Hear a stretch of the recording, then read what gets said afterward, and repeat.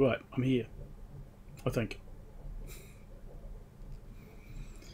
Okay.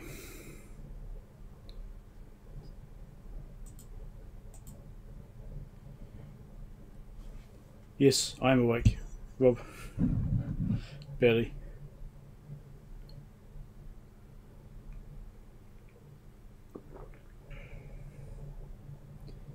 Just trying to get things going. Okay, I'm better at practice, apparently. Right. Who we got? We've got Svein, Willem, Thomas, Rob, obviously, and LV blog. So far. Ian's here. Saw Ian published a new video a couple of hours ago. Obviously, I haven't had a chance to watch it yet because I just woke up and come in here to do this. have to check that out later on.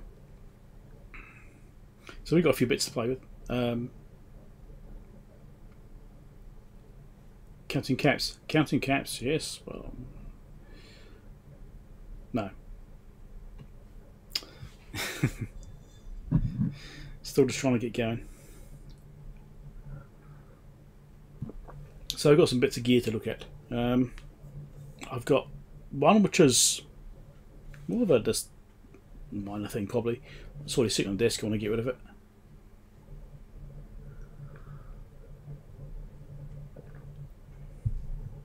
Ah, I left this out.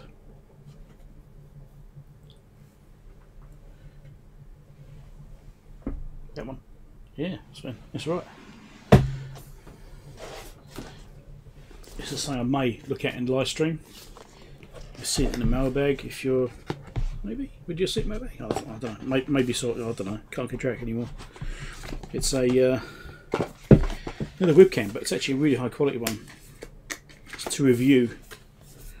And I may plug it in during the stream and try using it.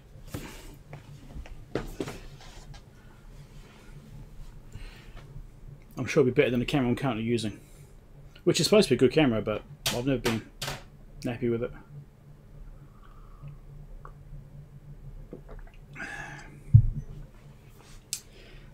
Yeah, yep. This is full of Scots here.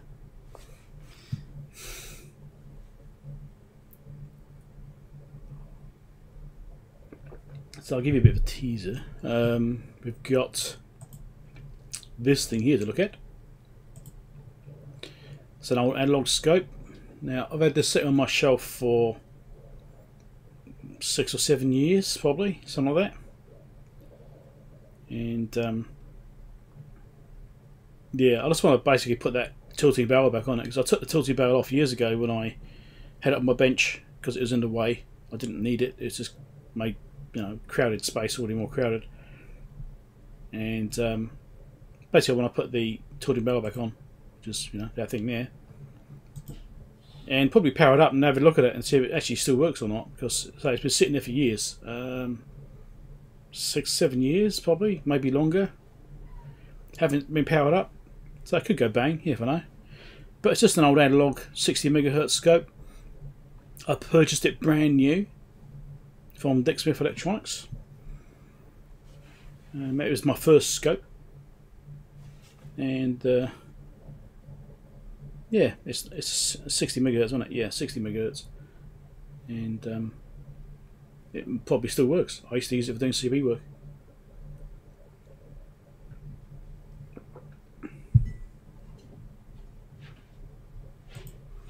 So we'll be looking at that. You know, power it up, have a little bit of a tinker with it, see if it still works, see if it looks like it's okay or not. I have absolutely no use for it. I mean, sometimes it is nice to have an analog scope for things, but and I've said that to myself, and I say there's situations where it would be nice, but um, I've never actually used it since I put it on the shelf. So, do I really need it? Probably not.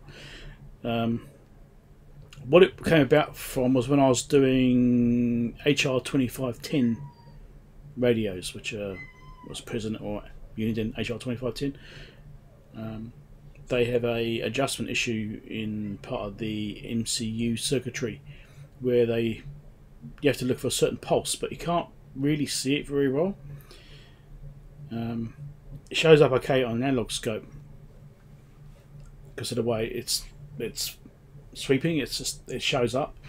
Um, I could probably get on a digital scope now. Now, actually, know, know to use one properly, I could probably actually, um, you know, get it to show up. But that's why I kept this because when I was doing those particular radios, you can only see it on that. I couldn't see it on my digital scope at the time. So, hey Christian,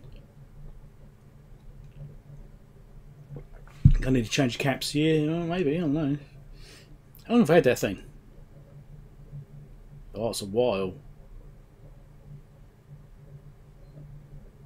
Must be about 20 years, surely.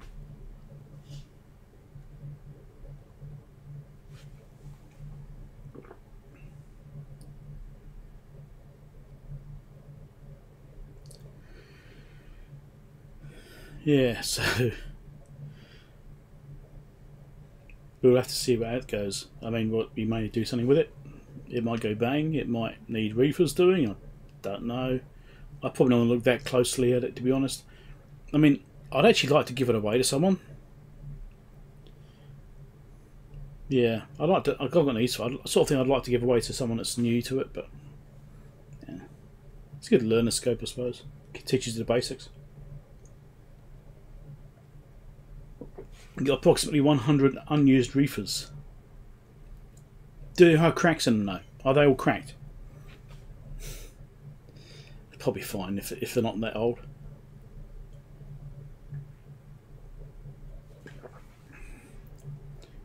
I, don't, I think I've explained this before, the RIFA thing. Why I fail? No cracks, that's good. The um, all it is the plastic shrinks. All plastic shrink as they degrade and as they age.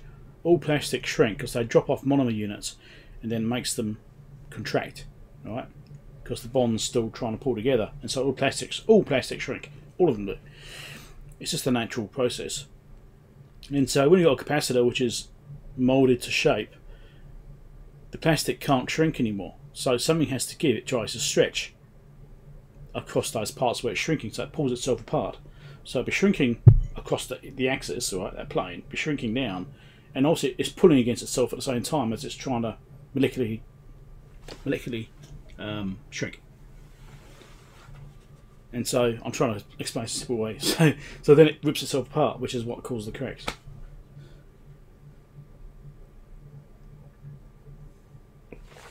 They probably would see that, yeah, yeah, RIFAs dangerous.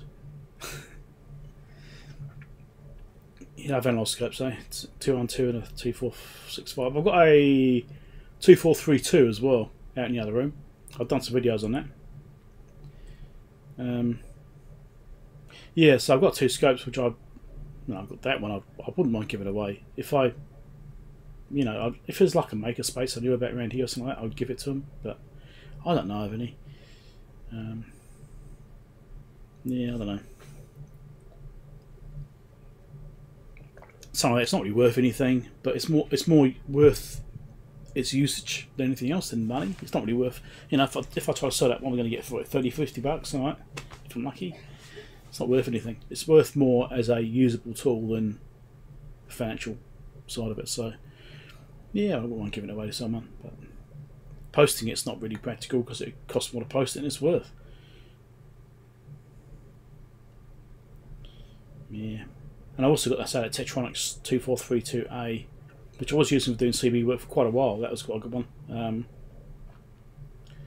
because that was that had an output on the back, so you actually link it. I think it's channel two output. I think it was channel two had an output on the back, so it's like a buffered output.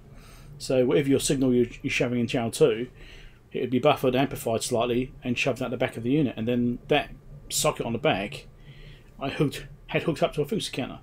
So when I'm probing around a CB circuitry, trying to do alignment stuff like that, using the, the probe on you know the scope, I could also see on the frequency counter what that circuitry was doing. Obviously, tech couldn't really show that much. You could see the waveform, see the quality of the waveform, that sort of stuff, but you couldn't really see the frequency unless you sat there and calculated it. So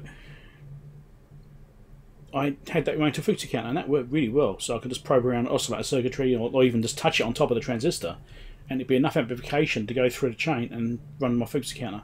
So I could be actually measuring frequencies inside a radio without even touching the circuitry, and I could actually get the frequency counter to trigger, and um, that worked really well.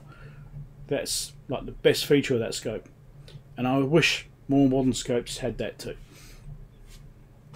because that'd be brilliant. But then I don't know, you've got built-in frequency counters now, but the sensitivity is a bit trickier.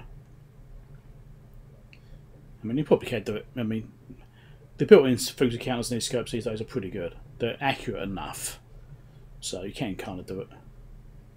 But they're not as good as a standalone frequency counter, which has got an OCXO on it, or, or GPS disciplined oscillator or something like that. Anyway. Yeah, so that's a good use for that. Problem is those old scopes, I mean, they're big, as you can see from, you know, this thing, it's pretty big. There you go, top view. Right, as they are, just the nature of them. So, we'll have a look at that, give a quick check over, see if it seems alright or not. And I've got some other things to look at as well. We'll just quickly do it. I mean, I don't think that'll take too long. You know, we'll check the, pull it apart, put the tilting bell on it, have a look inside, see if it looks okay power it up, give it a quick test, see if it still works. You know, exercise capacitors, see if everything goes bang, and um, put it back together and chuck it to one side, move on to the next thing. So I've got a few things I want to look at because my room's getting a bit crowded. Um, I've got a pile of stuff here behind me which needs to be cleared out. I've also got a revisit. So I've got a uh, the HP 18 gigahertz frequency generator there. I've got that sitting there because I never finished it, right? And it really, really bugged me that I never quite finished it.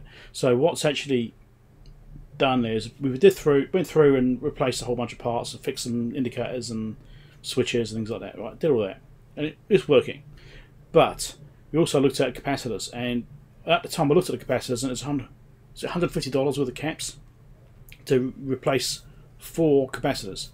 So at the time I sort of mm, wasn't really happy about that and I left it. And for months, was it two, three months since I did that, I've been regretting not changing those caps because that's how I am. I know those caps are going to be a problem. I know they will give me trouble. Next time I go to use this thing for an actual use, because um, that's what I've got it to use it occasionally, like once in a blue moon I'll use it. I know that it's a really good chance that when I go to use it, it will blow up. so I want to replace those caps. I've got some caps. I've purchased them. They're sitting on my desk. So I'd like to go back and actually swap those caps out with new ones. Um, and hopefully they're the right size. Because I went from memory about the, the screw spacing because they're screw mount ones. So hopefully I've got the right ones. If not, we won't be doing much for that one. You installed HP 1980 four channels 1980 can't say I've seen that one.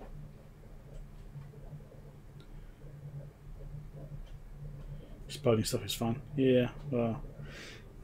Not if I'm trying to do a job with it at the time. My phone's going off. Why's my phone going off? What's the YouTube notification? Apparently I've gone live. I hope it tells everybody else, not just me.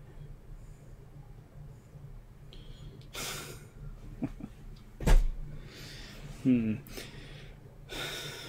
anyway, so yeah, we'll, we'll tinker around with things. And so I've got this camera here, which I've got to review. Yeah.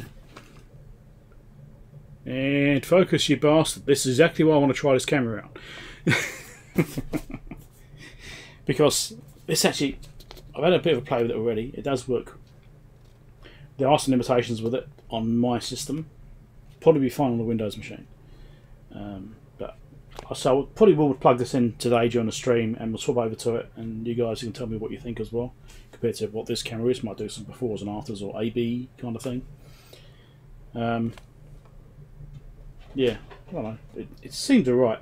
I think it depends a lot on lighting. Lighting's quite important. Like this is right now set up quite well for this particular camera. It took me a while to get this camera to work quite right. And I still have issues with this camera, right? So this is a Logitech C922.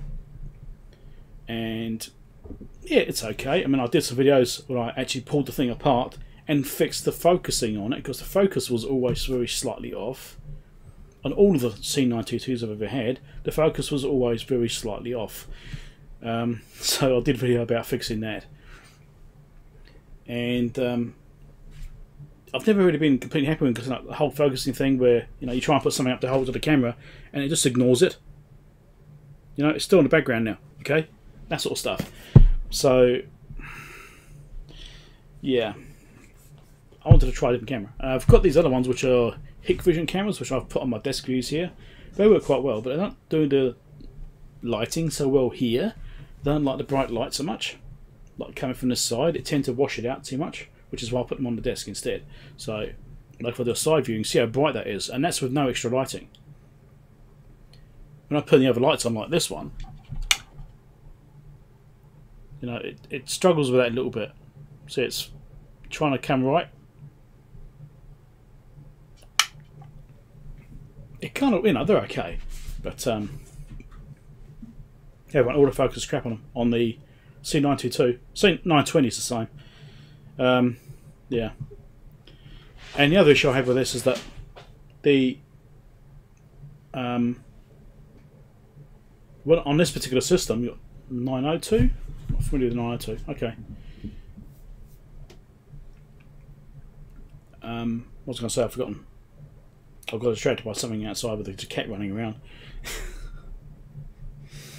um, oh, okay. So, when I changed my computer to this computer and upgraded the system, stuff like that, I had an issue with this camera being stuttery. So, what happened is when I first powered it up, it would just show like one frame every five seconds. It'd be like a whole bunch of stills, just like five seconds here, you know, one five five seconds, and so five seconds later do another still, and then another still, unless I fire up the application which is used to set the settings on the camera. The other thing is with the camera, it doesn't say the settings. So if you set the settings up, you have to do it every single time you power it, or every time you got to use it. It's a pain. Um, and I, even though I did that before I started the stream, when I opened up OBS, it was still glitching. I had to open a program up again on the camera app to reset the settings, and then OBS was smooth.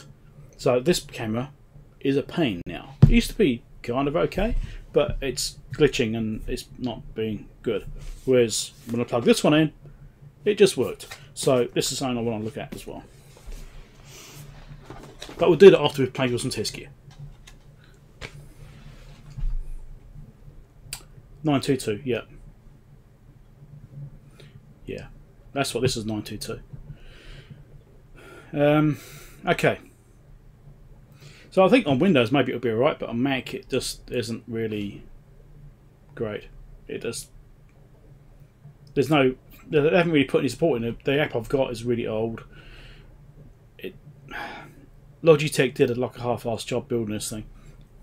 I think although Logitech, can't say although Logitech is a big brand, I think the quality isn't what it should be for the size of the brand.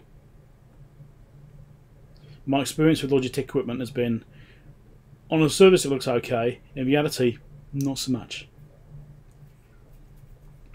It's face value stuff, you know. Anyway, let's jump over here. We'll do some work on the bench. We'll play some test gear, and we'll see what we do, get done. I've, so I've got a few things here I want to look at, and um, main my main purpose today is to try and get some space back in this room. Right. Um, I think we'll do this first. Then I've got. I suppose I need to record video as well for these other things. I won't record video on this, but I've got some things here which I do want to record video on because that's why I purchased them is to record video. So I'll do something with that. Um, I have to think about which order we do them in. I'll think about that. Okay, let's go. Should I do HDMI? No, no, we'll just use normal cameras. We'll use side camera. Hey, we'll use that one. Or this one. Which one should we use? That one looks a bit wonky, doesn't it? It just doesn't look right. Does it feel like they're falling over? Or is it just me?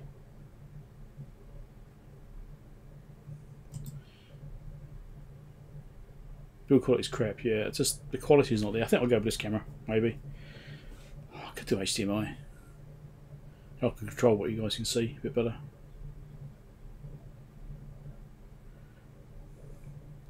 I could just do that one and adjust it slightly. How's that? We'll do that.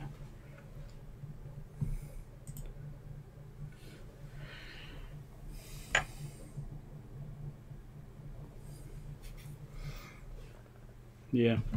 We'll do that. We'll do that. Okay. I should probably get my other little tablet running as well so I can see your comments and chat. If you can complain that you can't see a damn thing. That kind of thing.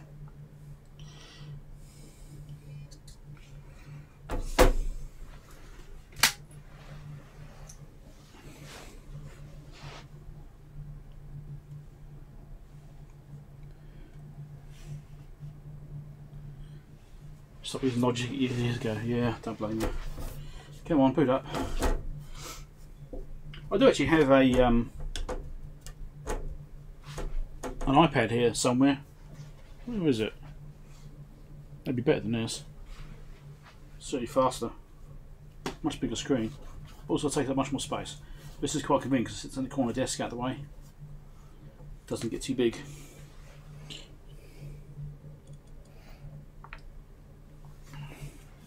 Course now I've got to boot this up and get it working because I should have done this before the stream but I forgot.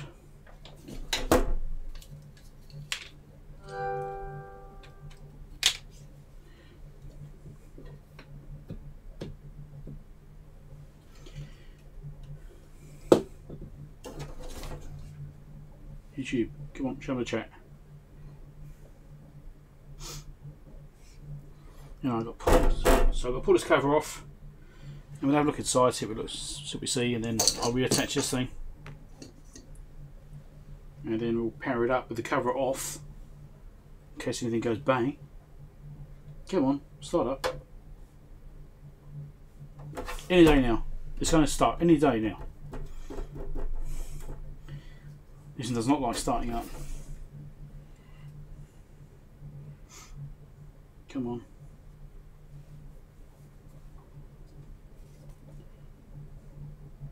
Where's my live stream? Show me the live stream. This is why I should get this to going before the stream, you know? Because... Where's my channel? Show me my channel.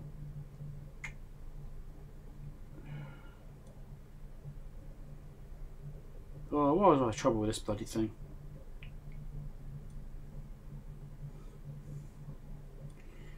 Get on my channel. Go to a live stream. Certainly Hoops got through. Stop playing. Just want to chat? Stop playing. Right, okay, I think we're there. Any day now. Yes, there we go. It's going. I can see the check now. Well, there's a mission. So yes, this is going to go on there. Let's move this out of the way for now.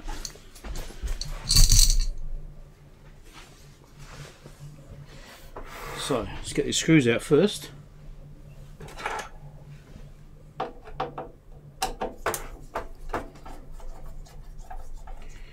remember when I got this thing, I take this tilting barrel off, I thought, that's such a mission to get off, it's such a pain. It's like, well, actually, after all the other gear I worked on, actually ain't that bad. Oh, I remember thinking that, it's, you know, it's annoyance having to take the tilting barrel off, it wasn't that easy to get off, you know. It's like, well, actually, it is. Anyway. So I might change the top view as well and change its camera angle, try and get it so it's not wonky and then show you inside might be easier that way.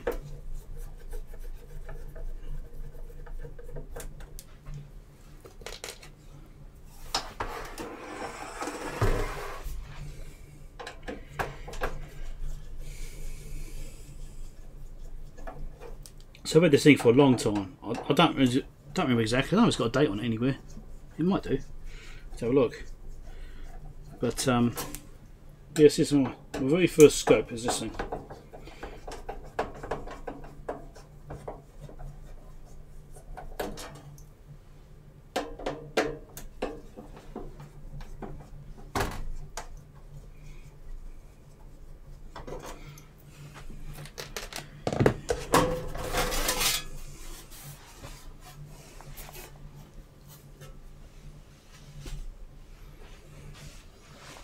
And it's not too dusty in there. Let's change camera views. Uh, desktop, is that going to work? It is going to work. Let's try and make it so it's not so wonky. I think maybe I'll knocked it or something. Yeah. Something, maybe. Everything's all coming loose. Oh no, I've ruined it now. The mount's coming off the shelf, everything's spinning. Right.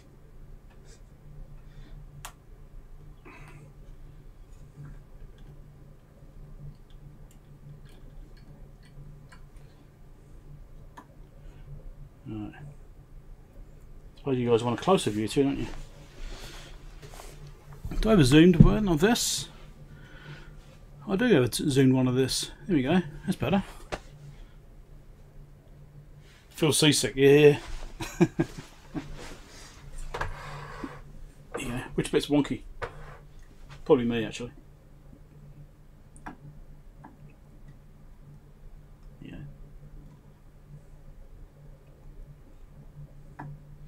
It's marginally better. Okay. Hopefully things aren't reflecting off it too badly. Doesn't look too badly in there. Um, so you've got a push switch here, which is this one here. And what's that one? That is the component tester. This has got a component tester on it, so you can do like curves on it in a way. That's our little feature it used to have, which is quite nice. There's another thing here, I don't know what that is. What's that one there? Beam finder. You've got a beam finder switch and a component test switch, and you've got some little trimmers in here. Very analog. Lovely old tube. Um, can I find a date on these chips? Got the dust off it. Maybe I can see a date. This says 95 in that chip. This one's not pretty very well. Can't really see it. This is 97. So it's 97, alright, okay. What else?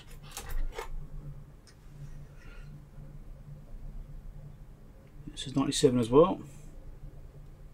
So it's at least 97, at least. So if there's anything in here which actually has a day code in it, apart from the chips, because they've been made years before, you never know. On the back, see this is the other thing I liked. Maybe just got to shove on camera because of the lighting, might be drowning it out. It is drowning out, let's turn it off. There you go, you can see better. Um, channel B, signal output. Right, so exactly the same as the Tektronix. It passed through, you got a amplified output through this channel here, which allowed you to plug a frequency counter in. That was really useful.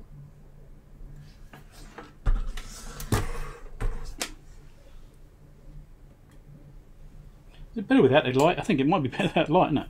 It's actually washed out this. This is a really sensitive camera. These Hikvision ones, they're actually really good for low light. Make it easy, yeah. Hey Dave.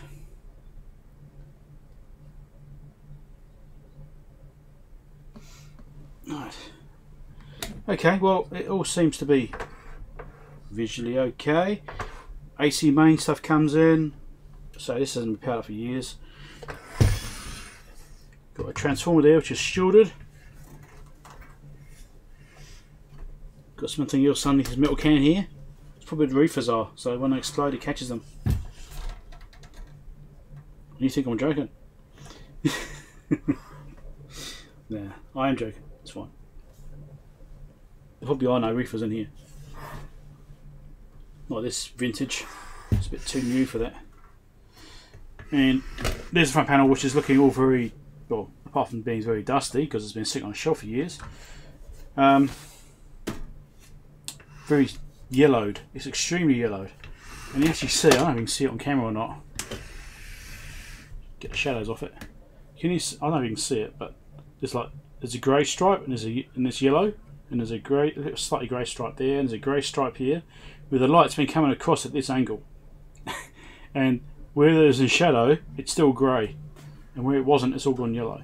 So that's obviously a, a UV light thing where the light's been coming across it and it's been doing it. It's got the whole panel's like it. The whole panel has got these like lines across it where it's been shadowed, which is a bit of a shame. But uh, anyway, there's the actual information about the front there. It's the uh, Q1806 or PS605. So I used this thing for quite a while. So probably know, maybe five years or so before I got the Tektronix, and I used Tektronix until I got digital scope. Like the like the Siglent from Rob. Okay, well, let's power it up. Let's do that. Let's power it up and see if it goes bang. I'll do some little testing on it. Um, yeah, never know, might get some caps exploding. Could get lucky. Now, is this a multi voltage? So, well, it's got a transformer on there, so I don't think it is. It's got a voltage selection switch, which will be the right one. So, we can power this up gently and give it a bit of a chance to uh, recover before it goes bang. So, back in shot. So, I'm one voltage down. Because it is a transformer I can wind up gently or gradually increase it so um, should we turn the power on at the same time? I think we should turn the power on. Power switch is on. So I'm doing 50 volts and it's only doing 1.5 watts so far. It's about 75 volts 3.8 watts course, I may not actually like going slowly, but uh, we'll see. About 100 volts, that's 6.5 watts. Just waiting for the bang. Oh, I heard something. Heard a little crackle, like a little click. Could be something turning on, could be in the CRT. Um, 116 volts at 9.5 watts.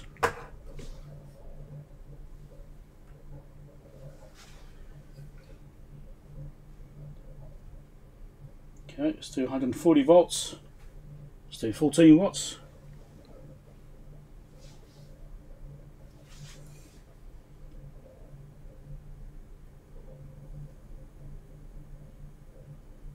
Okay, it's a winding.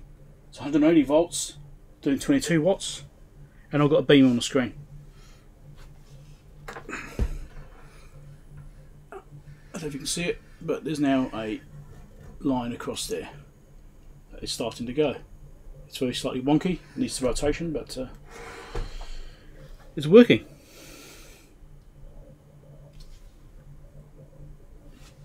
Let's wind up some more. So that's 200 volts. Hey Alan. Roy. 25 watts at 200 volts. 220 volts, 28 watts. 230, 30 watts. Yeah, okay, well, it's running. It didn't go bang yet. I might just turn the power back off again just to give the caps a chance to have a rest. Just in case they're on the verge of going or something. I'd rather have them reformed than just blow up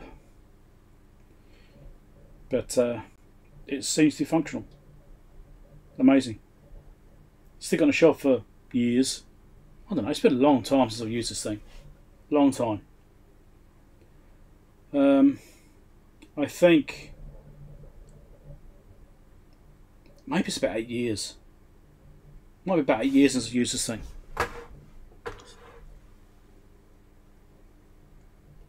So, yeah. Have we gone again? You can hear whining. It's probably for CRT stuff.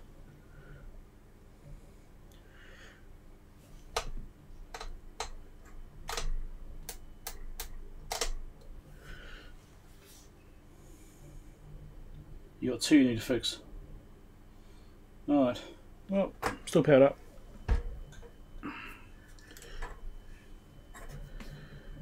Um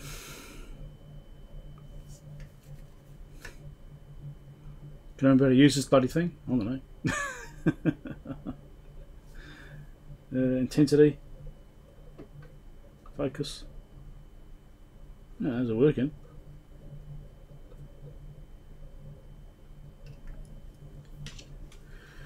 Thing that's getting me is this two channel scope, but I can only see one beam.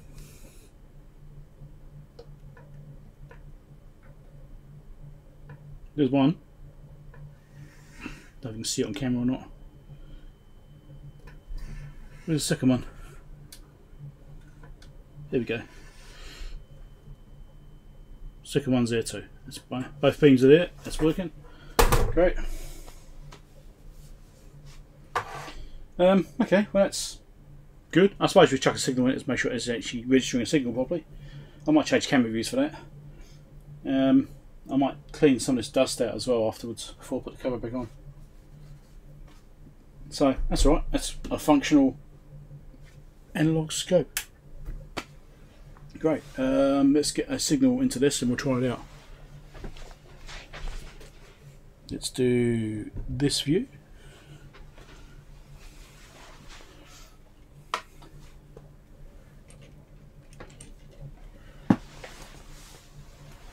Power off in I drop a, a BNC into the chassis.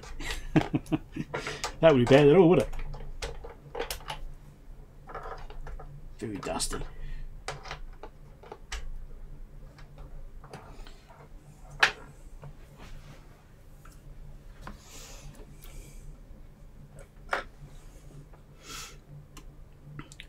this is a nice little simple thing just to look at. You know, I just want to basically just quick once over of it. Then we'll move on to something else. I've got some capacitance standards here I need to do videos about. Both need repair. So those will be no, probably quite quick to do, I imagine.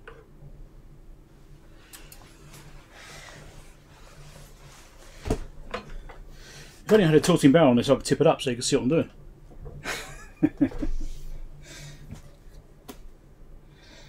CRT, oh, yeah, well, yeah, don't touch that bit.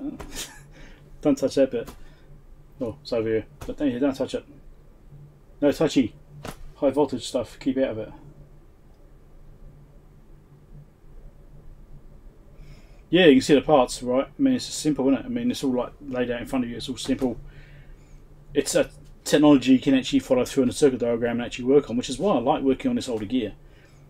Um, you know, modern stuff like the modern Siglents and you know example or modern Rigols or whatever. Um, trying to repair those completely different ball game. I wouldn't even know where to start on half that stuff. And this is something simple like a power supply. You obviously got to try and trace it out. Do that so I can at least see it. Uh, what should we do? Channel two. Let's do yeah, tinker that's there. Yeah, okay. Both about the same setup, that's alright.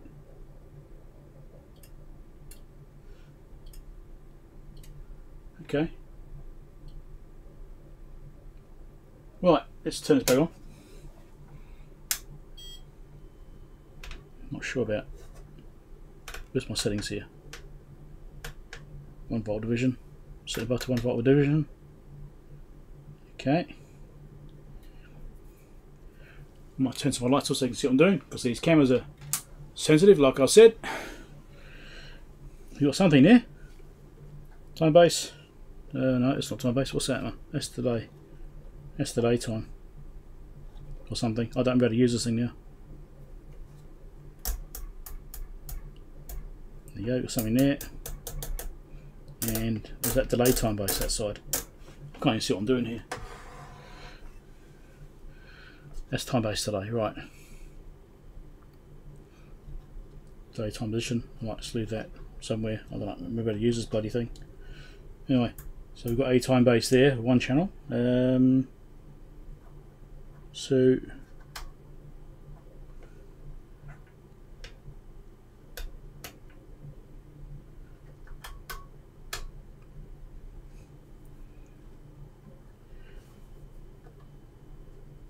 let's do it that way around.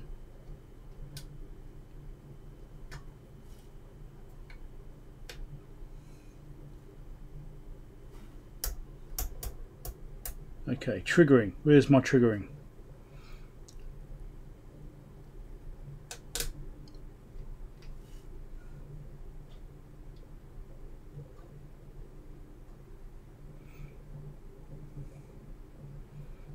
Coupling auto coupling source. There you go. Uh, intensity is pretty good isn't it? I've got XY mode set up.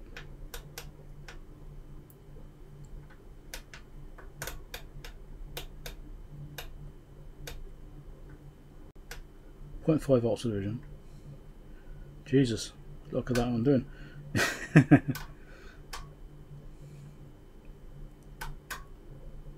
Yeah, okay, that's that.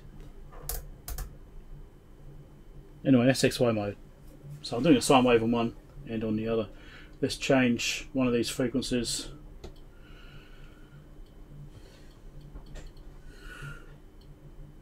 XY mode's not something I tend to play with, but I should get something out of this surely. If I'm to bloody use it.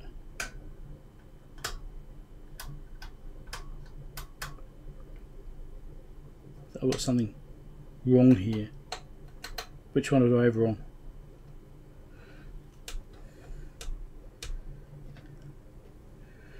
Main, okay, there's, there's XY there.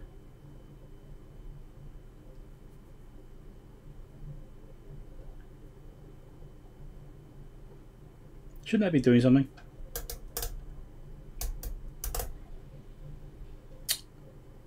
I don't bloody know. Why can't I get the XY mode to work? Should I read the chat and have you guys tell me how to, what I'm doing wrong?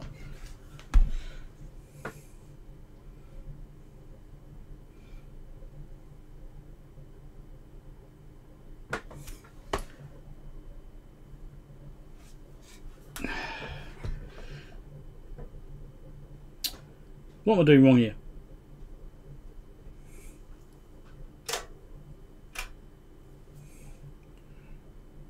Jesus, it's been a long time since I used this thing. that should be XY.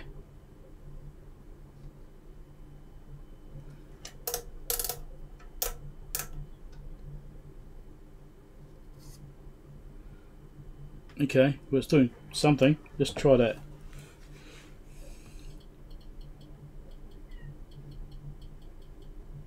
There we go, now we're getting something. Not sure it's right, but getting something.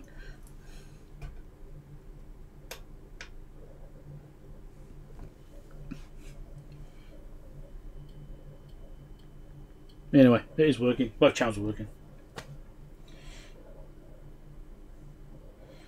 It's going from Guatemala.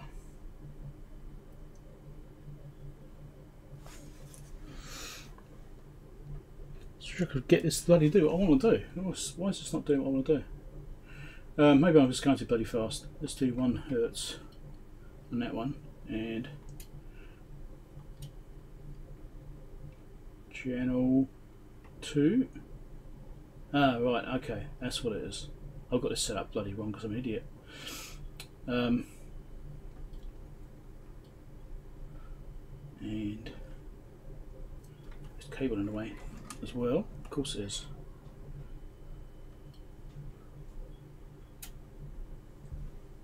Here we go. That makes more sense. If I get the generator set up properly, it definitely makes a help.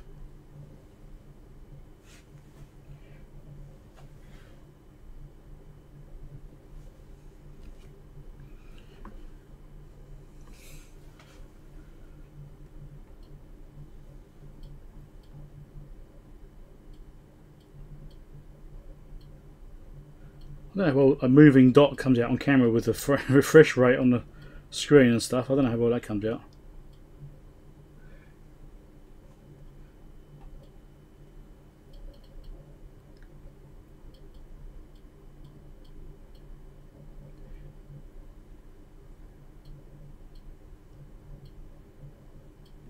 Is that enough to come out? Oh, can you see it? Oh, you can, kind of. Yeah, great. What is, I had one channel running way too fast.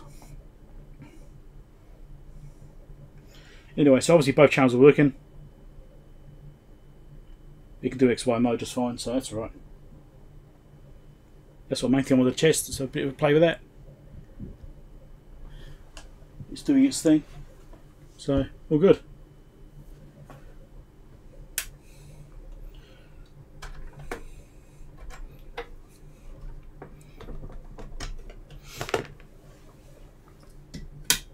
Put the covers back on this thing. Well, I'll go and quickly dust it out. I'll take me long to do that. And um, then we'll put the tilting barrel on, put it back to one side, once it's back together, and move on to the next thing.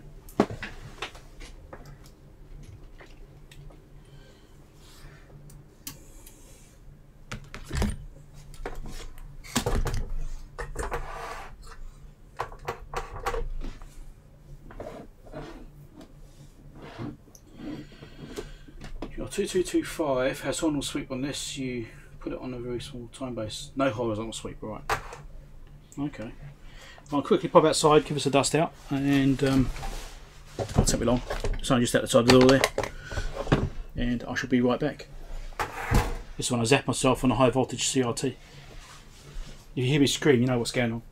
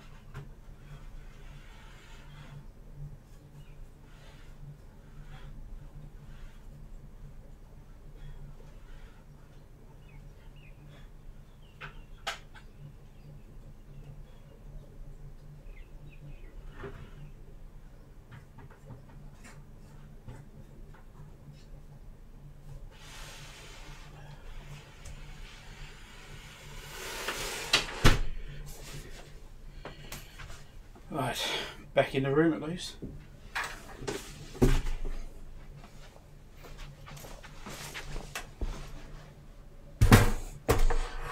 Where my soldering iron gone? Oh, wait, is Ian still here? Ian seems to have disappeared. He normally tries to steal my soldering iron when I'm gone.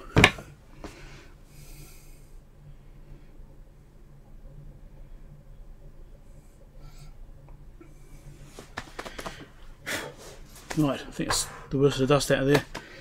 So I need to put the tilting bail back on this thing.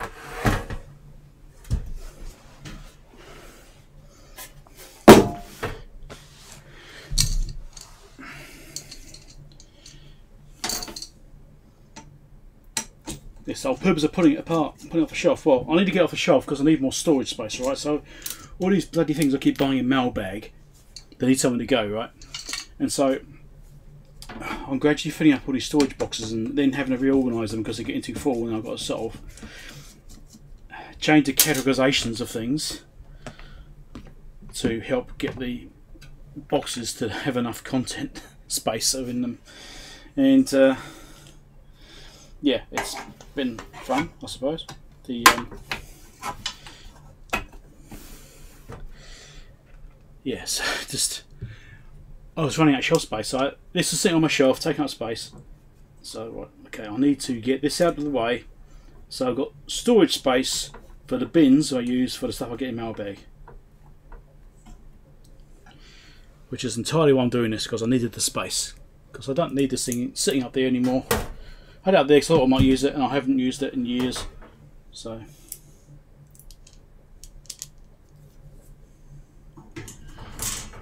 anyway. Not this time, Ian. Ian didn't steal my soldering iron this time. He was a bit slow to the mark that time.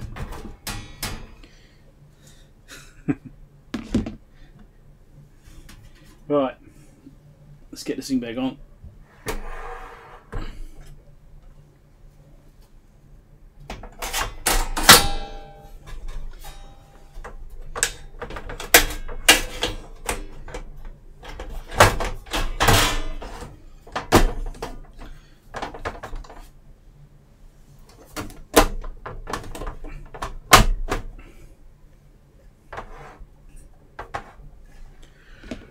Well, I've got nothing to discharge CRTs with apart from my fingers, and it's generally a bad idea. So I prefer just to keep away from them. this has got a slot into the front, like that.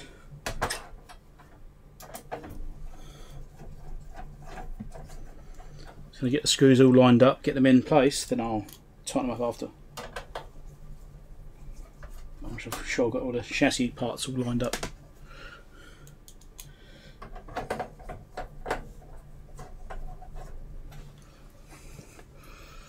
that's that little project out of the way and dealt with. I've been meaning to do this for ages because it's always been a bit of a pain because sitting on that shelf up there, it's like oh, I've got to get up there and get the thing off the shelf. awkward to get to, a bit heavy, so it's one has been putting off for a long time.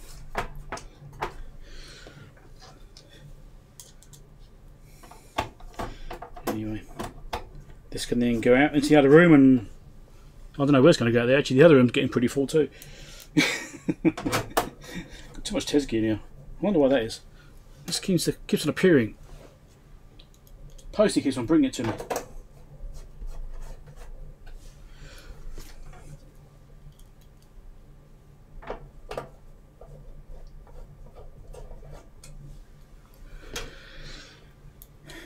USS Enterprise experts in space. Yes.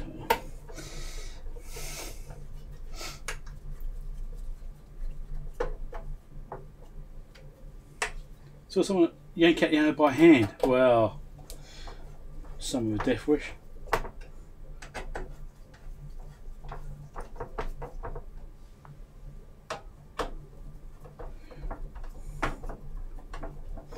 Anyway, right. Like I said, I'd like to give this away to someone really. I mean, if I can find someone near me where I can literally just give it to them, then I wouldn't mind doing that. I've got no use for it. It's just sitting here taking up space and someone could get use out of it. Once I figure out how to use it. I think I've still got the original manual laying around for this thing somewhere too, actually. That wasn't really much of a manual, if I remember rightly. I don't throw things away like that. I just, you know, manuals and stuff, I keep them all. Um, so I've probably got a little manual booklet or something somewhere for this. So when I dusted this thing off, I didn't dust off the front panel. Oh, never mind. I was going to let dust again anyway and put it in the other rooms. That's fine. That's that bit done. Um, no, I've got a brush here. Let's do this. Let's put dust on my desk instead. Eh? Get rid of the worst of it. Yeah, we definitely should have done this outside.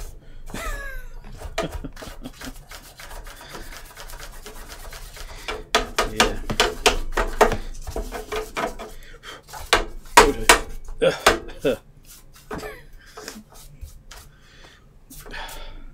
okay, let's put this somewhere else and we'll work on a different project.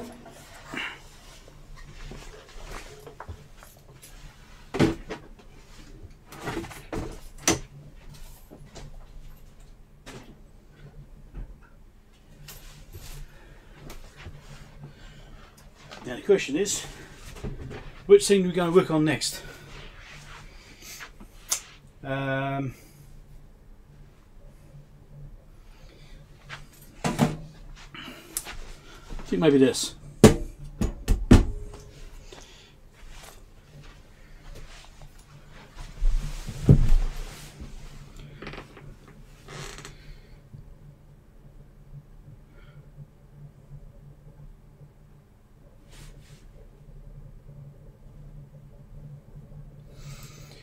Uh, For a local men's shed. Men's shed. Okay, googling now. Men's shed.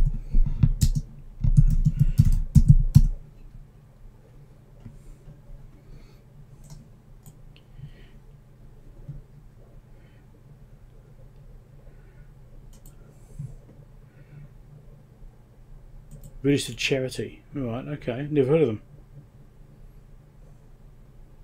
It's about men's health, apparently.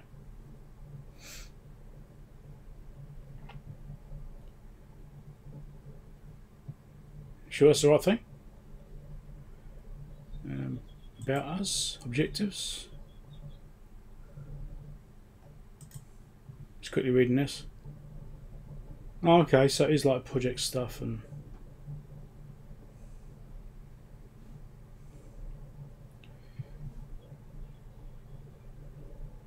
Okay. Waikato region.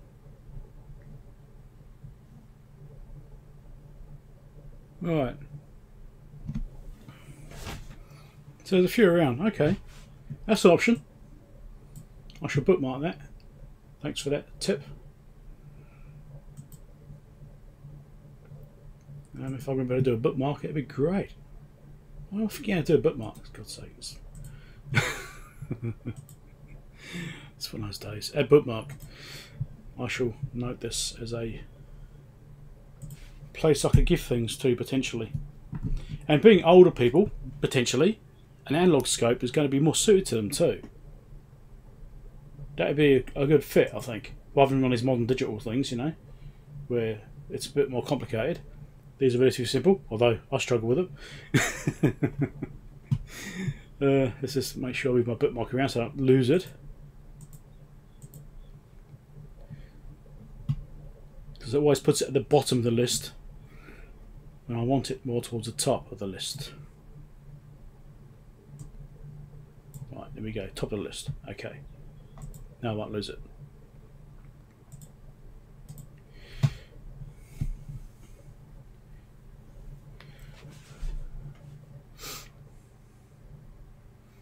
Okay. Rory, it's got to go. Okay, thanks for dropping by, Rory.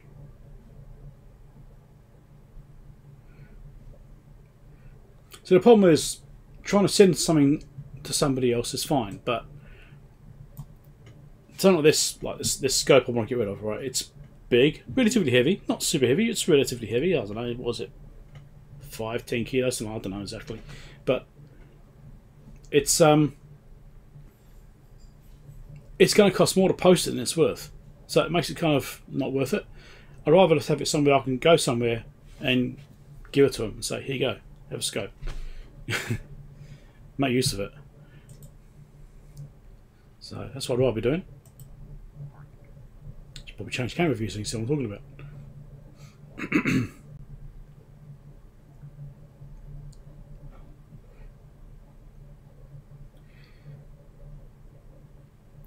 Maker shed also. Maker shed. Is there a maker shed in New Zealand? I don't know. I don't know. There may be stuff. Now I've got to look for that too. I've got lots of things I here I could actually give away. Right? I've got stuff here which, even though I've been trying to sell it for a long time, it's like, well, I've got multimeters sitting out there, right? As Datron multimeters, six and digit multimeters. Trying to sell them, it's like, no interest. No, they look too old. People aren't interested in buying them even though the price is pretty good compared to what they are on like eBay, for example, I've got them cheaper than on eBay, even though I've had to put money into fixing things. Um, so things like that.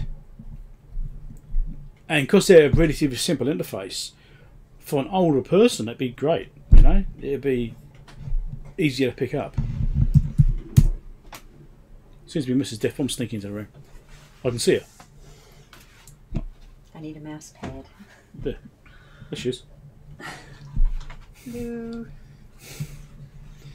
Uh, and the answer is no, there is nothing in the end, at least based on that name.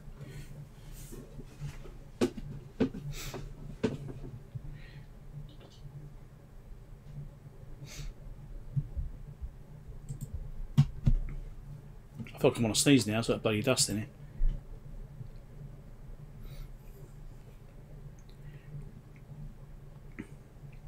You got a problem. Both your storage room have to be converted back to bedrooms. Standing room only, oh dear. I, feel your pain. I, I know the, I know the feeling. Not enough room.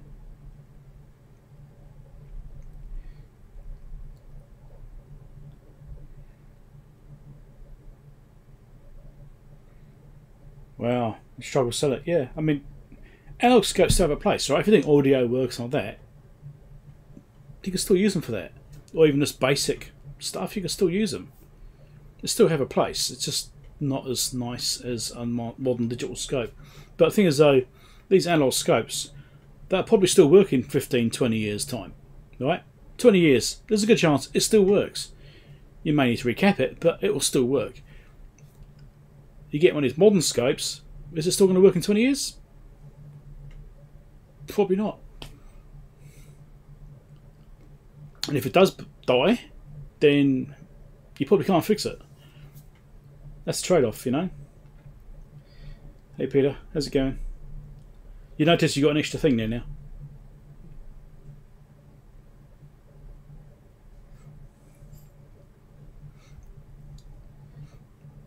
Did I finished my coffee. I did. It's empty.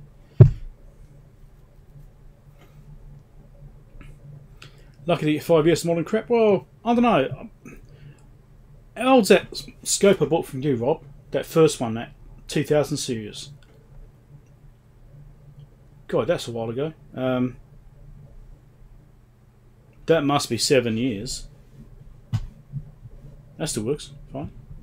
Although I think I need to clean the controls on the front.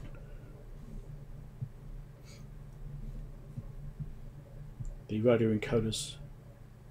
2015. Okay. Yeah, so that's nine years, right? So there's a I've got a Siglent scope in my other room. Nine years old. Still works. But one of the um, which which adjustment was it? One of the one of the knobs on it is giving me a little bit of trouble. I think it just needs clean. Doesn't get that much use. Um, bit of oxidization or something's got in there. I need to just need to pull it apart and give it a clean up. But otherwise, it still works fine. How much control it was now? It's just one of them.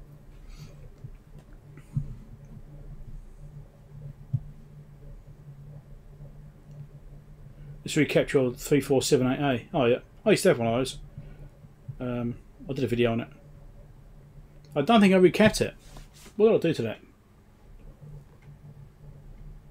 I honestly don't remember. That was that was years ago. Um, yeah, it's little. Was it five and a half digit? Was it five and a half digit? Multimeter. I think that's right now. I need to look now. Hold on. I've got, I have it in my list. Let me look at my list. HP. Um, it's in here somewhere.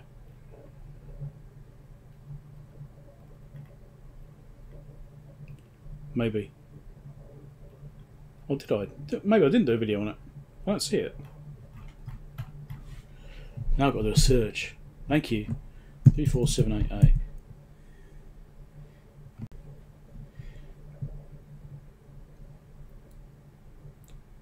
Um, here's, no, that's manual stuff.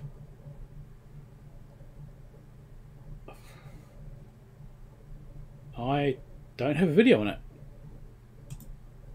I never did a video on that. I must have just bought it and used it. Damn it. You caught me out on something.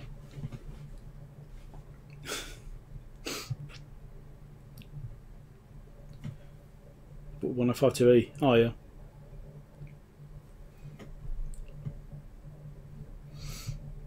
A fire phone. Okay.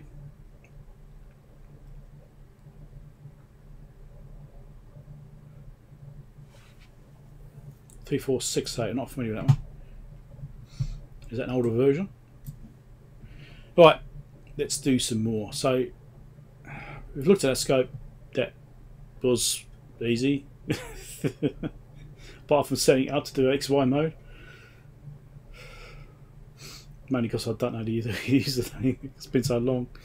Um, right, we'll look at this thing next. Now I want to do a video about this, so it's going to take a bit more effort and involvement. It's going to take longer. But I do want to do a video about this. It doesn't need much, but I want to pull it apart and have a look inside it. And yeah, top view. I don't know, is that any better?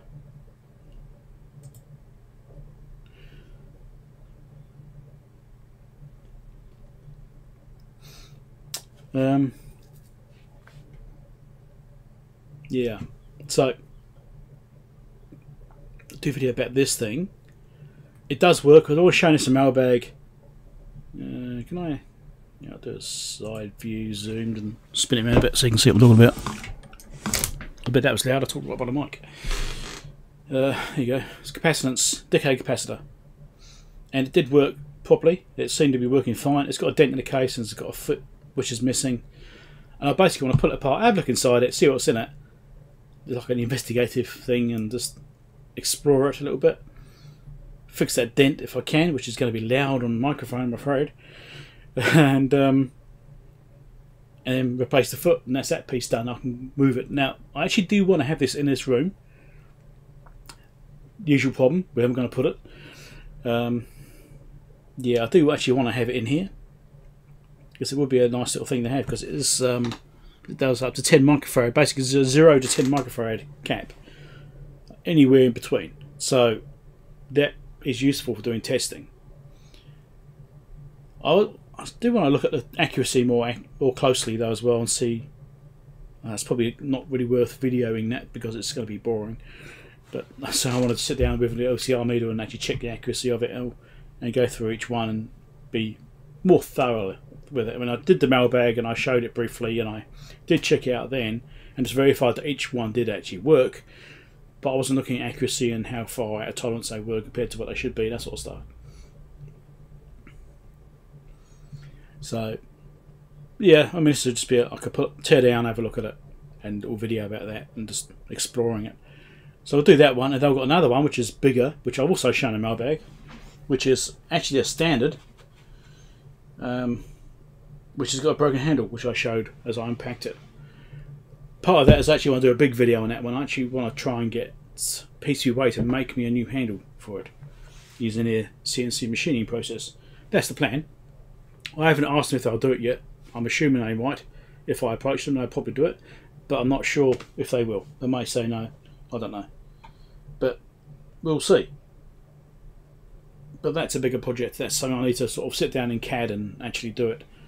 Um, there's a program called FreeCAD I think I can use. I haven't actually looked into it yet. Um, this this industrial now it's just a standard. It's like probably using schools and stuff like that. I'm guessing it's quite old. This is a Telms unit. Um, it's a TR9308A.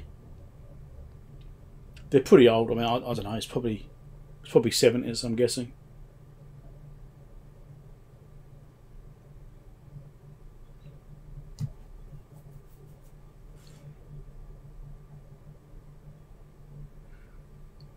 Goes value matching. Two thirds of his parts went unused. Yeah. Well, you're allowed for tolerances, aren't you? It's the thing. There's always a tolerance. Right. Let's do video on this. So I need to change the camera. And I need to get some more lights on. And I need to think about what the hell I'm going to say.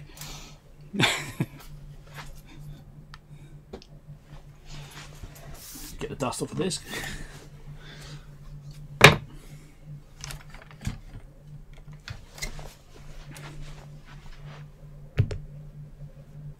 And that's not working. Why is that not working? Give me a second. Why is that not working? What have I done? HDMI.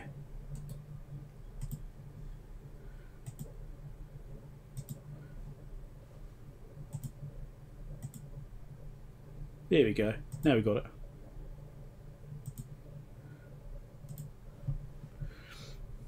It's not right, but we got it.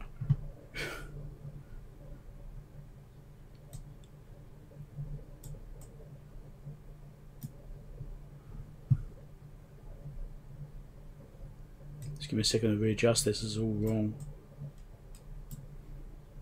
Don't know why it's all wrong, but it is. It's probably an easier way of doing this. Can I do fit to window or something?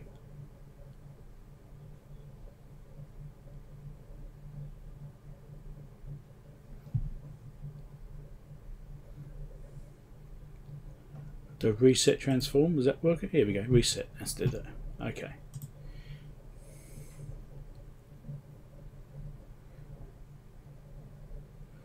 Use FreeCAD? Okay, cool. Because I've been using Tinkercad, right? Everything I've designed so far, 3D for doing printing, has been in Tinkercad, which has been fine. It's got some limitations there about resolution, things like that, for doing curves and what have you.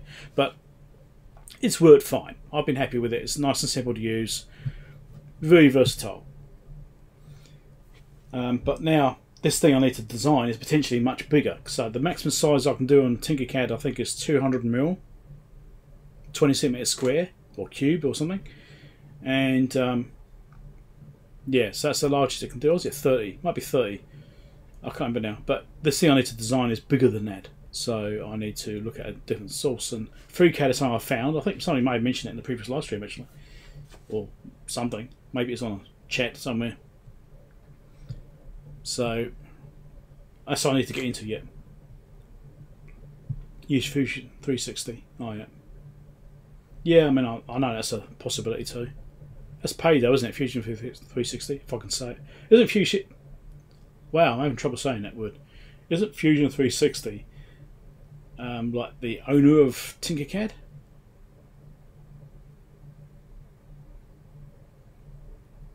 Andrew reckons plus one, yeah. I don't know. I know about Fusion 360. That is an option, but used to be free for makers.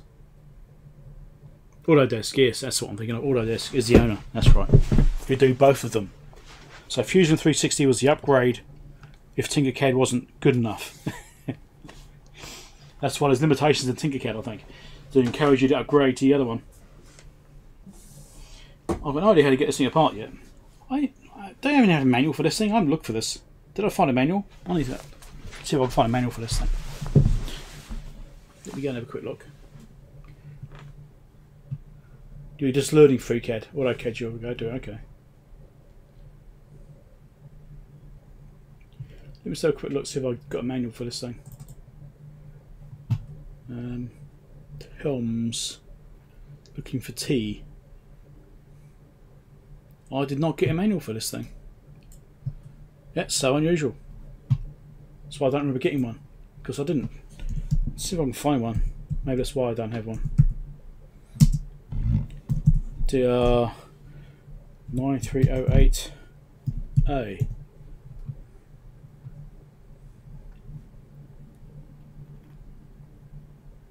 Hmm, let's do PDF.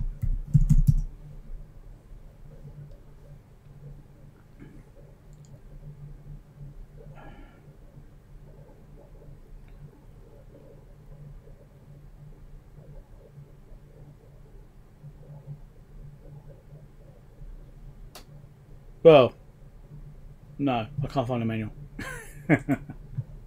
it's probably one out there somewhere for it.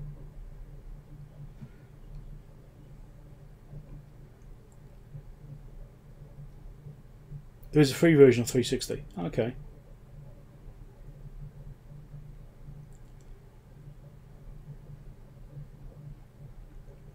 Okay. I think FreeCAD is probably what I want to try.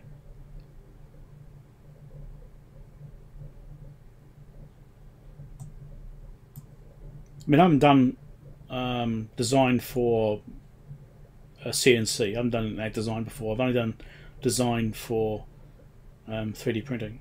I'm guessing the process is basically the same. But yeah, that's what I need to do. I, well, I want to do. I've got so many projects I actually want to do. Getting the time to do them, like sitting on my desk here. I can see it on camera or not there, but just at the back there, there's some screens, right? Those LCD screens. LCD, I can't remember where. Might be a TFT, I can't remember now. But anyway, I've got some screens out there, which are to do a potential upgrade to the Advantest 6.5 digit multimeter I've got, which has got the dying screen. So I've got those projects sitting there, things I want to sit there and, and work on. haven't got the time. Uh, I really want to do that before the screen dies, so I can actually you know, make sure things actually work properly. But uh, anyway.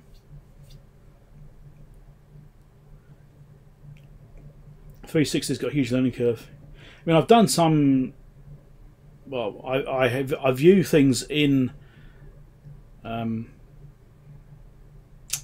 oh, what the hell is it called? I've forgotten what it's called now. It's not 360. It's something else. It is AutoCAD. Yeah, it's AutoCAD. But um, it's not Fusion 360, it's, it's an AutoCAD one.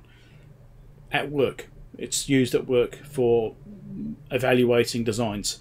And I do that, right? So I actually get in there and I view design and manipulate things and check things out and measure things and what have you, right? So I have done that, but um, I haven't done any building in that system. So it's a bit different, obviously. Knowing how to construct something is a bit different.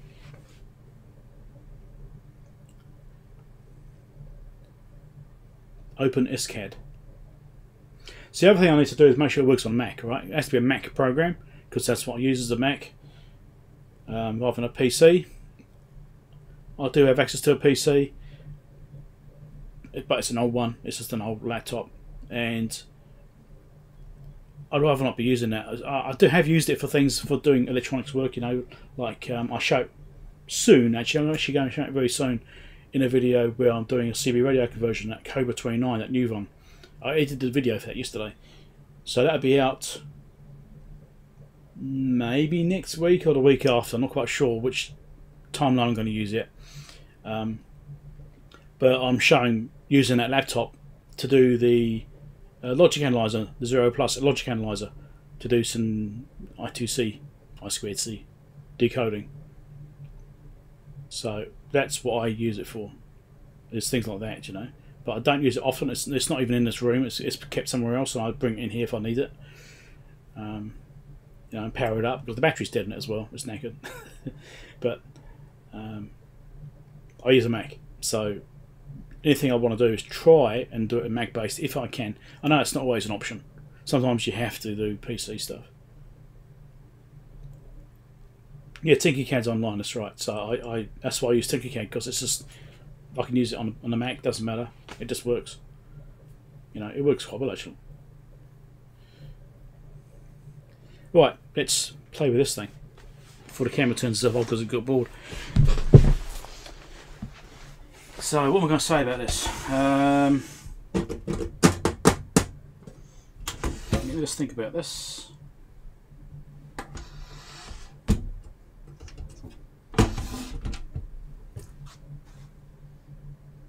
How to get it apart is one part of it. Let's do feet. That's not a problem, I've got feet. So 3D print one, I can always 3D print one. Come that part of the project, can I? 3D print a new foot. Done that before.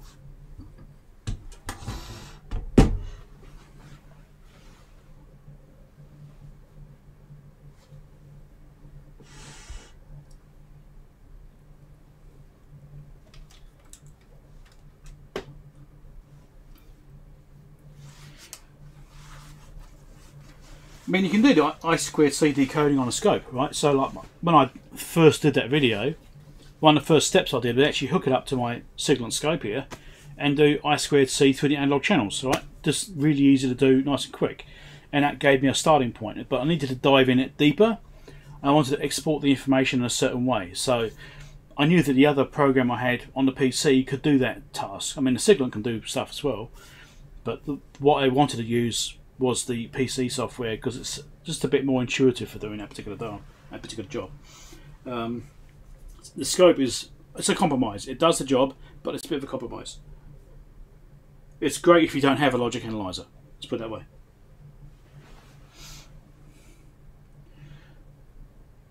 Um, okay. So. Right. Okay, I think I'm ready to start thinking. uh, right. Wish my desk wasn't so bloody messy, but I've got these projects. Too many damn projects. I'm so busy. Really wish I could get some time to do these things I want to do. Well, in a way, I kind of am doing what I want to do. That's what I'm doing right now. But there's things that I'd like to do rather than just working. Anyway, let's start. A picture of this.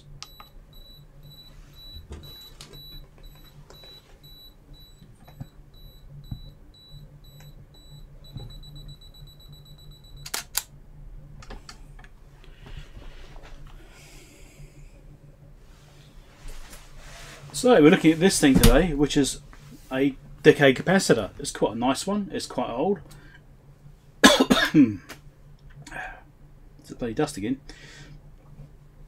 Now I've already done a bit of an overview in this thing when I got it on the mailbag. I showed it mailbag, and I did do some testing on it, make sure the switches work, which are really nice switches actually. They're really, really nice positive switches. They feel quite good, and I think there's like a slight bend on this post here, things like that. It's not really much. There's a dent in the chassis here.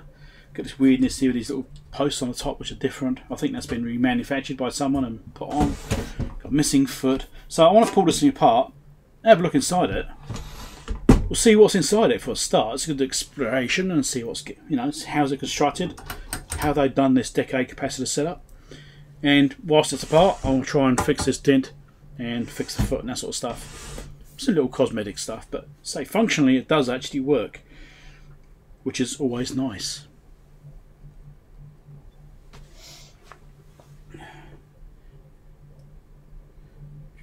Catch up chat.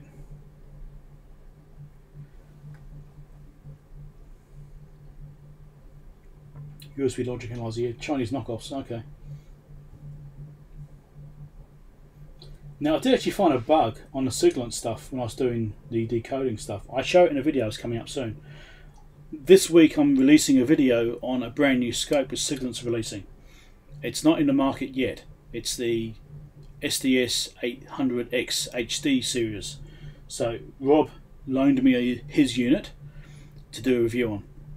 And so this week you'll see that unit in use, and I'll do some testing on it and look at the user interface, that sort of stuff, like I always do, exactly the same process. It's quite a long video. The very first one is over an hour long, and that's cut down a lot. Now I think when I first did it, I actually had uh, 27 gigabytes of footage just for that part of the video. And then actually after that I did a follow-up video which is a teardown, and that's another five gig of footage. So I've had to do a lot of editing. I spent hours and hours doing that video, many many hours. So that's coming out this week. At least the first part is the first part of the actual review, and then I'll do the teardowns a separate video. And I may not. I don't know if I'm going to do that next week or this week. I'm not quite sure yet. I might publish it on Friday instead of a repair. So I might do a, a double whammy review video sort of thing, you know, in the same week. Um, it's either going to be the Cobra modification on Friday or the teardown of the Siglent scope on Friday. I'm not quite sure yet, I haven't decided. Um, but when I was doing that, I did actually find a bug with the I squared C decoding. And coincidentally, someone posted on the EEVblog forum about this particular bug having problems trying to do I2C decoding on their Siglent equipment. They had an SDS 1104XE and they were having, or was it 1204? Anyway, same thing they were having issues with it, with they couldn't get it to decode. And I had just literally a day before found this bug, and um, I was able to tell them how to fix it or work around it, I should say. So that was interesting, and so that's in the video. I do actually I've got it time stamped in the video as well, so you can see that bug in action. And I found a few little bugs, all, all to do with I squared C decoding, and all of them are to do with the SLA 1016. So it's not the scope itself, I don't think. I'm pretty sure the scope itself isn't where the bug is. I think the bug is with the SLA 1016. But it's only a minor bug, and if you know it's there, you can work around it. What do you do? 4K videos? Yeah, yeah. a bit different. Yeah, I'm doing 1080p. I don't do 4K. I, I don't need see the need to go to 4K apart from the fact that when you do things like zooming in, like I've been doing that a lot recently, trying to get framing better. So in this situation, it's not too bad, but you know I could be zoomed out too much, and I have to get it a bit bigger in screen so you can see the detail better. You know, um, in this situation, in this situation, not bad. But if I was looking at something like this, I could be in this zoom level, and you go, oh, it's a bit small. But in that case, in when I'm doing the editing, I'm bringing it into sort of this, this sort of size. And when you do that, then obviously it goes grainy and you lose a lot of resolution because it's obviously just blowing it up because the resolution's already maxed out. But with 4K, you can zoom in and still have good quality video. That's the only benefit. Um, yes, it would be nice. I don't know, 2K probably be actually, to be honest. I thought this did 2K recording, but this is a 1K in video camera. well, it's actually a camera, which I do video on, I should say. So, yeah, I don't know. Interestingly, that um, this thing here, which I've got to review, this is 4K. Or is it 2.5K or something like? It's, it's something like that. It's, it's definitely higher anyway.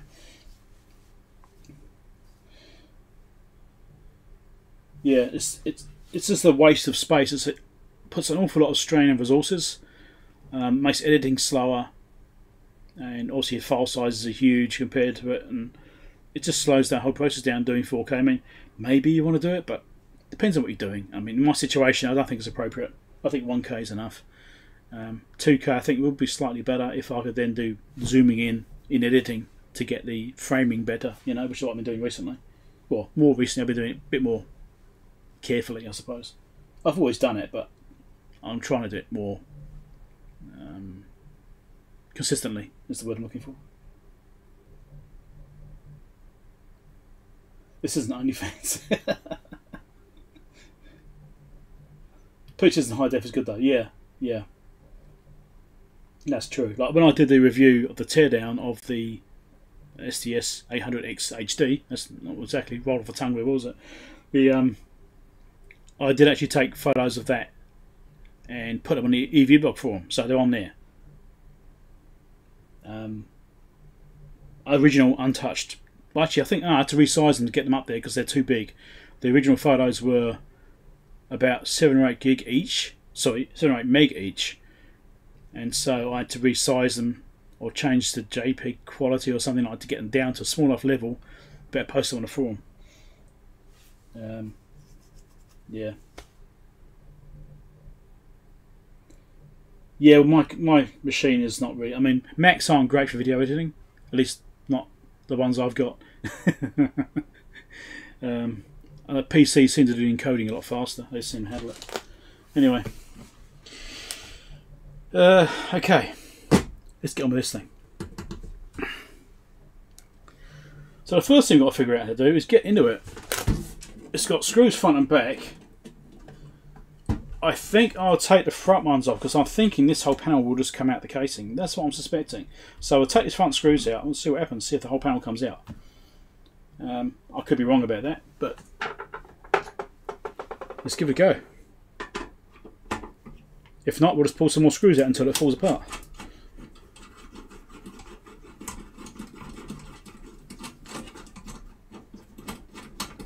Oh, I should probably do this too. Seeing as there's a capacitor box we're working on.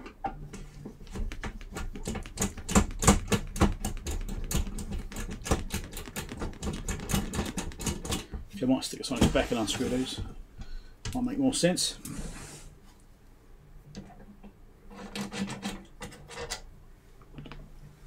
This when the bolts fall out inside and it all just falls apart and goes horribly wrong.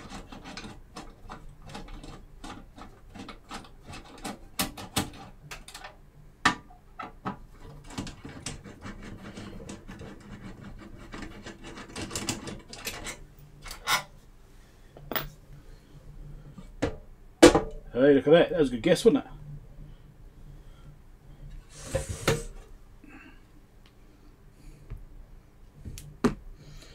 I was right. It does just come out the front panel. Let's have a close look at this thing.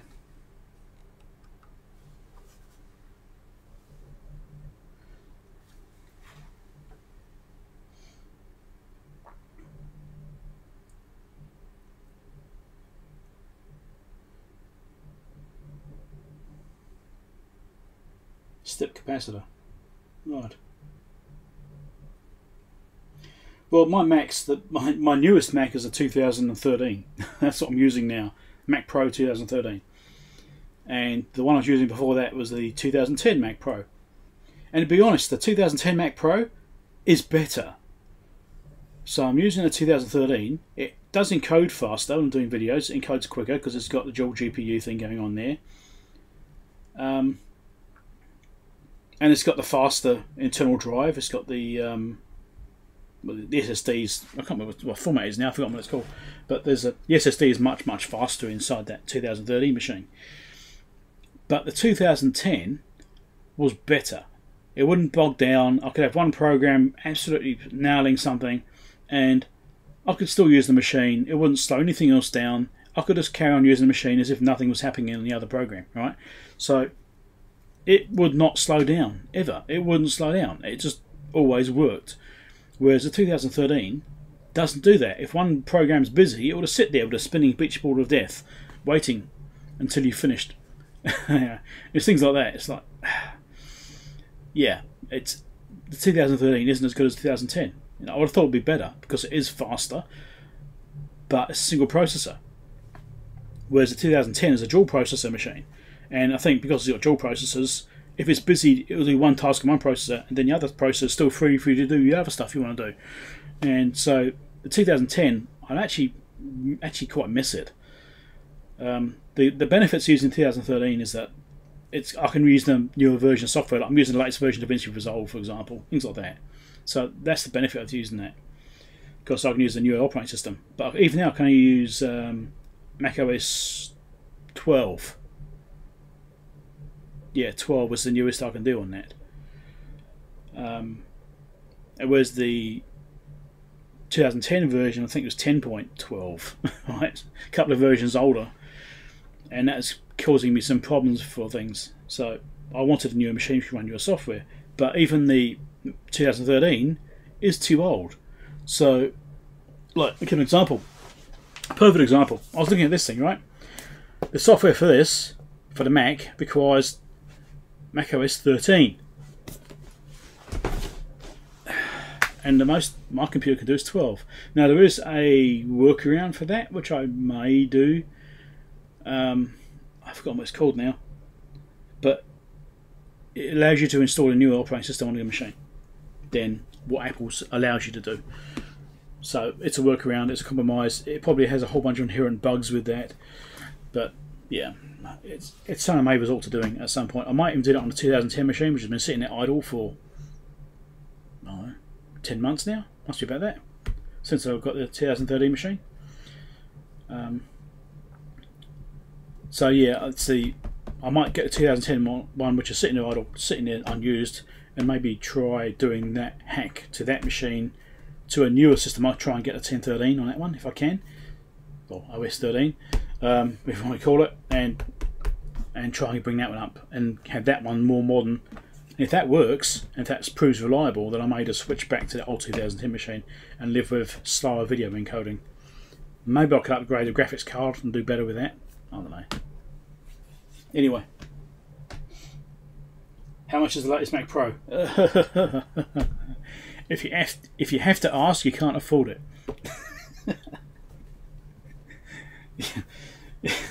That's how it works with Mac stuff, isn't it? If if you want a better one, if you want the the modern thing, if you have to ask, you can't afford it. That's what it comes down to. Um, so yeah, I'm not getting that. as much as I'd like to get the latest Mac and actually use that and be completely up to date, it's an awful lot of money, and I don't think the benefit's going to be that great.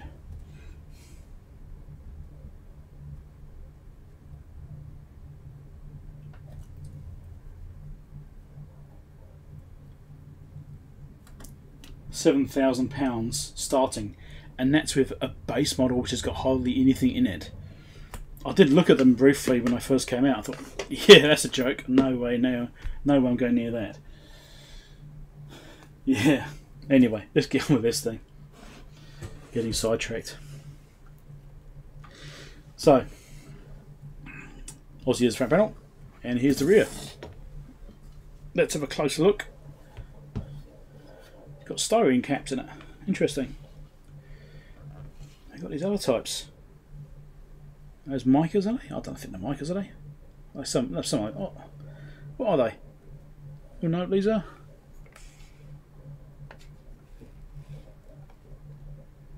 I recognise those caps. Know what they're called? Comments down below. We've got these ones here too. Some more polys. Interesting construction, isn't it? Very simple. Very tidy. Extremely tidy construction.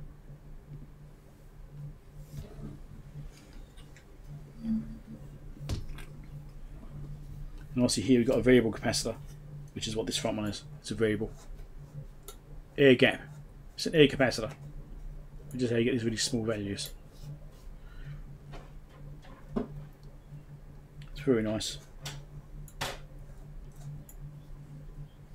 So basically you got this post here goes through to this, this line which comes along and it's in parallel with each switch. So each switch is in parallel with itself. So it's a it's a capacitor, don't forget. So capacitors work in parallel. Whereas it was a resistor, obviously being series. So it's capacitor, so parallel what it is. And the second post comes up. I'm trying not to touch anything in here. And does the same. Goes across and is imperitable to switches.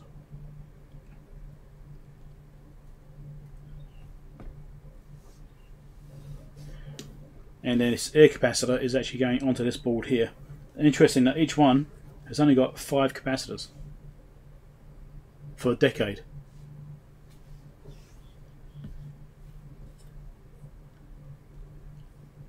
And I've actually got the same board used on all of them, same circuit board on all five Apart from this one, this one's different, I think. Yeah, the ones down this end. Oh, you can't see. So, the ones down this end are different. It's different circuit board, but these are all exactly the same board. Just populated them differently.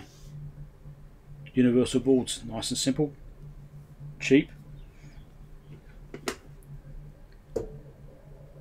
Nice design. It's really clean in it looks really good. It's nice. Now what I might do is put some oil on these switches, on the actual mechanisms of them to make keep them all nice, so that end up wearing away the metal. A bit of, do a bit of maintenance on that. It was working fine. I had no reason to actually do anything with it apart from just a bit of maintenance, really. I mean, the actual switches themselves, the contacts are working behind. I'll say it again. Contacts are working fine. There was no signs of dirty contacts when I was trying it out before, but the actual mechanisms can probably use a bit of mechanical wear and tear care, you know. Now that is actually a roller. It is a roller. That's nice. I'll show you that. It's a nice touch.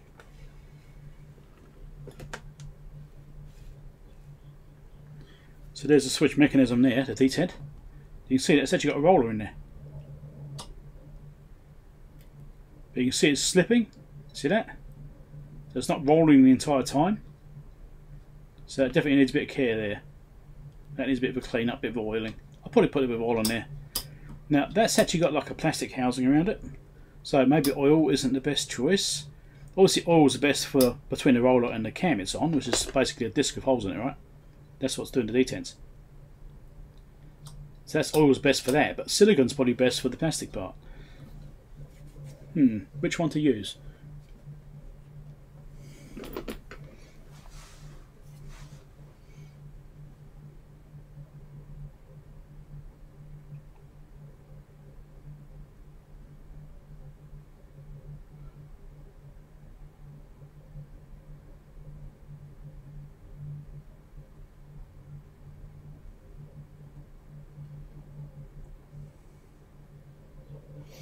You reckon a microwave? Okay.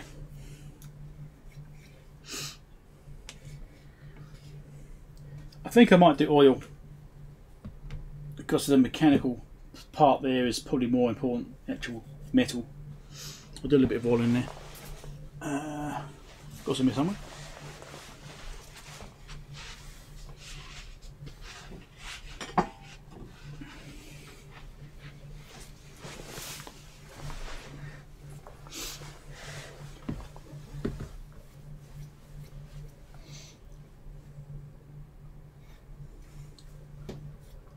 Trinesium decade box.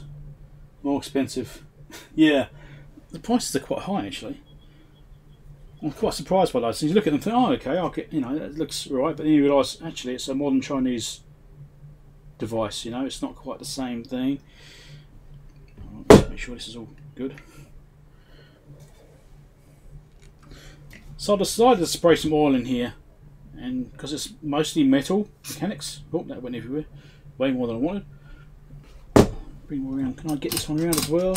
Try and get onto the rollers. That's better. A bit more moderate. I think it's mostly metal to metal contact and this plastic is just a holder there. So hopefully this is okay. um, some plastics don't like getting oily. These look like they're nylon so they should be kind of okay. Hopefully. Or I'm just ruining it right now. Hopefully I'm not ruining it. But also I'm going to put some on the actual um, hinge points as well, where they kind of hinge through these mechanisms. It's down there. Which you probably can't see what I'm doing. Just put in there too.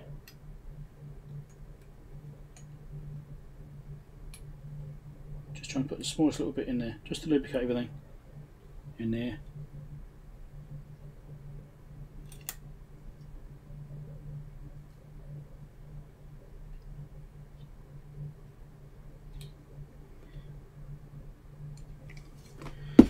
Right.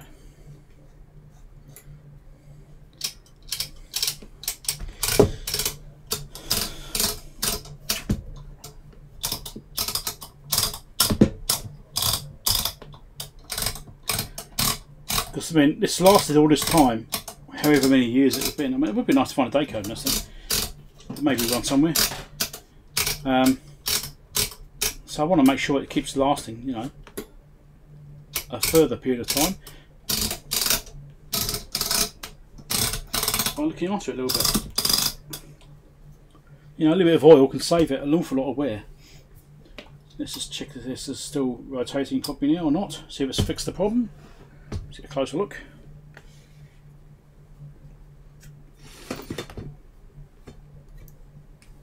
Which one we're seeing? Seeing this one here. That's not what I want to see. I want to see this one. So before this was not turning properly. It was binding halfway around. Yeah, it's looking good now.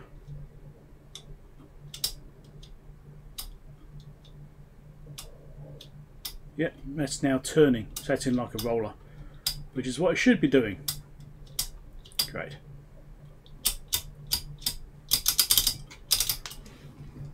Right, that should do that for another 20 years. Oh, what's that again? Should be good for another 20 years now, hopefully.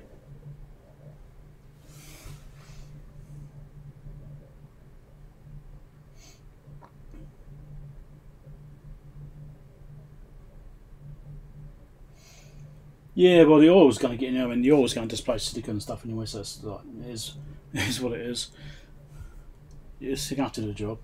It's all really small in there, so.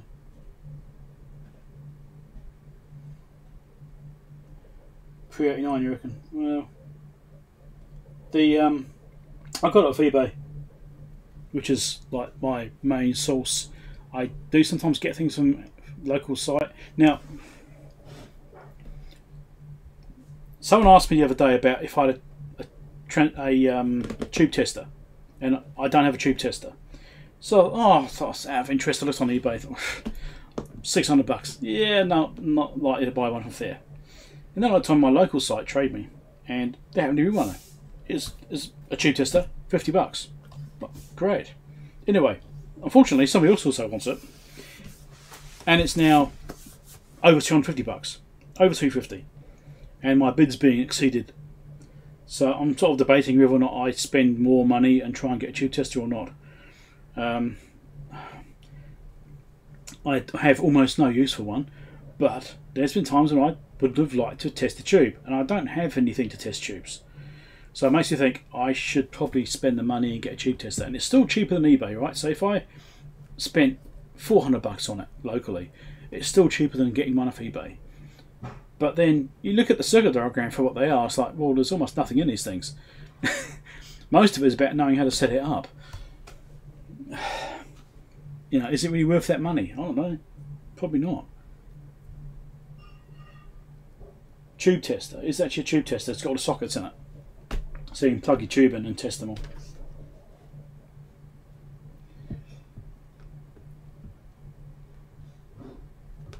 Yeah. Or buy new tubes. Well, yeah. That's what I've been doing.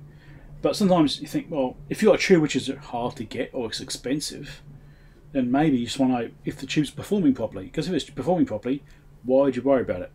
You know, if the tube is within spec, because it's actually a really good tube, um, you know, I don't have many things that got tubes in it. I've only got a couple of things which have tubes. So, 1983 with a question mark. Okay. Um, yeah, so I don't know. It's just, yeah. It just means it's bent. I'm looking at this now thinking, is this curve? It is slightly curved, look. It's got a slight curve in it. And I could tell that from here. I could see the profile very slightly off.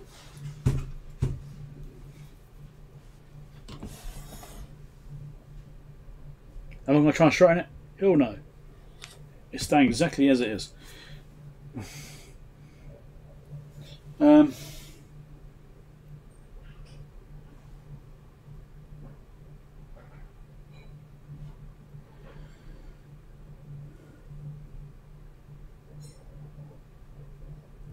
Spent over a thousand pounds on the tube tester you've got. Wow.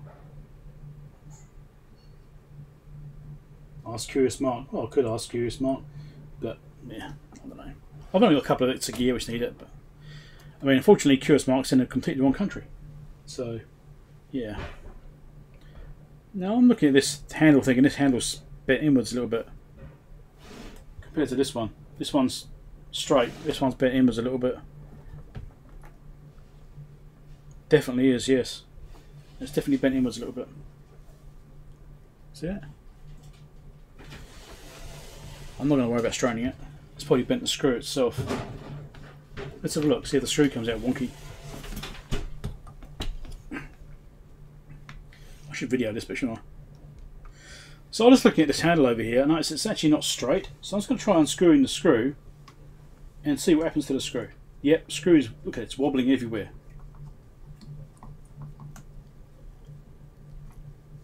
This is an example of where I need to zoom in more.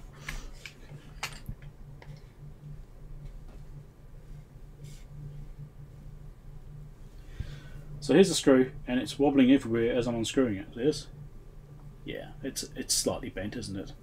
You think it's all right or not? You reckon?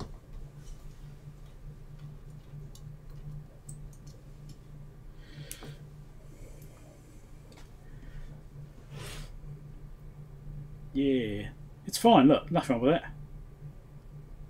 They make them that way, don't they?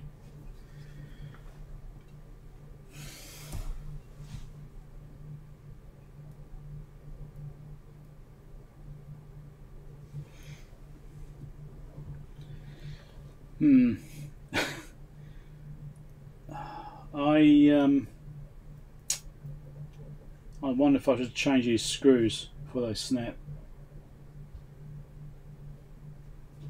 How many resistors you have to buy to get 10 perfectly matched ones?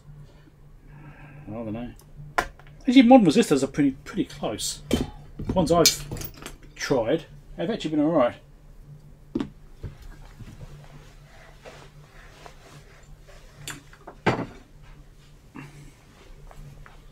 all over my desk now. I need to clean this up. I think I sprayed it too much on all these switches. The very first one I did, but it came out too much. Get with that. Nobody wants an Audi. Yeah,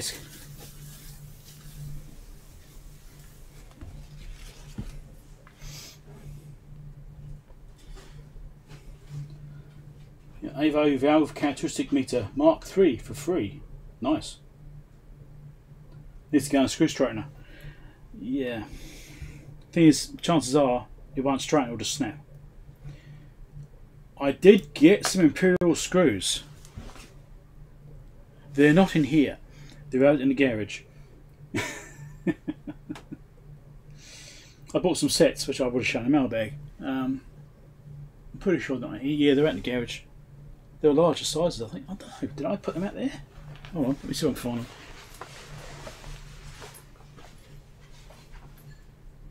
They're not there. They may be in my hobby box. Let me have a look.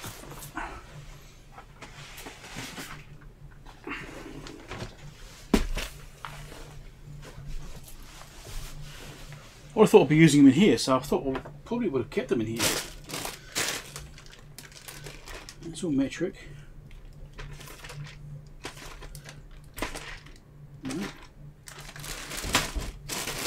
I think I must have taken them outside and put them in the garage. Yeah. I did put them out there. So I could actually replace that screw and get the handle straight. Or the pair of screws.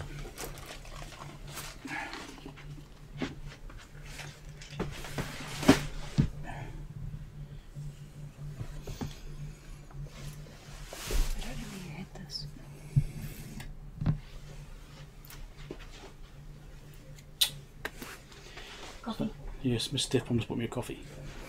Which is good because I need one.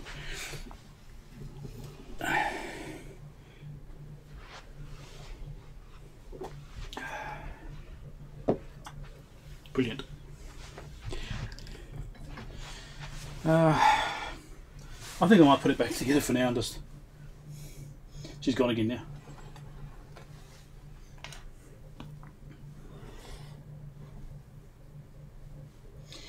I think it's metric.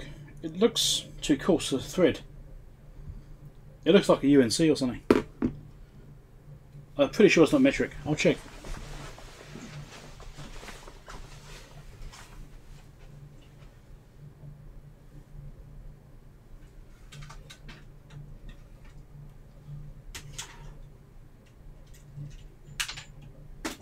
Oh, I dropped one in the recycling bin. Oh, I just a screw. Um,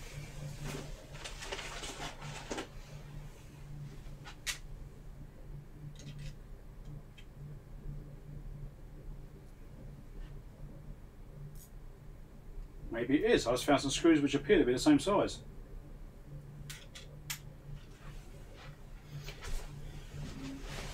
I was assuming it is Imperial, but it looked a bit coarse.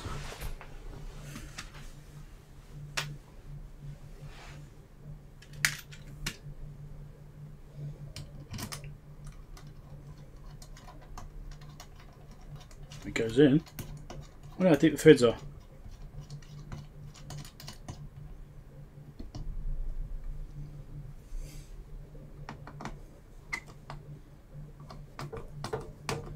I think that's it.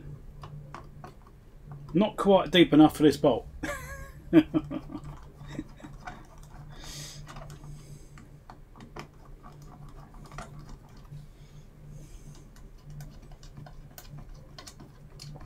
Tim Tams.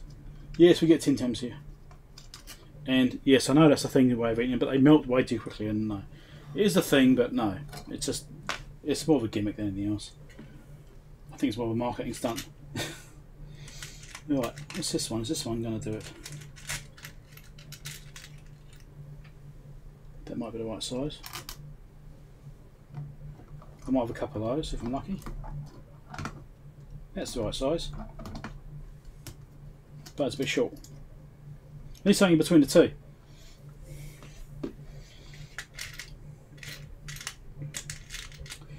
And I put all my bits and pieces, my, my bolt sets, they're all out in the garage, and the ones I've got in that hardware box here, that's all like smaller stuff. I don't think I've got anything this size in there.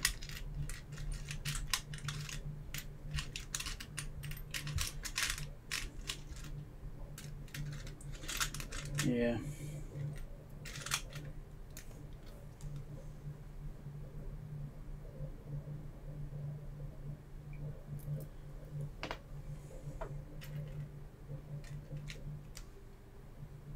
Is this one this literally be a couple more shorter. No, say exactly the same length.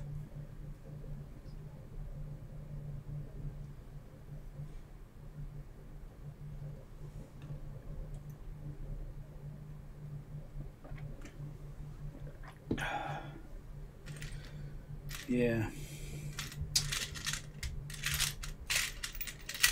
I'll double check my hardware box. I was assuming these were not there. Let me check.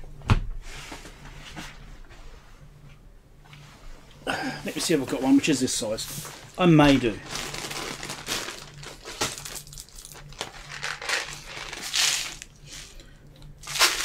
No, they're way too small. Too small. Nope. Nope. Nope. Nope. Nope.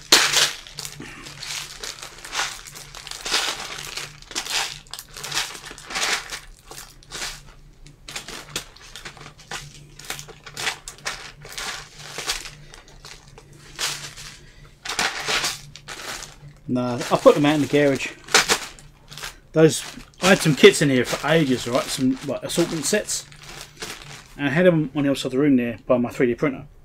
And I hadn't touched them since I put them there. thought I'm going to put these in the garage because I don't tend to use them very often anyway. Obviously because I haven't used them. And thought I'll put them out there because I'm not going to need them unless I need them. anyway, now I need them. Yeah, that was only like a couple of weeks ago I put those out there. Course, now I've moved them. Them.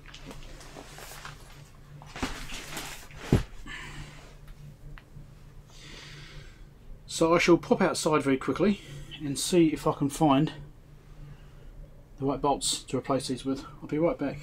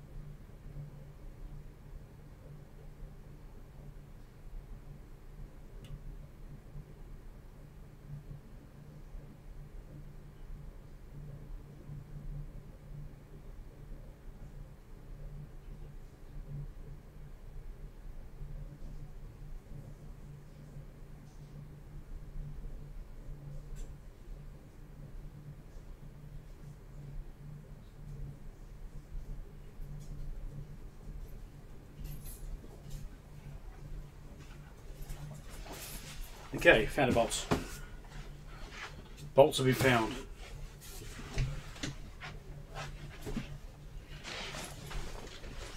They're M4, for those that want to know.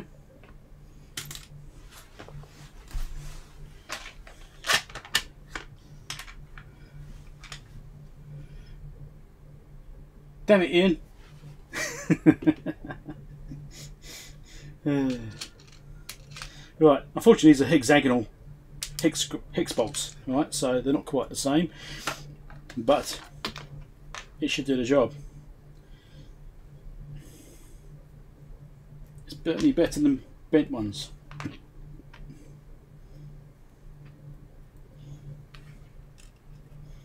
And they're about the same length as the original as well. So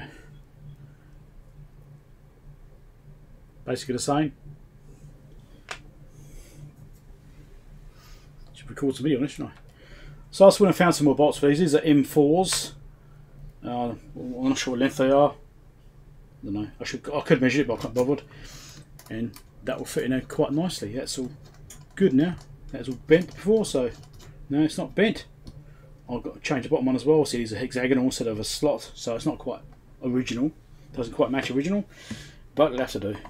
It's better than having a knob which is bent and potentially going to fall off because the screws have been stressed. Try and get this one out. Stop this one too. Then I've got the um, I'll get my hexagonal driver out and tighten them up. I'm having trouble getting this one out. It's bending because it's bent in the, within the hole. Doesn't want to bend that much. This one's bent worse, I think. Yeah, much more. Bit more of an acute angle on that one. That's pretty bad.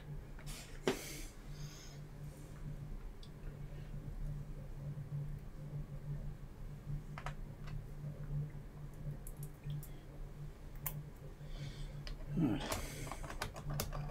At this handle will be straight.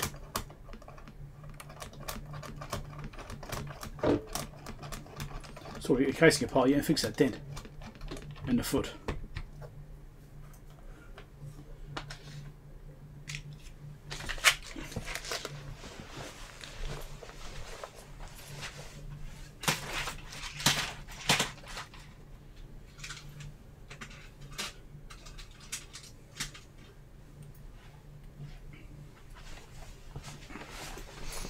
Hexagonal driver.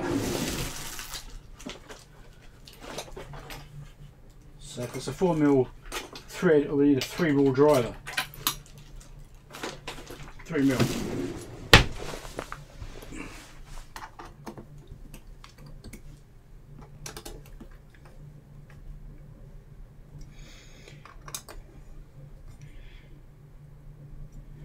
Right, that's now straight. Lovely.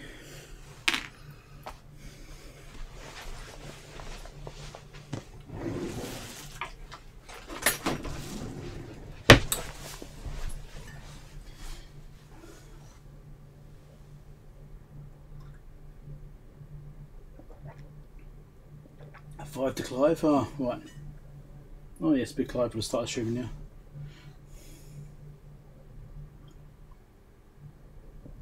Shouldn't the screws be flathead to be period correct? Yes, they should. I don't have any. So it's not going to be period correct. It's going to be customized. Is that what I'm looking for? Customized. anyway. That's better. So that's done. Um, I'm happy with that now. That's definitely straight now. Great. So now I want to look at the casing.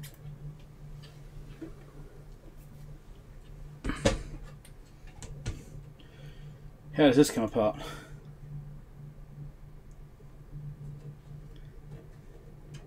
It has clips. Oh yay. It's all clipped together. Well, that's a pain.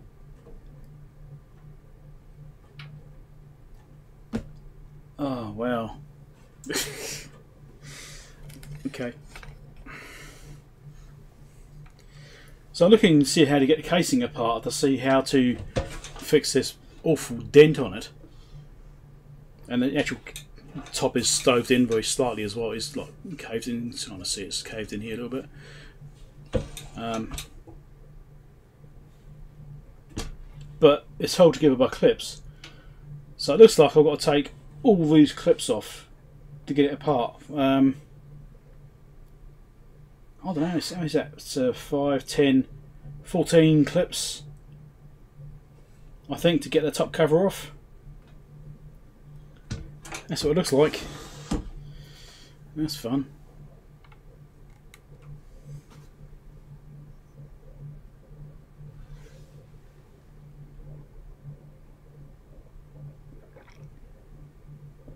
Uh, let's see if I can get these out. That might be easy, but the one, these are the types to dig in. Hmm. Hmm.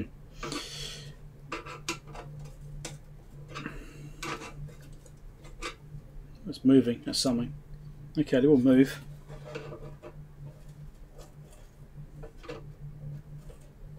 I think once you get them started, they're alright.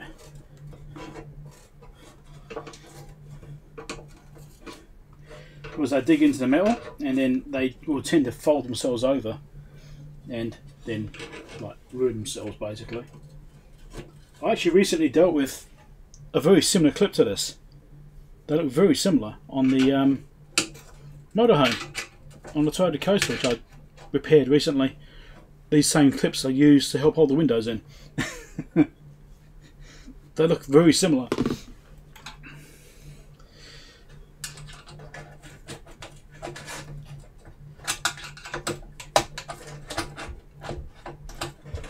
What I actually found is that my um, Leatherman tool was really good for getting these clips off because I could literally leave underneath the edge. I could get underneath one edge of them and just lever it out and it it hooked in. I'll, I'll show you the tool I used because it's hard to access as well. So I actually got this tool here, the hook, and stuck it underneath there. So I'll try and demonstrate I'm one of these. And I can just lever it out. I get one which is out far enough to do it. No, I can't. Maybe this one. Yeah, not quite. But on that, on that situation, I could I get underneath them a lot easier. There's actually gaps. I could hook it under there, and I could just lever it and actually just pop the whole thing out. I was worried about snapping it again. I've snapped it once before, that's why it's different colour. Had to replace it once already. Should probably record some video on this. Am Not even focused. Yeah, ish. Well, I suppose I'll just show you how to get these clips off. So I've leave it out on this edge here to get it moving. Then I've got a, now I've got a gap down the back. Shove a drive down the back of that and lever it out. Now I'm trying to spin it rather than drag because I'm trying to reduce the chance of damaging the little pins on here which lock in. So see those little fingers there which lock in.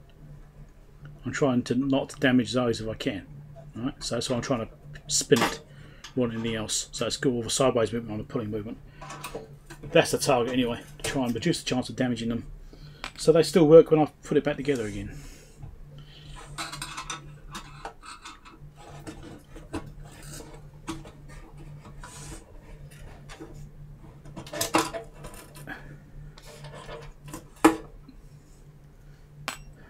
I don't know, only about 50 more to go.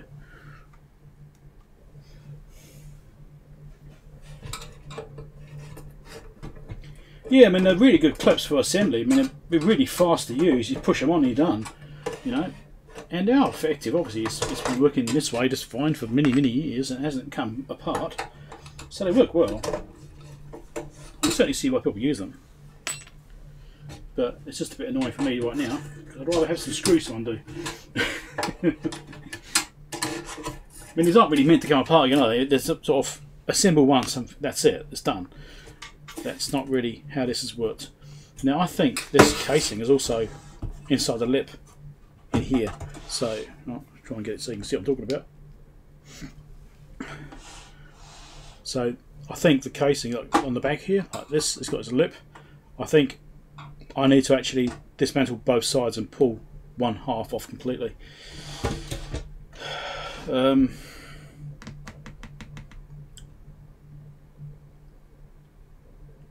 if I, uh, I was thinking how to do this now because if I, if I did like a mirror, right? So if I did like a mirror, so if I unhooked, say, this half, right? So that that side there, and then this side here, I could pull it off with the front panels on one half and the other half. That might mean I have to pull off less clips.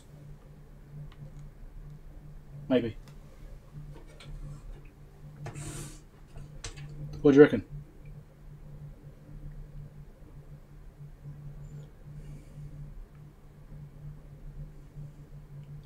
Because otherwise I've still got to put off all the clips on one side and then half the clips on one side.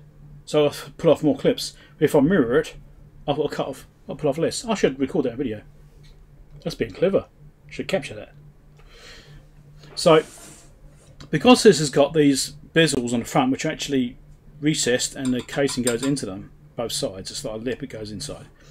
To get this out, I can't just undo the clips from both sides and then lift it off. It doesn't work like that. I have to separate them as well, which means I have to also then take off the clips on one of the bottom halves. So I'm thinking the best way of doing it is actually to try and mirror it. So I've done all the top side here. I've also got to do the ones that go down as joins down here, in the centres on both sides. But if I then take this rear panel off here and do the bottom one this side, it will be like a mirror effect. I'm going to take each half apart from each other with a bezel on each half. And that way I've actually got to take off lift clips.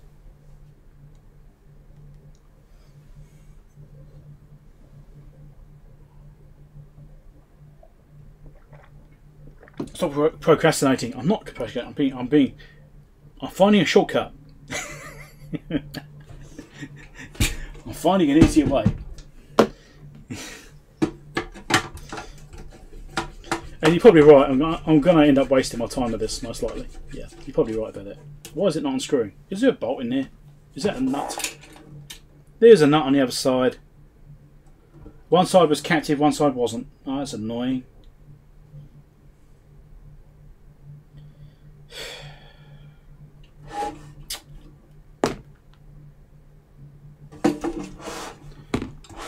No, need nut driver.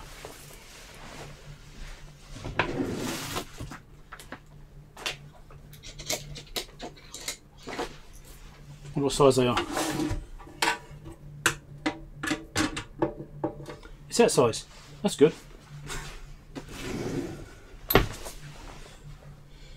Of course, I've got to try and get them back, back together again afterwards. Oh, for God's sake.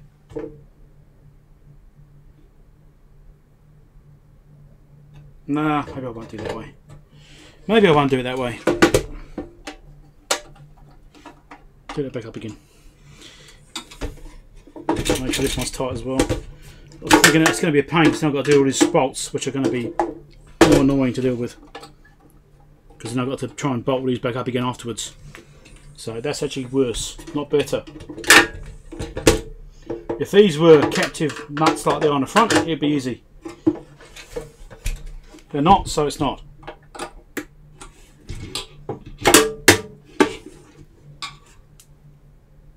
Oh, a minute. I have to undo them anyway to get the casing off.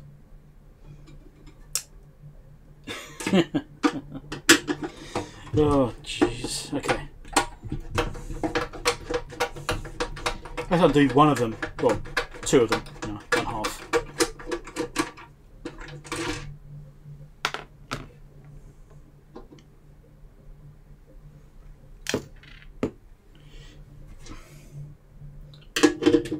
Casing is attached to it, so therefore I to do this.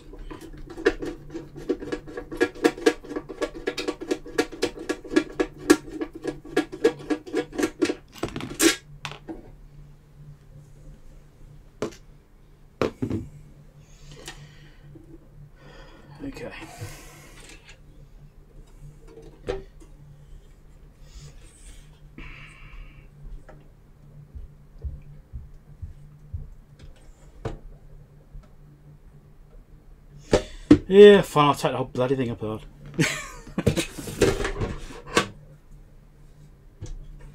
yeah, the little feet are cracked. This pulley wire is a bit loose. Nylon does crack, it goes brittle over time. Here's nylon feed. What it is, because nylon is polymerized in water and it makes it interesting. Stuff fell out it, stuff didn't fall out. What? Oh, it's a space. Oh, the space is in there too. Oh god, as it gets worse and worse.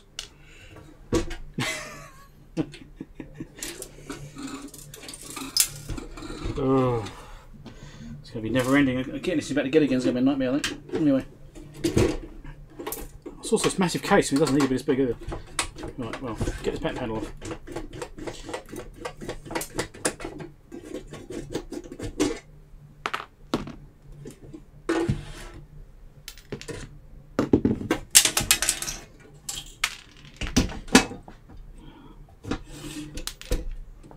Oh, bits falling off everywhere now.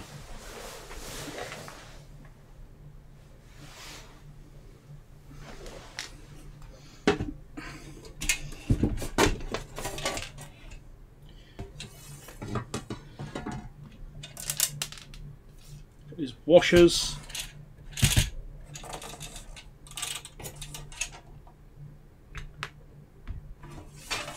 Okay, the washer was on the inside.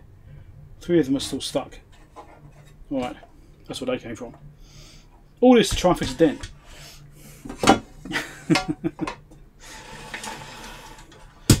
Jeez. Oh, mind you, got to fix the feet anyway. This front foot's naked. So that's that bit. Um, yeah, this is just. Anyway, move on.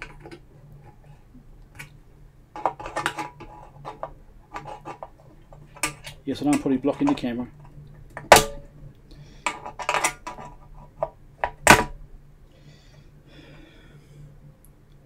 This whole thing's going to be pain, isn't it? I know it's going to be pain. Come on, pop out. Oh, these middle ones are going to be awkward. Jeez, this is really worth the effort. If I just turn it upside down, would that be alright? Let's put the front panel back in upside down. That'd be fine, wouldn't it? Yeah.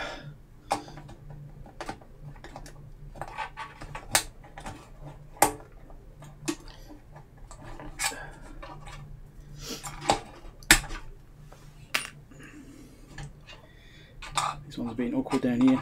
Be hard to get to.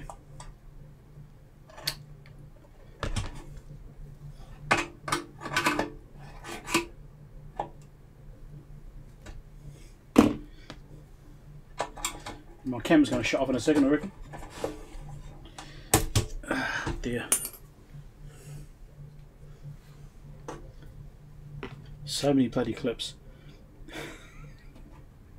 Why couldn't I just put some four screws in it, you know? They could have just put like four bolts between each side and just done. No. You could have used the front panel bezel, hold it together. No. Made everything awkward. Right. Wasn't designed to come apart. As simple as that. No, the, the intention was that it's built, that's it, it's done. Don't have to fuck with it anymore. I should probably not use that language on YouTube.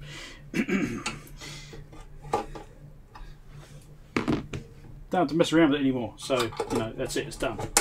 No, no, no. Anyway.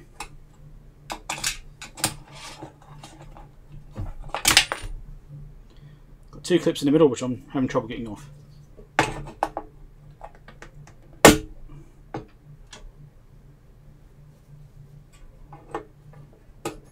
No, that was going.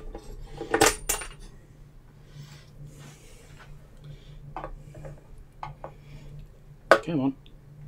Give me some room. Here we go. Starting to go now. One's particularly tight.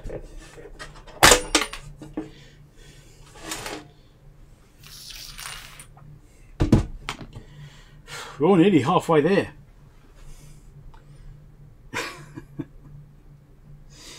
Let's take these ones off here.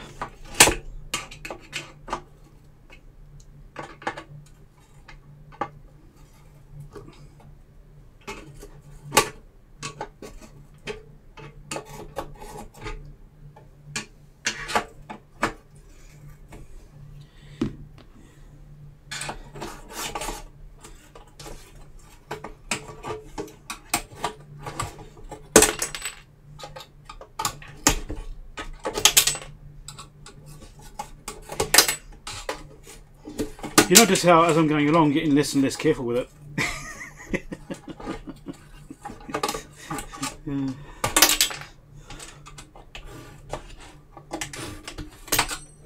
oh, lost that one. It's on the floor doom now.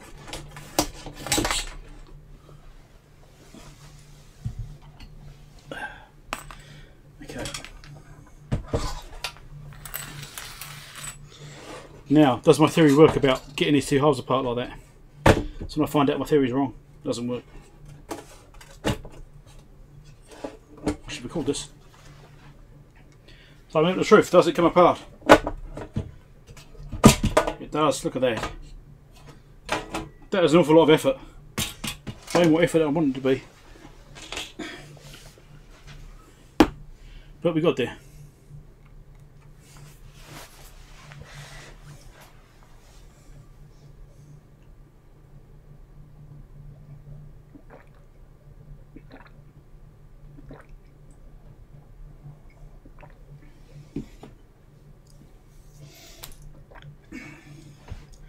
Okay, now we can get the dent out. Where's my little hammer?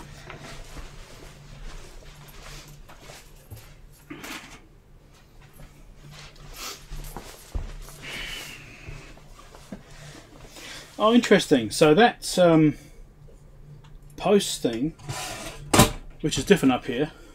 Got a plastic one here, metal one here. I thought that was like someone's made one to replace a plastic one which is missing. But no, that's not the case. It's actually built in. It's a holder for this nut. So why has that one got a holder for the nut? And this one doesn't have a holder for the nut in the same way. Strange. Why do one side different to the other? That's weird. You'd do it the same, wouldn't you? Anyway, block your ears up.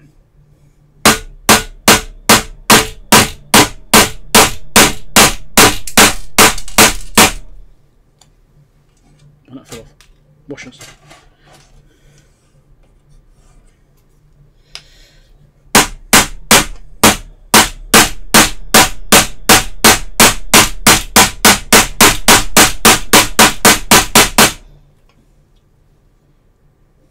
want a grounding nut? Uh, maybe. I mean, it doesn't say that. There's nothing attached to the outside as an way of grounding it.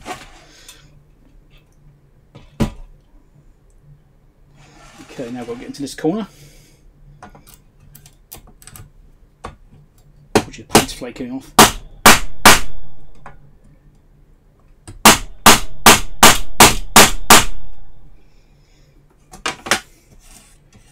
It's working. Not well, but it's working.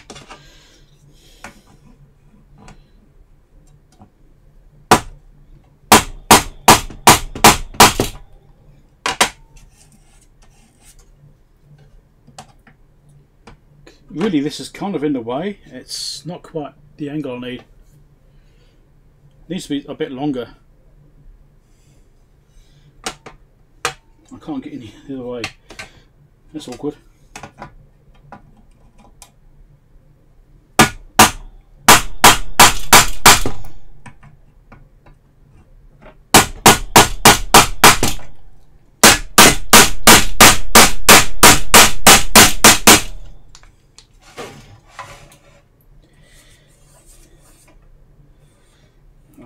definitely got a concentrate in that corner now.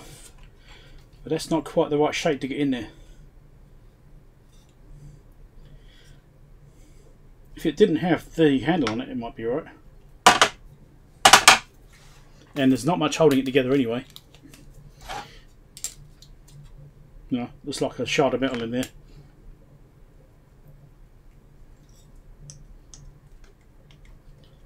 There you go.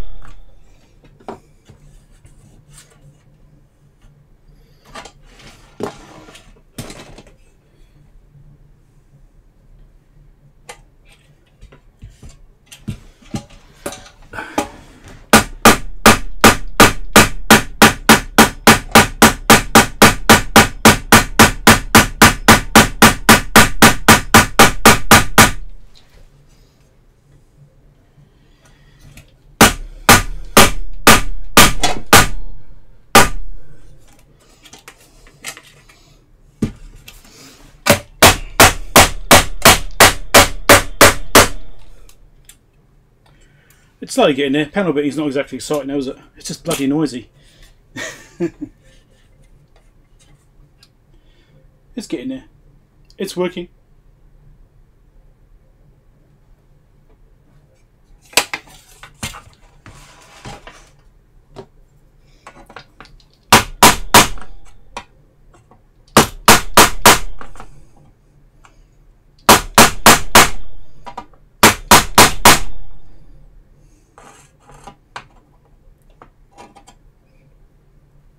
There's a flat level. I think again.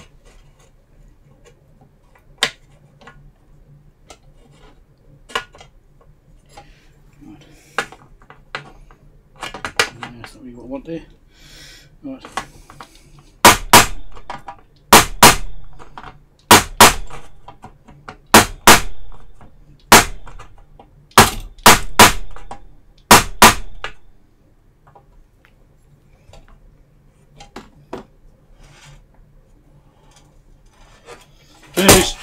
Renovation, noises, check. Yeah. Getting hammered, check.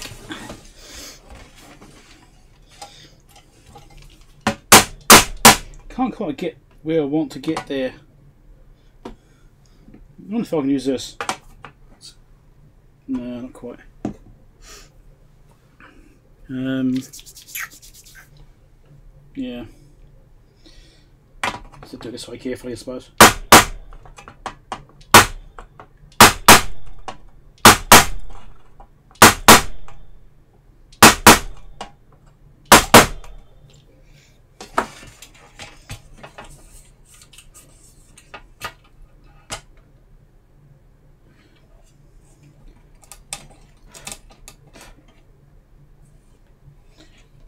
This is really wanted to cooperate very well. Problem with this, it's a very thick chassis.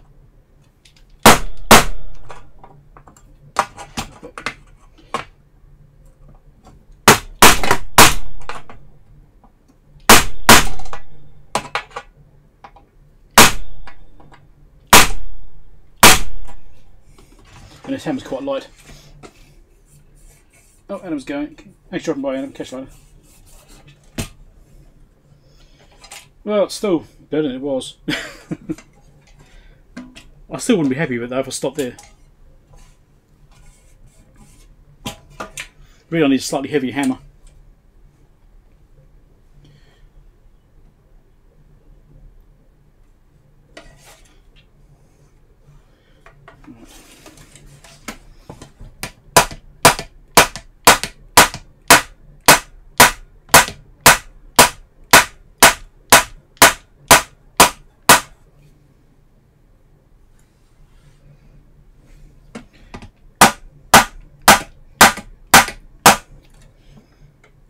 It's not really putting the right corner into that. I mean, it is putting a corner in, but it's not really doing the corner I need.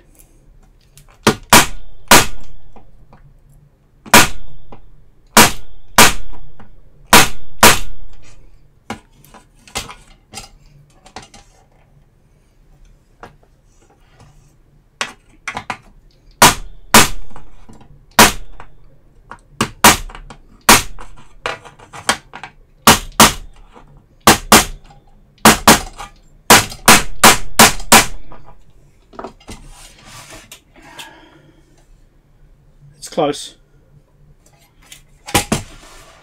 It's close.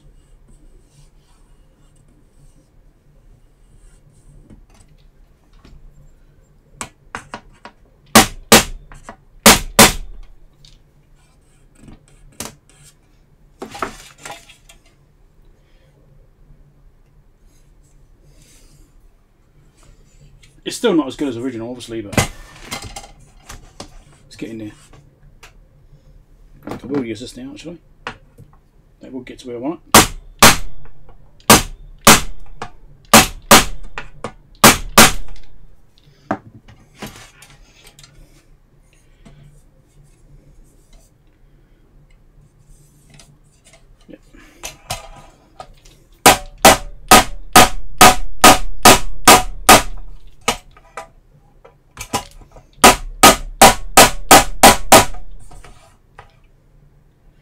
Right.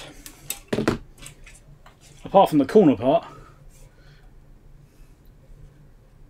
what do you reckon? If you ignore the, the crappy paint on the corner, what do you reckon? Do you reckon that's flat?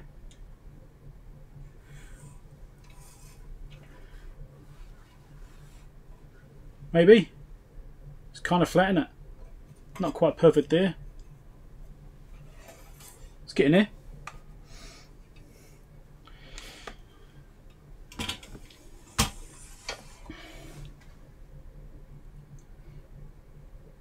Bigger hammer.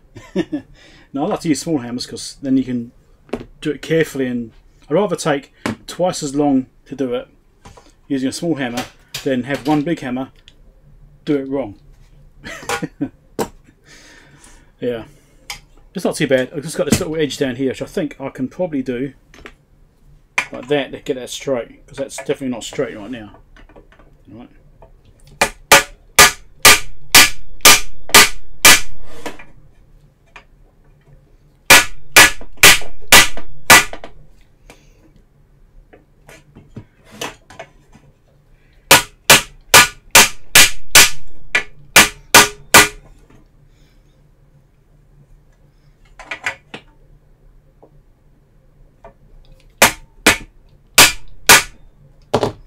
Okay, that's now almost right.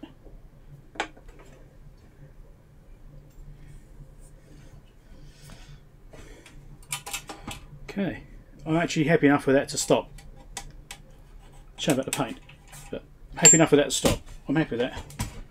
That is much better. It's basically straight now. Get the light on it, maybe you see it. Got a tiny little high spot just here somewhere, I think. Just a little bit, but it's good enough. I'm going to stop there. Still way better than it was before it was all caved in. Um, okay, that's bit. So that's the top part we're done. Now we need to look at doing the feet, fixing that foot which is broken or missing. I may even replace these ones on the back, or these ones are all split and stuff. These are all old. I mean, I don't know. Does it even need them on there? I don't, I don't know. I have to look see if I can replace them potentially. I've got stuff here I could potentially replace them with.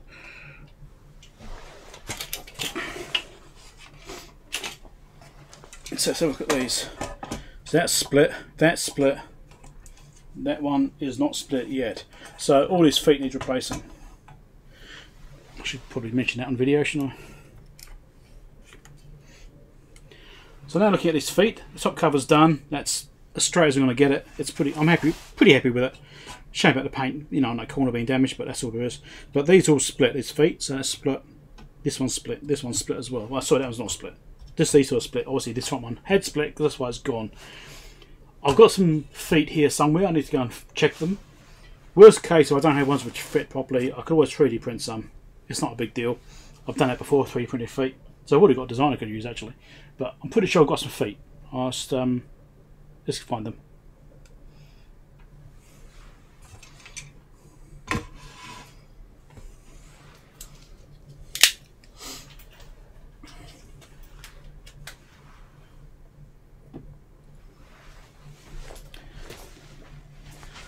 Okay. Back to the hardware bin. I should just leave this out, shouldn't I?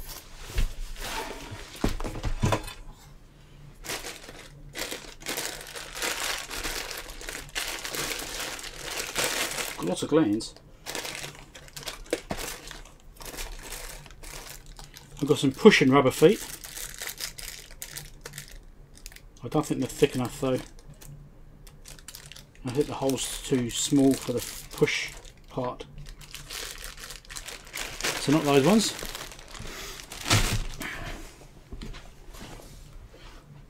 This is what happens with all the stuff in mailbags. It ends up in these bins like this, which are overflowing. Alright, we've got some selection of feet here. Look potentially promising. They're high enough. What else have I got?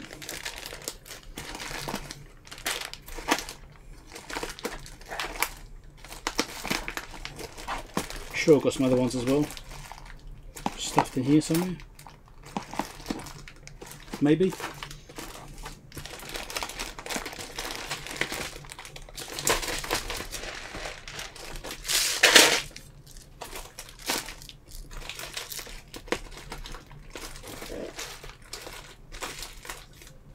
Some knobs.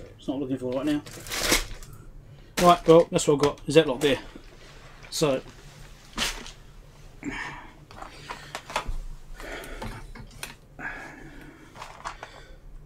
so these are the feet I have. I should definitely get some more of these. So that'll work. Four of those. Hopefully the hole's big enough inside them.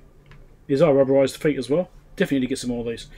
And I've also got these other types, smaller ones, which I might better use on the rear panel to replace these original rear ones. Um, now these, yeah, those go through. These are all 4 mil screws, I think. Yeah, that'll go through there. But I've got these other ones which are taller.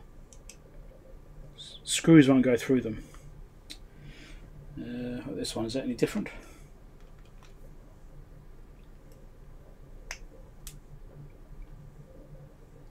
Uh, maybe it will. It's like a, it is rubber. This is rubber in the way, stopping those. So that might work.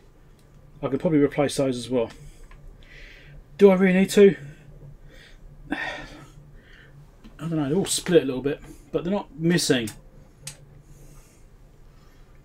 They are a pain to replace though. Well, a pain to replace later on. I think I might... Yeah, I think I will replace them. I will change them. So we'll swap those out as well. I need to get some more. Um, yeah, it's got two different sizes here too. Make sure I don't get the wrong ones. There's an error. Yeah, right. Okay, definitely got to get some more of these. They're really handy. Oh, well, I've got five. I need four. Can't count. Four. So there's the feet we need. Let's take these apart and put new feet on. Right. So I've got some feet. I've got some smaller ones to go on rear, which are for these ones which are splitting and breaking. They're not broken yet. They're still intact, but I want to replace them. And I've got these ones to put on the bottom. So we've got feet. Need to buy some more now. Yeah, they're all rubberized feet. All got rubber with a uh, washer insert in there. There's like a washer inside there as well. And they're quite, I don't know, I think they're rubber. I think they're probably plasticized PVC. They, they are flexible. I'm not quite sure what they are actually. It might be urethane of some kind.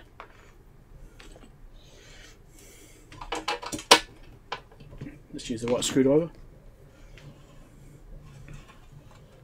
And the nut driver, which is probably the same one.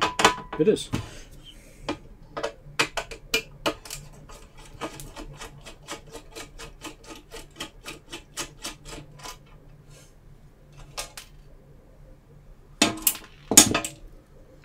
Here was washers falling out everywhere. they use a lot of washers on these. And it's also got this little, because it's a tapered screw. I don't know if I can use the originals in these or not. I don't think I can. We'll try. No, it's going to be too short. So let's take the original washer off this. I might have to replace these bloody screws as well.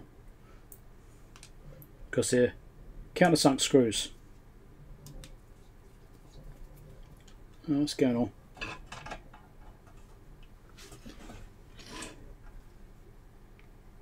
Hear about this whole getting your shot thing again, eh? Let's just.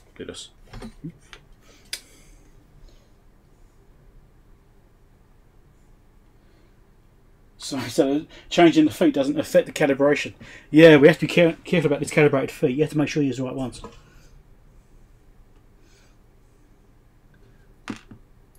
Yeah, you have to make sure you use calibrated feet.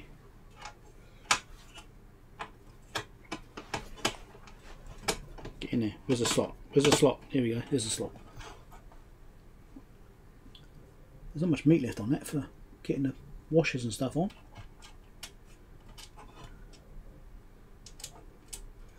And I know you can't see what I'm doing. It's because otherwise I can't see what I'm doing. Just going in there. Right.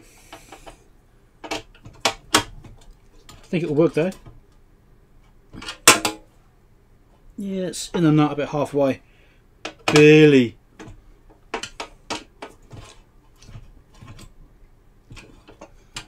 Okay. That's actually squashing that too much. See it deforming too much. Yeah, be right.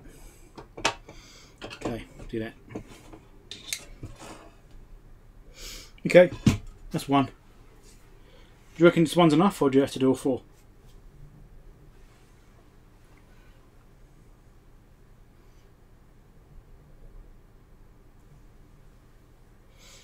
Making a mould? Well, I mean, these are nylon feet, right? These are just nylon.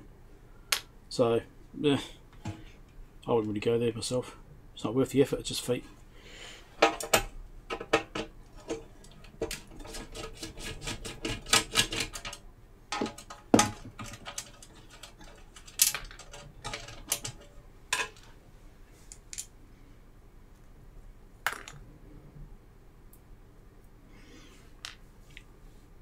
I think part of the problem with these is that because they use tapered screws, countersunk screws, is tending to split them. That's what countersunk does. tends to split stuff. And here I am using them again.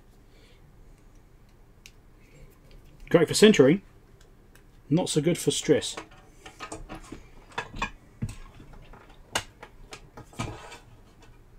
You get in a slot, which just just be a divvy. Eh?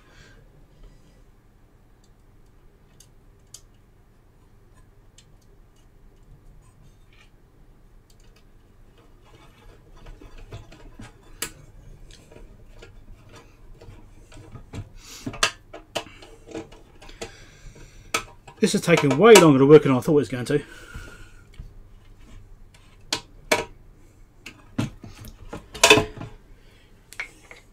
Two done.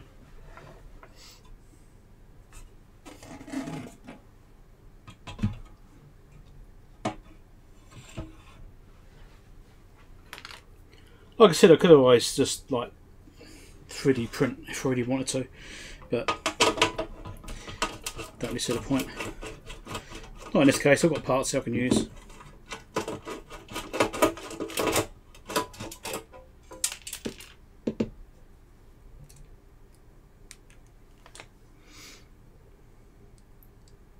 I mean, really, I should be changing these screws to be flathead type so they're not stressing the rubbers.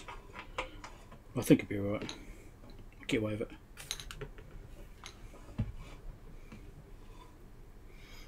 we'll get this and this side. Now I'm doing it backwards, you see. It's a bit awkward.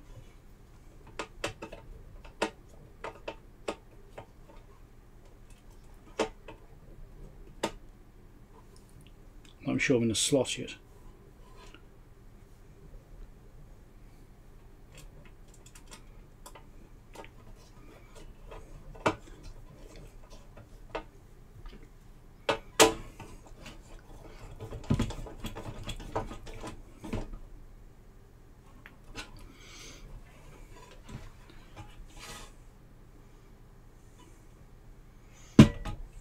Okay, last one.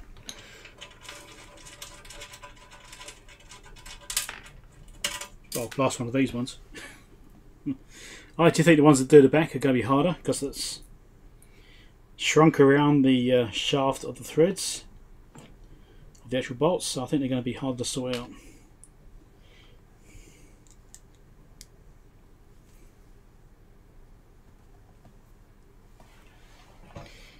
Spring washer's awfully expanded. Look at that. It's all opened up.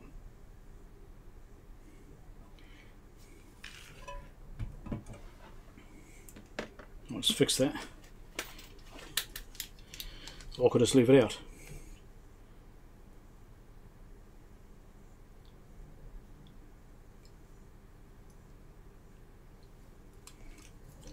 Fix.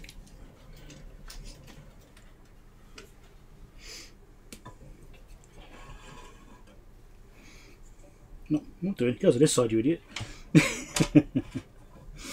hmm.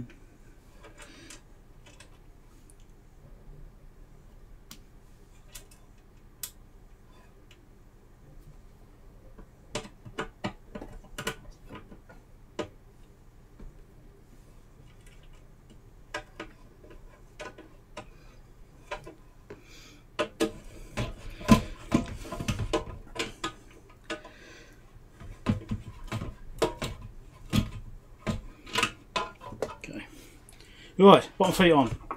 Does it wobble? No. Yay. right, video. Right, so that's bottom feet replaced. That's what those on there now. And it doesn't wobble, which is the important thing. Wobbling is always really annoying. If it wobbles, it means the chassis is bent, which is also possible. I've come across that plenty of times. In fact, I can see a bend in the chassis.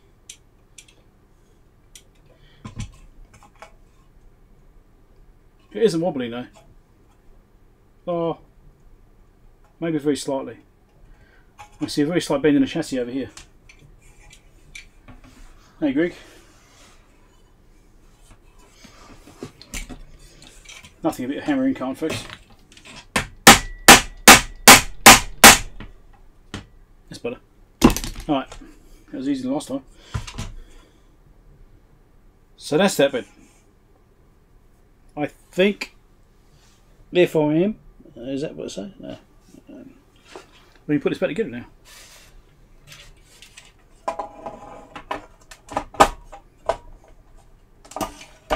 Yeah. Easy, simply.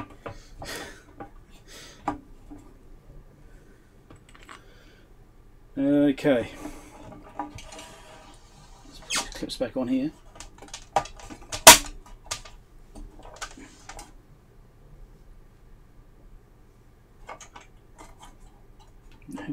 There as well. Put them here.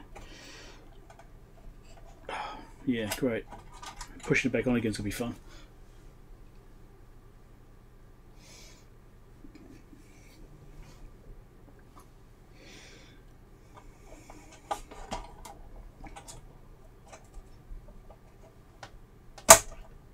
Come on.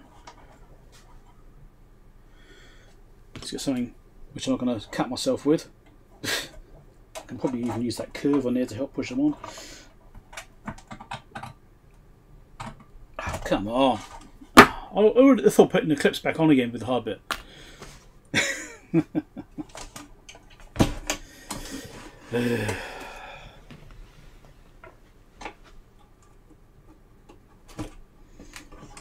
I think once I get one on, it'll close up a little bit. There we go, there's one.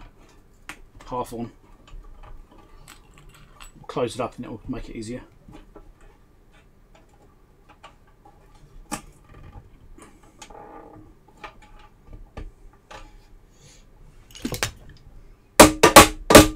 Come on.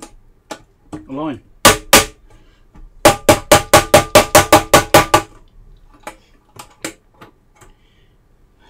That is not right. Did it go so horribly wrong?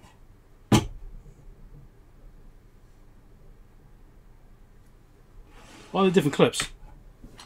Should I check for different clips now? I wouldn't think there would be.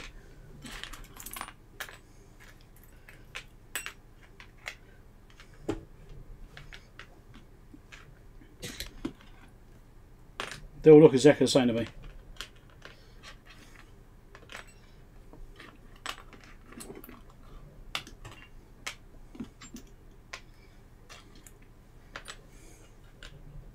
No, no, there is wide and narrow. There are two different types.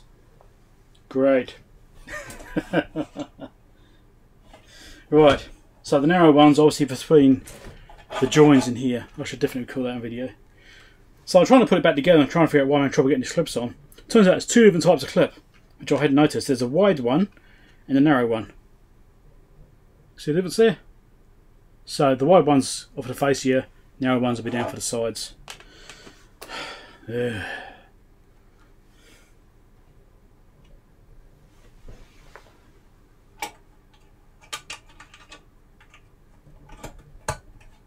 better.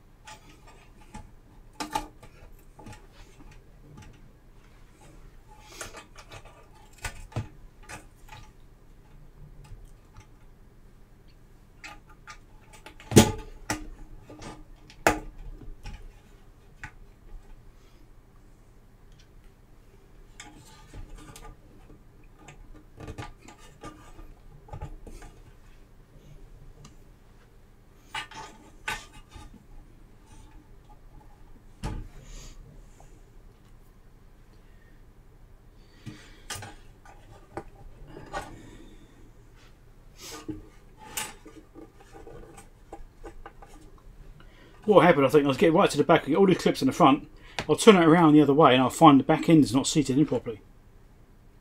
What do you reckon the chances are of that happening? Anyone want to take any bets on that?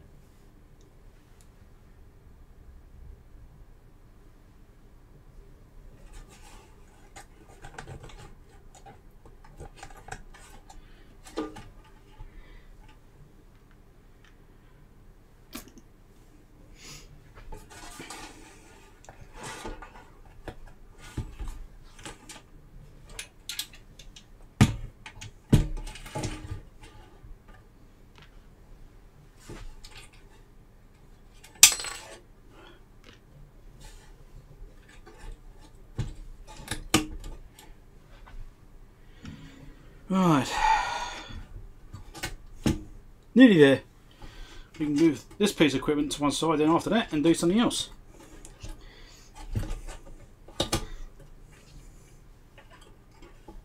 Oh I'll put those back feet on this one yeah. Get in.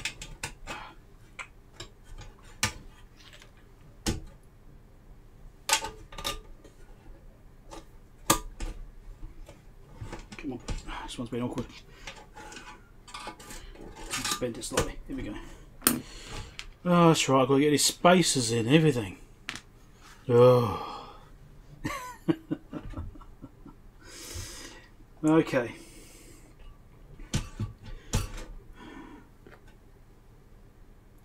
How hard is it to get these screws out of there? Will they even go through these, will I? We'll go through those.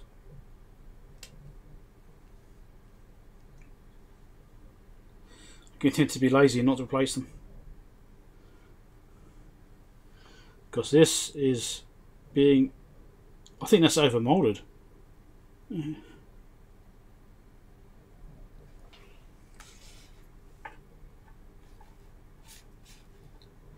So this one looks like it's over moulded because it's actually around the thread. See that? It's almost like it's been moulded on.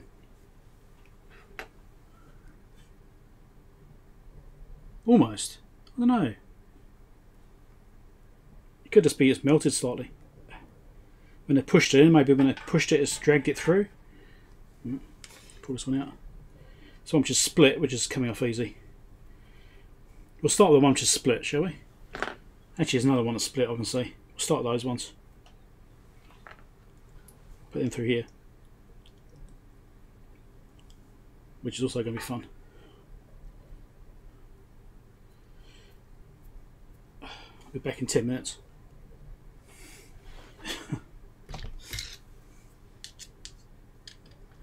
Did I space those evenly? Well, ish. I was, I was yeah, I was going to throw calibration out to not in exactly right places, eh? Got to change the case resonance.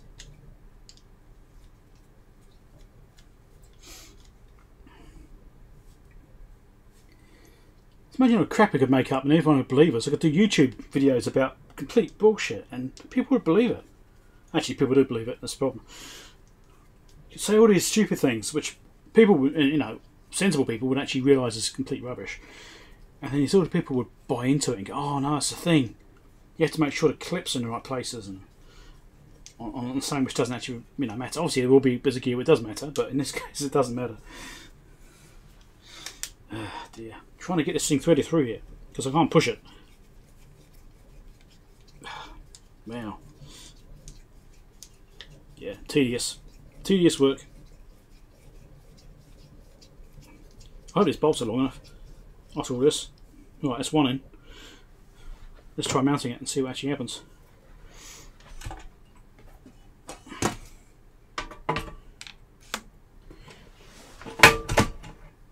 Do you think which way it goes matters?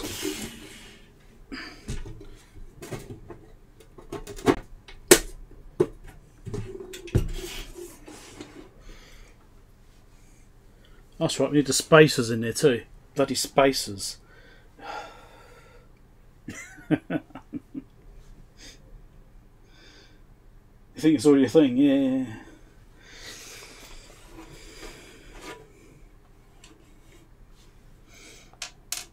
Come on, spacer, get in there. This is awkward. trying to get my hand in there to get the spacer in. Okay. let's, let's use a different approach. That's going to be awkward to do, right? So let's do this differently. Stick the screw through there, stick the spacer on there, sit on the bench. Let's do another one.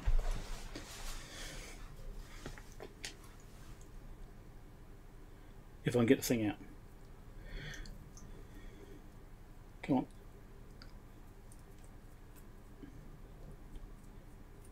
Of course I could just cut it because it broke anyway, but yeah. Never know, I might find a piece of gear one day it's got one of these on it. Which just needs one. And if I've got some which aren't cracked, then I'll, I'll keep them. Might be useful as a repair for something later on. Never know.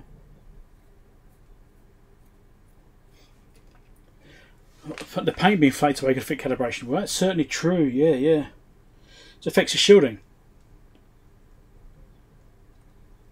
No, it's cheating. Yeah. working smarter, not harder. If I was working smarter, I wouldn't have touched this bloody thing in the first place. uh, might help with your thing, yeah, yeah. Come on. Wish I could just push this down. Come on, push. No, it ain't gonna work. Jeez. I'll get this thing done eventually. Anyway, no, it's alright. All we've got to do is get these four bolts in and then put the front panel back on again, we're done. And then um, we can do something else. So I've got this other capacitance standard, which I want to do a video about as well, which is quite big and bulky. And I showed it in Mailbag, and I I did find a fault with it at the time. I did actually pull it apart and find what was wrong with it, but I think I might have accidentally fixed it. I'm not quite sure. Um, I moved something and I think it fixed it. but I want to have that on video. It still needs work. Oh, damn it. Working smarter me. Yeah. Smarter. That's uh, smarter. Alright. Spin it around. Power screwdriver. Well, fingers with this, I'm probably going to shove the thing into my fingers. Um, that's more likely what's going to happen.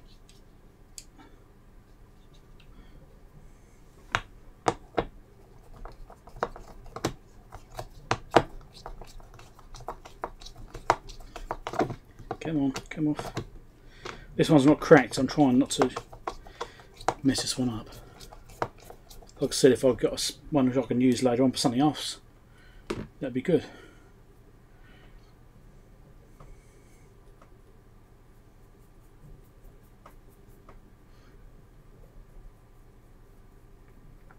Why these bolts so bloody long? I could have made this differently, couldn't they? Right. Oh no, now I've lost the bolt. I keep meaning to do a shirt for the floor of doom. Because if you drop something small on my floor, it disappears. It's like almost impossible to find it again. Ouch. Yeah, it's not working. I'm trying to get in to start with, so I'm screwed in.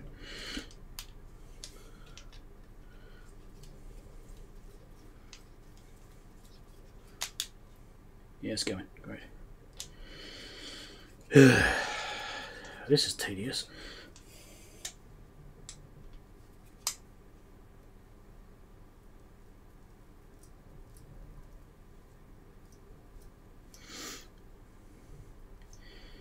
Who thought it would take longer to put the feet on than anything else? anyway, that's alright. Should be cool to video about this. So I'm replacing his feet on the back right now, and the worst bit about this is trying to get the bolts through the things. They fit, but they're tight, and you got to get them out the old ones first, and then screw them into the new ones. And it's a really long bolt, it's taking forever. And then I've got spacers have to put on. So this, so I go through there, and I'm trying to be clever about this. I put the spacer on here. I'm going to do it with all four that I can sit the chassis on top of it instead of trying to put each bolt in and line the spacers, get the washers on. I can put the whole thing in one go. Hopefully, it might work. And then I've just got to put the washers on and put the nuts on and, and I can do it up. And hopefully it'll work. Um, I could be proved wrong. But the hardest bit is like these things because these are just a pain. Undo that thing and put it in the next one. Do it back up again. Because the holes are the same size as the threads. Can't actually just pull them off.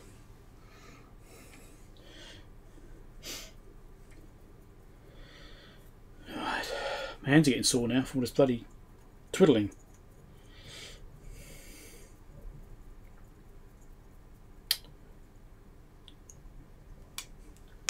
Right, last one.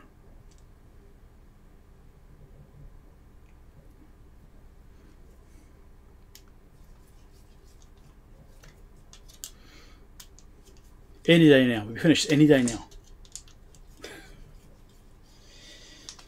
I don't know. Anyway. But I do like to restore bits of gear like this, and I like to bring it back and have it all nice and do it up. The paint side is something I don't tend to touch if it's got damaged paint like this is now, because obviously the, the damage on the front, on the um, the dent it had on it, and the subsequent re-damaging for me bending it back. Um, you know, the flaking paint is something I don't tend to do. It's not often I, I actually pull something apart to the point of repainting it. I mean, obviously on this I could have done that. I could have sanded it back, got it all nice and smooth, and painted it and had it nice. But then you've got to try and get a colour match, and I'm rubbish at that. Or you paint the whole thing, and I'm rubbish at that too. I'm not good at painting. And by the time I've got it back together again, I'll probably scratch half the paint off. So I tend to not do paint. Paint is not my strong point. Ask my wife. Painting is not my strong point. right, it's the spacers on. Right, that's all the spacers fitted on. Let's see if my theory is correct that I can just get this and drop it on and have it fit.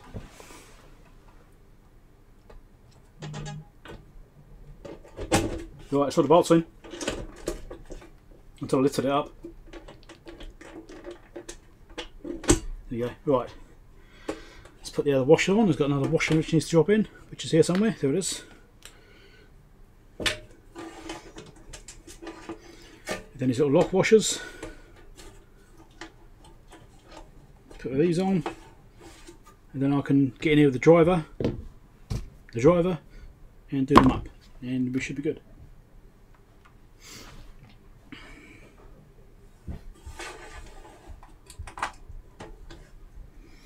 I think I should do one end at once. You reckon? Maybe. Let's get the nuts on at least so they don't fall apart.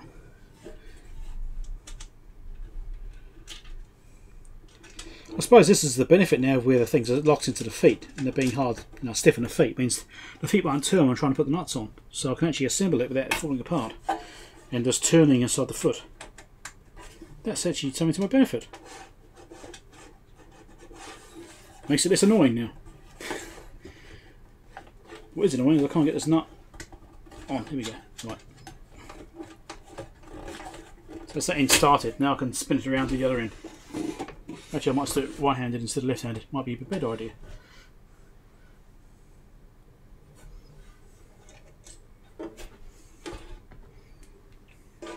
So what'll happen is I'll get all this done and I'll go, oh, I've got one washer left over. Where's that from?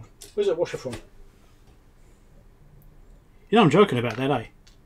But I have one washer left over. Where's that from?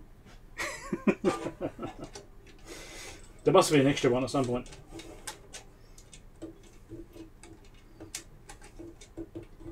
That's what that's what it is. They, they put too many on the factory. That's the problem. It wasn't. It wasn't. I've lost, I've missed one somewhere. No. Well, I think so anyway. Okay. We can stand this up now. Yay. So it looks a like better has feet on it. Might, might not even need to use a screwdriver.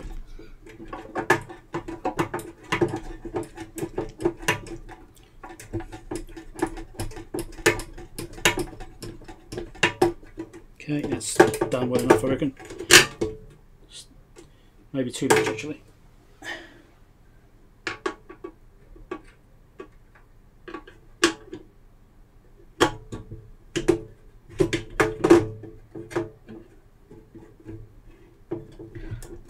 the other thing I might do is go around with some sealant or Loctite or some, or some kind of thing and just dip it on the screws, on the heads of the screws so the nuts won't back off.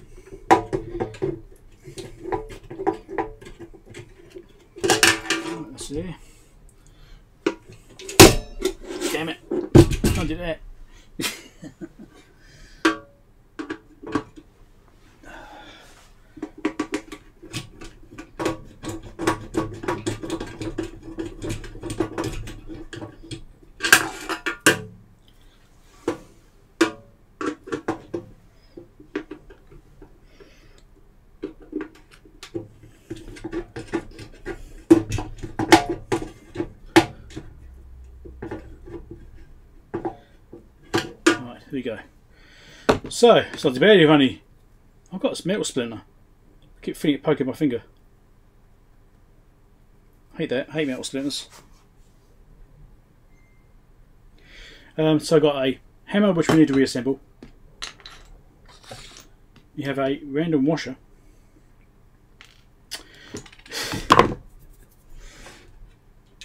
Right. Um, was I going to do? Oh yeah, it's going to um, put some sealant on these to try and stop them from backing off. Get some Loctite. I probably should have put it on before I put the nuts on, really, eh? To lock the nuts in place, but I think dipping on the end of the fridge probably enough. So, Loctite. Stick some of this on. I should do some video too, shouldn't I?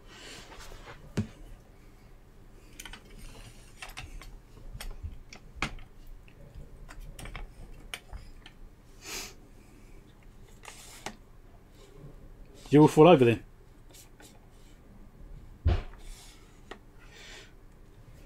Right, so I'm going to put some Loctite on these now. I've already put the, the back feet on, all the back feet on in now, all attached. That's all worked. So I'm going to put this on. What I really should have done is put some of this on before I put the nuts on. If I was being sensible. But what I'm going to do, because the threads are actually sticking out, I don't even see it in there, probably can't see it. The threads are sticking out on those nuts. Try and get closer. There you go. So the threads sticking out there. So I'm going to put some on those and that'll help hold them in. Now, unfortunately, the ones for the feet, the bottom feet, they don't have that luxury. They're a bit short, really. But I couldn't really do much more. Hopefully I'll get down there and lock them so they don't fall off.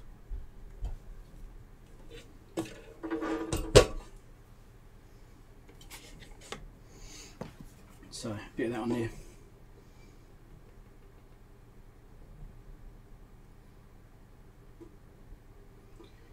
I mean, chance of these coming loose anyway is not exactly high, but you don't want it falling apart inside the casing and rattling around and causing problems later on. So it's just a bit of insurance. Of course, if anyone has tried to get this thing apart in the future, it could have a bit of a problem, but uh, hopefully that's not me. Well, it probably will be me. hopefully I don't have that problem. Hopefully I don't have to pull this apart again. This on these ones.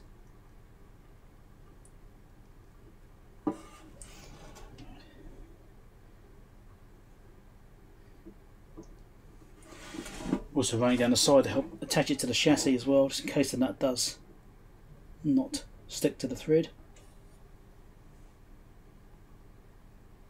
Because really you should put this on the threads before you put the nut on, and that's not what I've done. So. Now I'm going to leave that there to let it run back into the casing. And uh, I'll leave it there for a second, let it all run in, maybe. We can put the front panel back on whilst it's like this.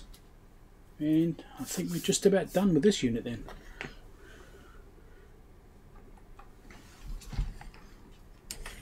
Ouch. Freaking metal splinter somewhere. That is going to bug me. I need to do something about that.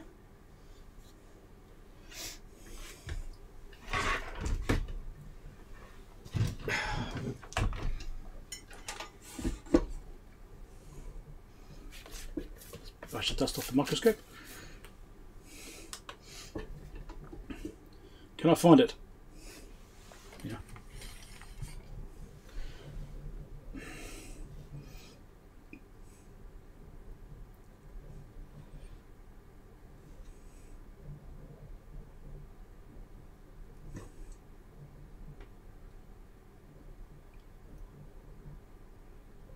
Where is the bastard?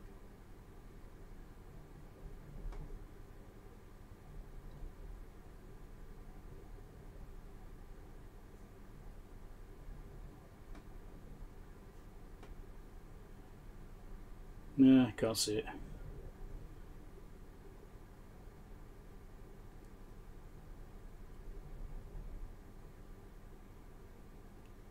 No, it'll up eventually.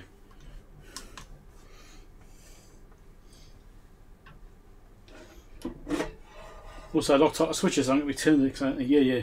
If you want to fix the value into zero,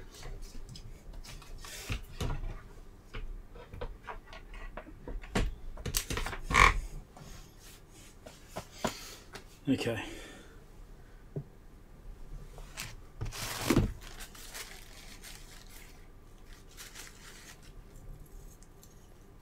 Let's clean up now.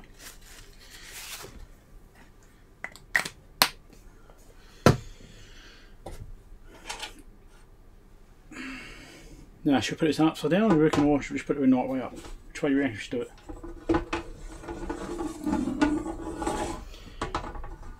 You know this bowed, right? Remember I said before it being slightly curved? I can actually see here and the opposite side. See that's bowed? The actual connection there? This bit? Is that because there is actually bent? And it should be pulled back out again?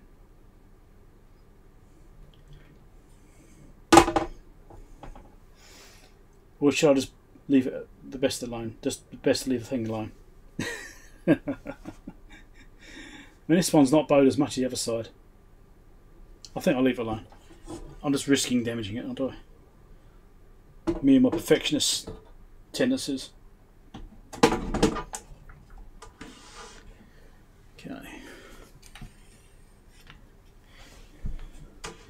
Should definitely call that bit.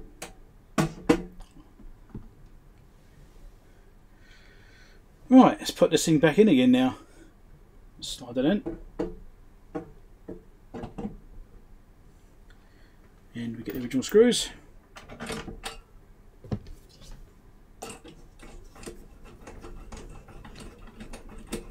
Not going to do them up until I actually get the thing fully in.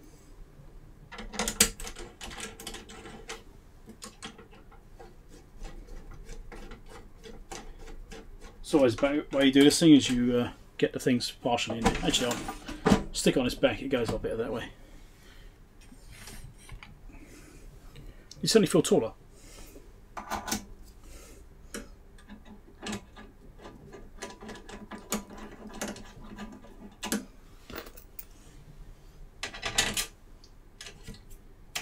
Trying to screw here into it. Right. Get that one up. Metal splinter. And I just pushed it into my finger some more. Right. And like this. Now, when I was looking at this thing before, I don't know if I mentioned it on camera or not, but it looks like it's bowed, and I can actually see it now. This is bowed. You actually see it against the chassis, whereas this end is, you know, you see, see a gap there and a blank at the back. You come across, it comes up proud, and it goes back down again on that side, which you can't quite see because I'm out of shot. Here we go, just over there. So you can push this. Yeah, you. See, it's pushing down. So it's definitely bowed slightly.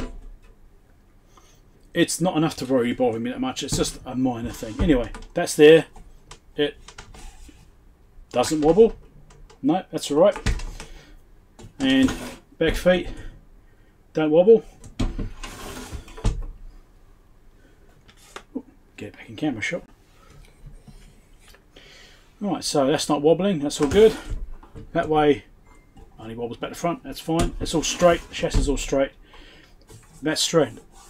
A lot better than it was before. Um, it's not perfect, but it's way better than it was. I'll try and get a better shot of that, can I? See before that's all bent in, caved in. Now look at that, it's looking much better. The corner's not perfect, but it's not bad. Not bad for someone that's not a panel beater.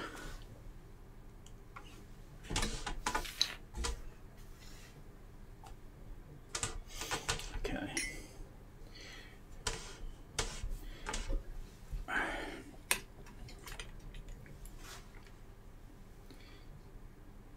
So there you go, that's that done. I'm happy with that. That's that piece of equipment refurbished to a point where I'm happy with it. I mean, it's just new feet really, it's what we did, and panel beat a little bit. I know it works. Um, at least now I've lubricated the switches a little bit, you know, the actual me mechanical part of the switch. The contacts were fine, I had no issues with contacts, so I wasn't at all worried about doing those. Um, I'm perfectly happy with the contacts as they are. So that's good, I'm happy with that. Um, I can decide what to do this. I mean, I'd like to have this in this room as one of my bits of test gear I have in this room for doing um, checks on things.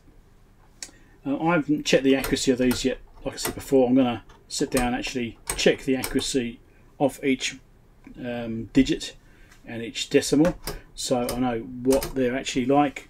Um, I've verified they actually do work, but accuracy I need to check and see how much I can use this as a reference standard, really. Whether I can do that as a reference or not, I don't know. Um, I do have another piece of gear which is supposed to be a reference standard, but um, that's what I want to work on next, if I can. But this is a nice compact unit, so I'd like to actually have this in here as something I can use. It's pretty good. It's nice. It's a very nice piece of gear. Anyway, thanks for watching. Subscribe up there if you're not already subscribed. Patreon support link over there if you want to help me to buy a piece of gear like this to fix, well, more complicated bits of gear than this to fix. I don't know. And other links down there for other stuff you can watch. Other videos, stuff in the description, playlists, what have you. Electronics repair, reviews, whatever. Yeah. Here's low. Right, that's that one done. Um, can I test it? Is it calibrated right way? Yes. Um, it does need clean as well. Obviously, it needs cleaning up. It's got some grime stuff on it, which needs cleaning up. Um, yeah, let's have a look at the calibrator. Oh, let's get the DER so you can see it on camera, right? It'll be a bit easier. Um, DER.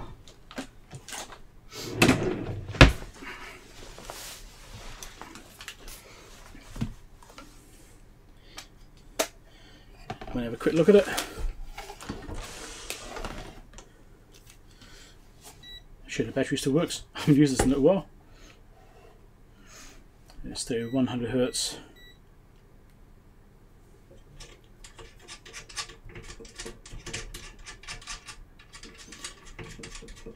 have a quick look. I'm not going to get into too much detail on this. Obviously, I've already done it in mailbag and covered it a bit.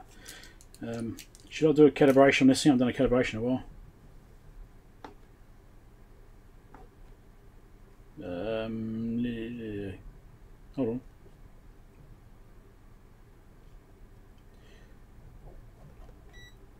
I want capacitance. Open. What's an open? Open first. Fine, we're doing open. Now I've got to wait for 30 seconds.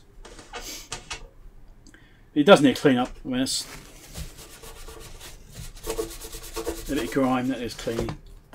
I'll do it later on. Also, you're not interested in that on camera. I'll definitely have a splinter in this finger somewhere. Probably a bit of aluminium splinter. I'll try and find it later on.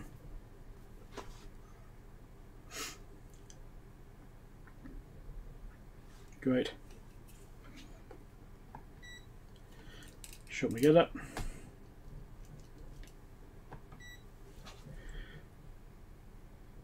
Then we'll check it and see how accurate it actually is. I suppose. I mean, could we do the whole thing?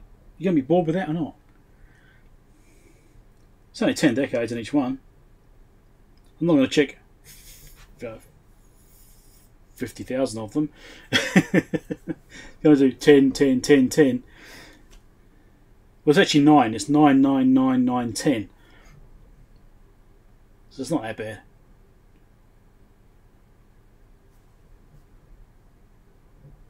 Pass, great. Stick it in there. Stick it in there. One picofarad. 49 picofarad. Okay, mine.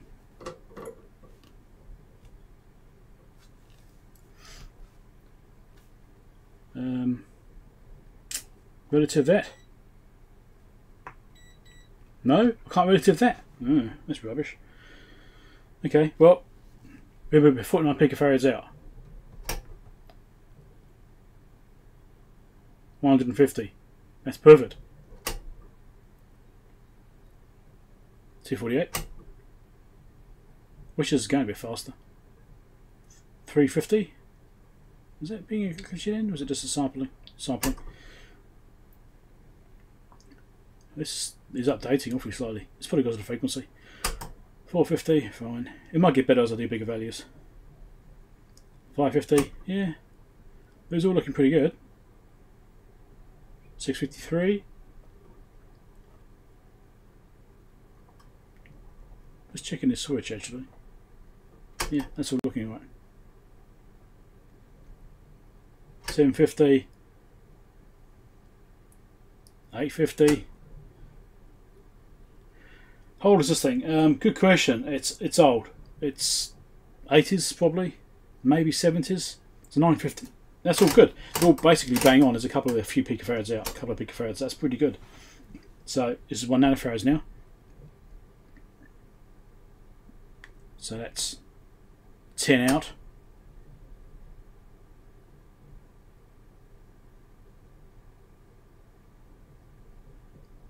Okay, that's not bad.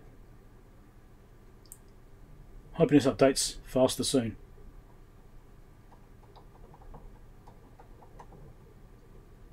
Not sure there's a switch issue or not actually now.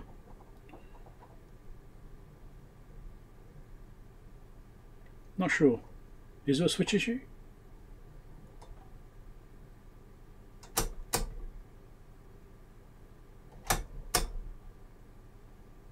No, it's fine.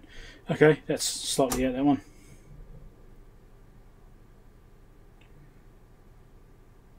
So that's four, four, one, yeah. Five is up slightly. This is getting faster now, that's good. So it's at about 100. So it's at about 100 because these are in a parallel configuration. If one capacitor is wrong, it will throw the whole lot out. So we need to look at which one was wrong by 100. Let's try and find that.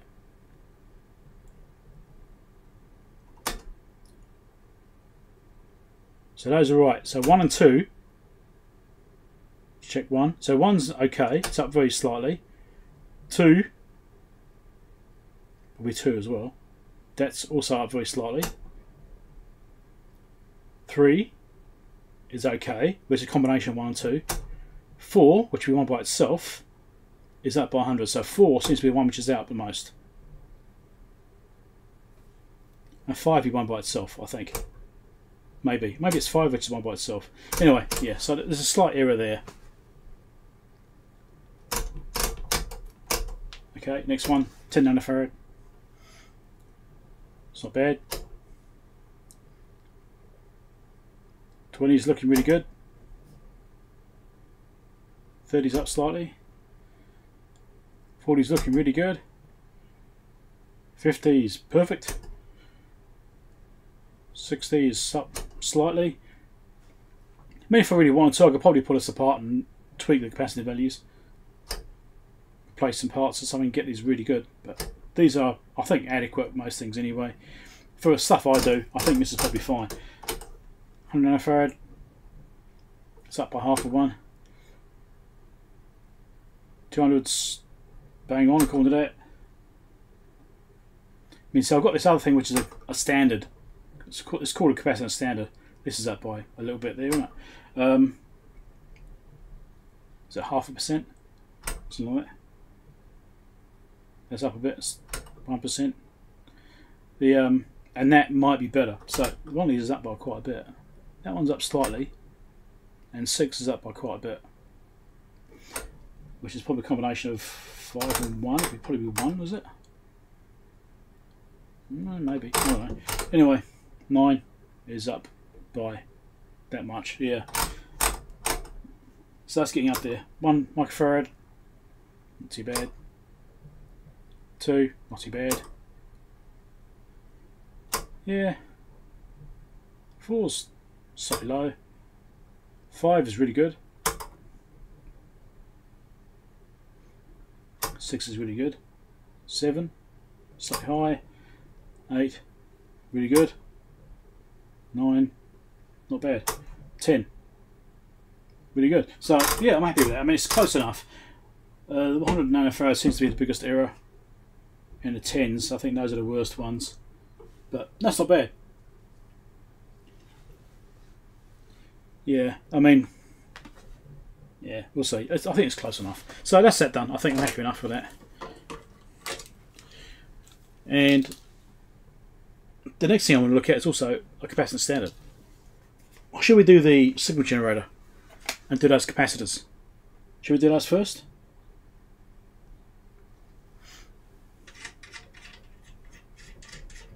You suspect the handle screw. Yeah, it's thrown at a capacitance A because its handle screws are over here it's like this far away from it, so it's affected the capacitance of that terminal.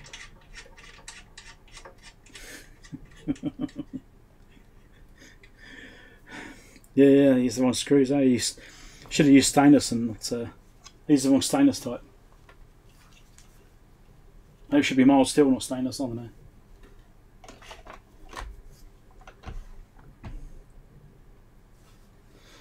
Um, Tilms on no, it wasn't. It's not German. It's Hungary. It says it right here. Made in Hungary.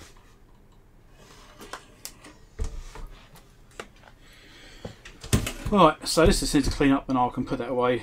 Or, so I do want to have it in this room somewhere. I just don't know where yet. I need to find a gap. Usual situation. So the question is, do we do the other capacitance unit, which is some more panel beating, or do we do the capacitors? Which also I want to turn to another video. Did I finish my coffee? I'm going for a drink. I did.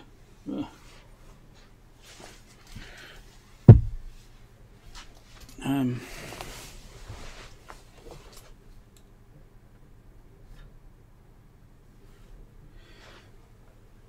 uh, which one do we do? Do we do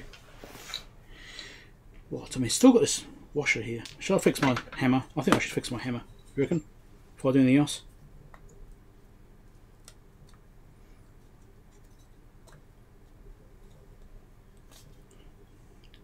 So I split slip and shove a splinter into my finger to go the metal splinter.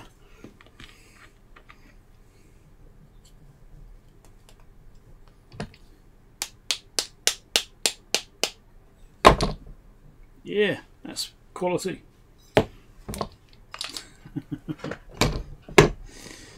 Let's get some tidying up done.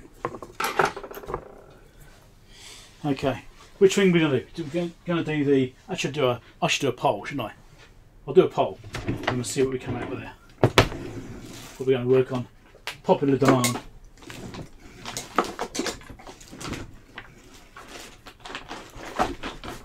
I'll get my drawer shut up to put in these tools away, would be great. The other thing I'm worried about is getting back open again. right.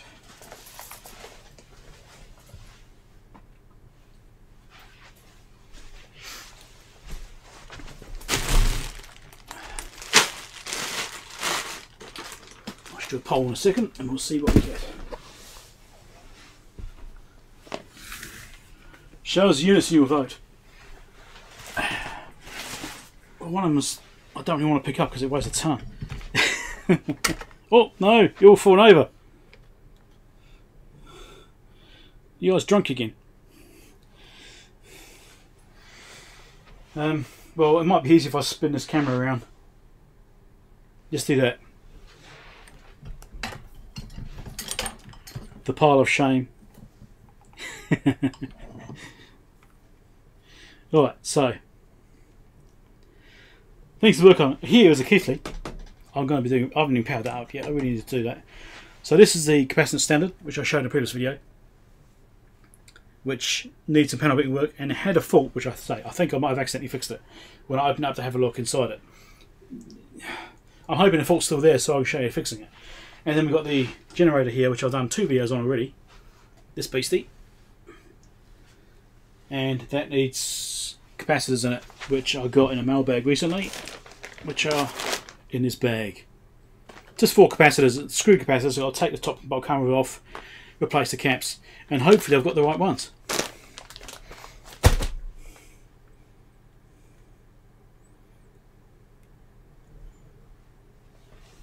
So, yeah. There's the pile. There's something else there you can't see just yet. It's the just at the back there. There's one thing I need. Like, this is a project. This is something to fix.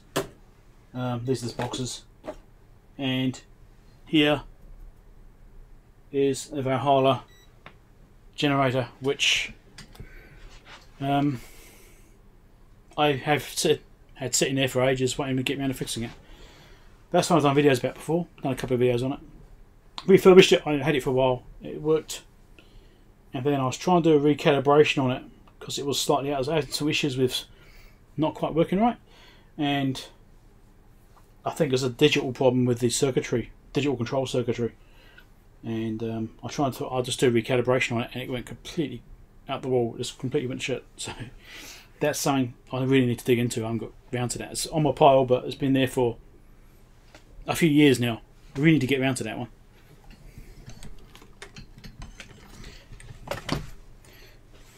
And now I've lost the HDMI because I moved the cable.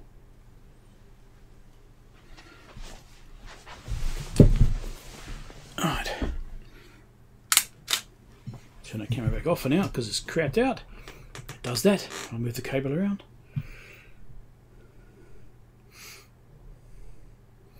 Okay, so um,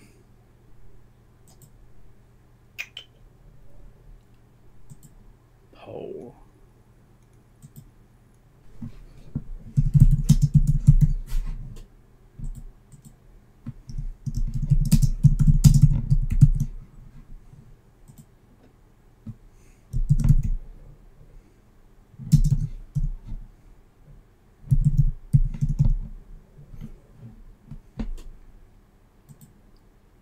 Okay, poll is started.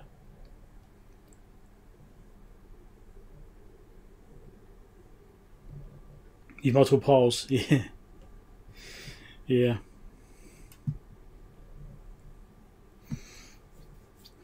So a lot of stuff I you see me do videos about, they end up in my other room, which is like a storage room. I can do work out there as well. I do have a, bench set up out there, but it's set up for doing RF stuff, right? So I've got the Marconi 2955 out there. I've got the HP power supply. Um, can't what the model number is now. Three four four six or something like that. Um, can't what number is now. Three two four six. I can't remember. Um, got that out there. Um, bunch of RF gear. Uh, my Siglent scope, the 2000 series, the very first one I got, that's out there. Um, the Rohde Schwarz signal generator, some other stuff. I've got a, a bench set up out there. Now, I've done a, a, couple of videos of CB stuff since I set that up and done some radio work out there and shown it. But I don't tend to spend that much time out there. And it's basically a storage room for the stuff which overflows from this room. So anything I don't tend to use, or use rarely, um, ends up being out there. And um, yeah. So Oh, you choose Keithley's not on the list. Floor looks like mine, yeah, yeah. Um, yeah, so choosing something which isn't on the list. I don't know. The um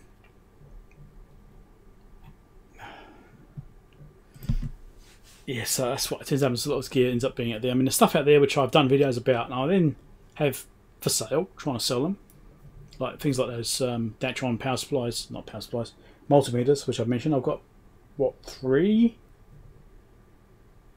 I've got three of them out there.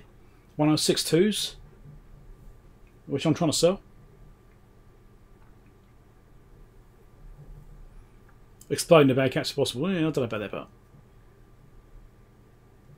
I do try and sell some stuff, but New Zealand's not exactly a big market, and the stuff I deal with, the stuff I do videos about, what interests me is older gear, right? So it's sort of late 70s, 80s, 90s sort of era, right? So, and they're not very popular pieces of gear, although eBay seems to think otherwise for prices. But trying to sell something like that over here is harder because he wants the you know the cutting edge modern gear. So trying to get something which is you know worth paying. You know, it's so I, no, I haven't done anything at all with that Keithley yet. Haven't powered it up. Haven't tried it. Haven't looked at it. Um, got it out of the packet. Did a mailbag on it and put it to one side. That's as far as it's been. Um, yeah, I don't know what's involved in that one yet. But like I said, I'm trying to get some space. So Getting space would be. Mm, yeah, I don't know. The Keithley's on top of the pile, wasn't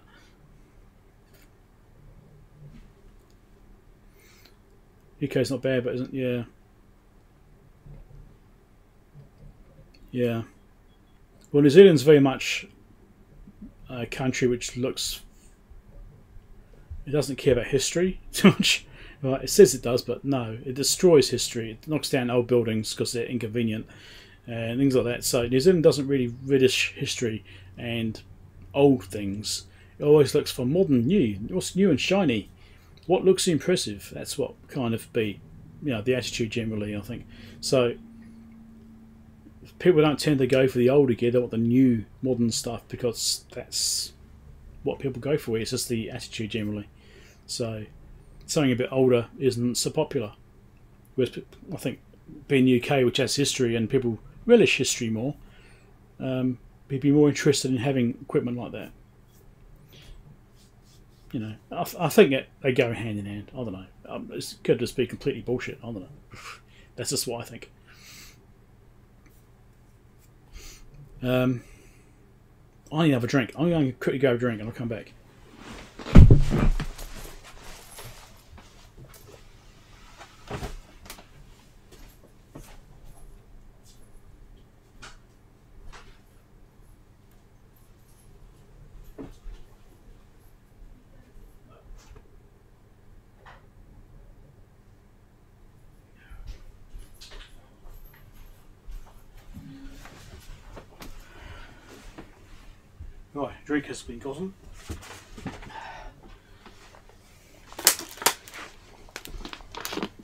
So the poll so far is leading about the capacitor replacement.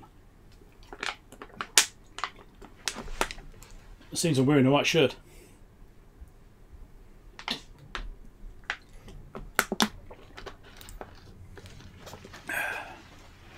Coffee? Yes. Uh,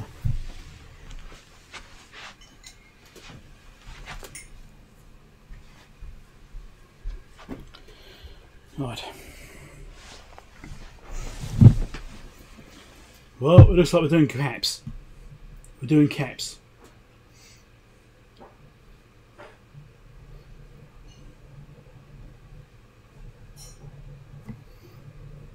The buildings here. Anyway, okay, it's um, there's two caps then. Let me just rejig stuff here, and I'll put these hammers away because I don't need these right now.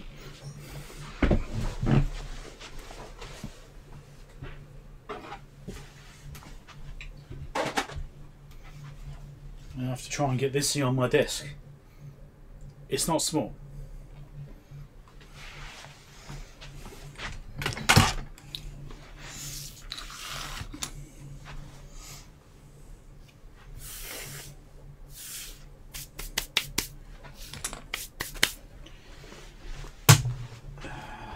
What's best of doing this? On its side, I think.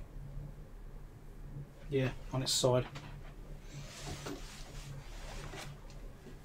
I think it weighs about 30 kilos, something like that. Maybe 25 kilos. It's heavy.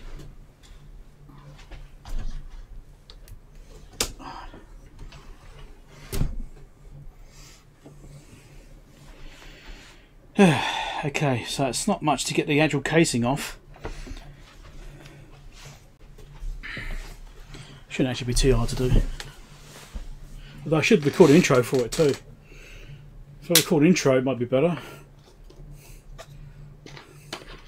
I have to move it around more.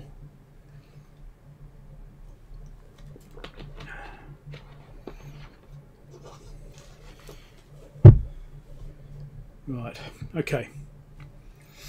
So let's, yeah, I'll do an intro on it. Get the gear out ready. Okay, then we'll record video on that. One screw, no clips. That's two screws cap. Capacitor's got two connections. Wouldn't it yours out. It barely fits on mine. barely. Um, set the camera back on again.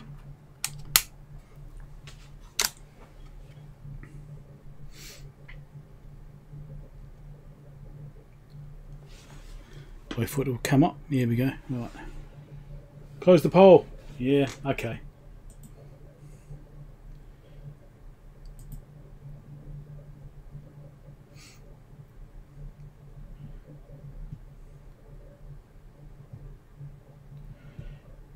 People repair stuff in his end. Not so much, no. One each. Oh, I meant the covers. Oh, yes, the covers. Yes, you're right. The covers were indeed one screw each. Right, let's change view. HDMI is this one. Got to get further back.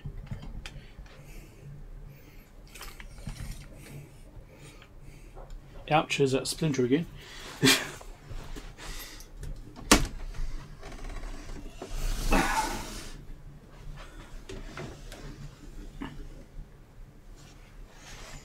Try that down.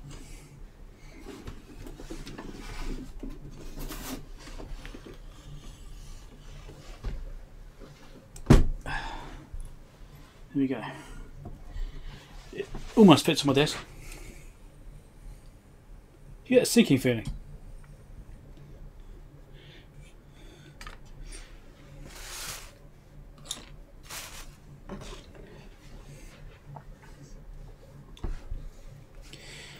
Right, do intro for this thing. Oh, you're falling over again.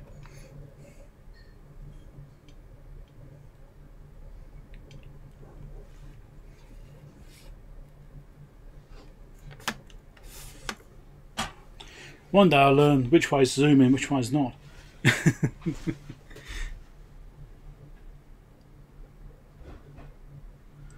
okay.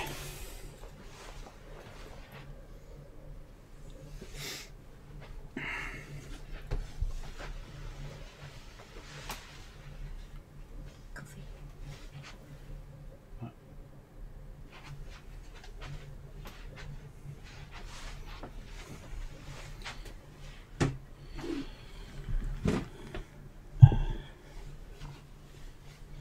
Right, my wife just brought me another coffee. Okay, the intro. So, this is part three of this thing. I've worked on this thing a couple of times before, did some repairs on it, mostly to do with the front panel and switches and indicators and stuff like that. And it does work, it does actually function. And I've shown it on my 18 gigahertz figure counter, which I've repaired previously in another video. If you're not sure about those, check out my other videos, playlist. I don't know, there'd be a list there for something, I don't know. There's a list. There's a big list. Um, if you're interested in Cinder account repair or this thing repair, then check those out. So this is part three. They'll be linked the other sections maybe at the end of the video and description. But this has got one little thing which has been bugging me since I did the last repairs. When I first did the work on this a few months ago now, I didn't replace some capacitors because they're expensive. They're really expensive. There's four caps which are big, which I didn't replace. So I got some replacements, and hopefully they're the right ones. Hopefully they do actually fit. I went from memory about what size the spacing were. Were. I went from memory. No. I went from memory from what size the spacing was for the screws for the capacitors, because these are screwing capacitors, which is why they're so expensive. So I've got some. I hope they're the right ones because they weren't cheap. It's about $150 worth of caps. Four caps, $150. Not cheap, but let's get this thing apart and uh, we'll get into it and replace those and maybe we'll power it up again and see if it still works.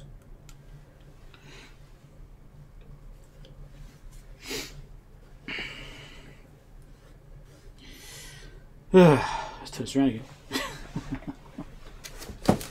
we need to put it somewhere else. I've done that one. It's finished.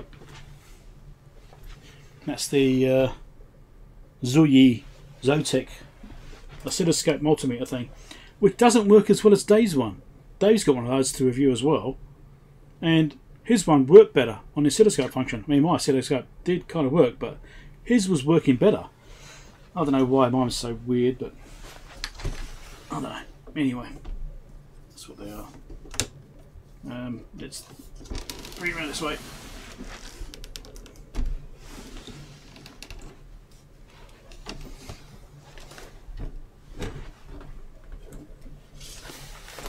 Try not to scratch my desk at the same time.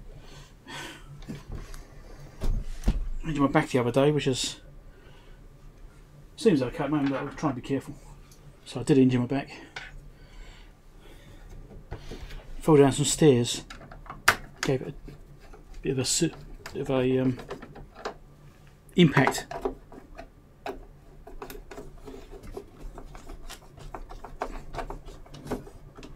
Bumped my back as I fell down the stairs. It's only a couple of steps, like four heights, four steps high or something, and I slipped and uh, jarred my back. And it sore for a few days. It's been okay, but I still feel it's not quite right.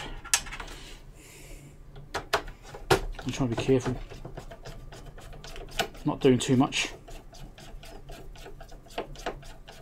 Is that it? Yep, that's it now. Right.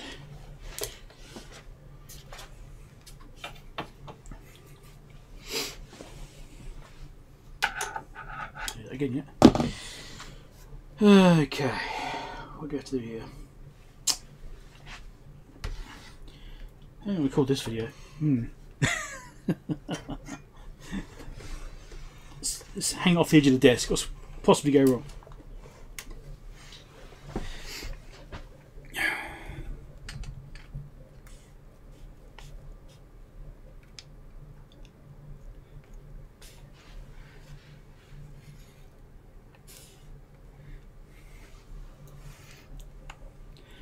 Alright, so this is the top side of the unit and this is the rear left corner. So there's four capacitors in here. And these are the ones I need to look at replacing. This one here has already been replaced by someone, a person that got this one. Was it Gavin, I think his name was? I remember now, I think it was Gavin. And he actually gave me a bag of caps, which we looked at before. There they are, and I think this one here was the original one that was in it, which has been leaking. Yeah, you can actually see corrosion on that post there where it leaked. I had to do some minor repairs to the circuit board there. We had some corrosion on the traces, and I think it actually entered the trace. And I was actually able to get to it and clean it up and solder over it and, and get that working again. Um, although I'm not sure it was actually completely broken, but I I did it anyway. So um, you put in a used capacitor. These caps tested kind of okay, but there was a bit of ripple on the supply line, so that's bugging me slightly too. In fact, they're old caps, and the one of them has already leaked. Any one of these could leak at any moment, so it's worth replacing them, which is why it's been bugging me since for months. Ever since I worked on this thing, it's been bugging me that I should have replaced these caps and I should have spent the money because I want this thing to be in a state where I can go and get this thing anytime, power it up, and it will probably work. Of course, there could be other caps somewhere else in one of these other modules because there's a lot of stuff in here. Could always be one of those that goes, but at least it won't be a main power supply cap which blows and then shoves a whole bunch of AC through the rest of the circuitry and blows up a whole bunch more stuff, such as tantalums. Tantalums do not like AC ripple, so I'm replacing these to make sure the power supply itself is as good as it can be, and then hopefully it doesn't cause any cascade failures later on.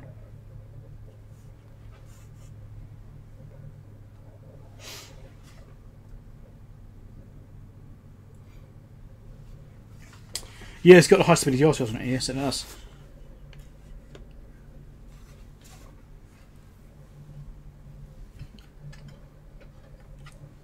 It's a nice unit.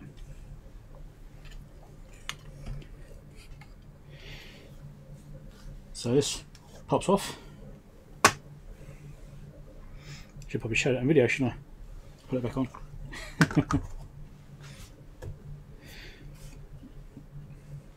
Just a little cover here, this slides off, it's just there to brace the capacitors. So it's a nice little detail from HP. So the braces, you know, capacitors aren't wobbling around off the circuit board from vibration. It helps to brace them all together. I think this is a nice touch. I don't know if I can put that back on again with the new caps. We'll see. See if they're close enough to the right size. Anyway, I've got to get this plastic cover off the bottom here. It's got a plastic cover on there. I'll show you actually.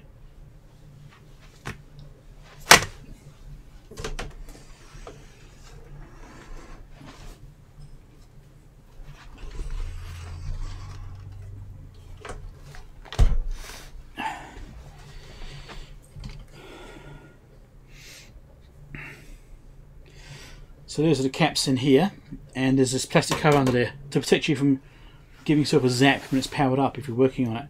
So some of these we can actually get to. We can get to those four screws on these ones, well, six screws there. We get to those uh, without having to mess around with it too much. We can get to them quite easily. Looks like there's two more screws here. Are those for? But there was something I did look at before. Everyone missed the cap. I'm just checking there.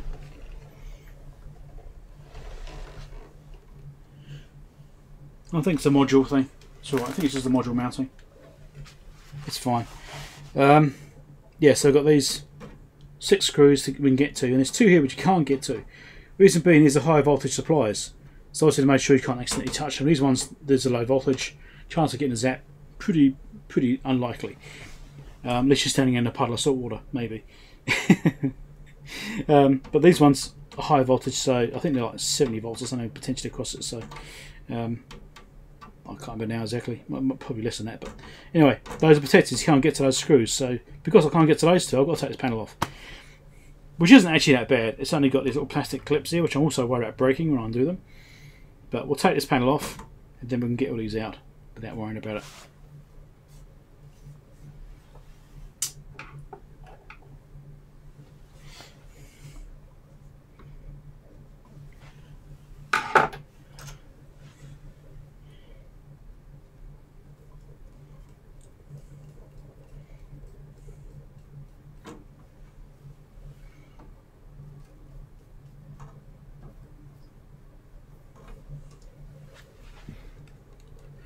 It's got these little nylon plastic screws in there. So you've got to be careful not to break those or overdo it because they will snap. Nylon does go brittle over time especially with temperature. If they've ever been getting hot they drastically increases the um, they get hot drastically increases the aging rate and they get brittle much much faster. So I've had power supplies where they've used nylon screws to secure the transistors to the heatsink and they've basically just fallen off since I touched them. They just, just literally fell off because it has gone brittle and just broken. Anyway, I think that's all of them. Yep, there's the panel off. There we can get to these caps.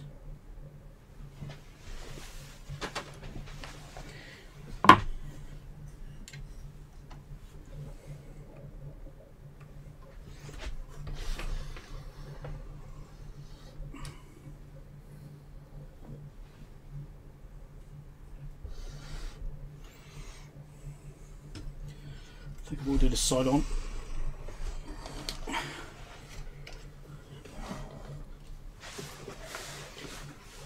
Let's go for the bottom one first.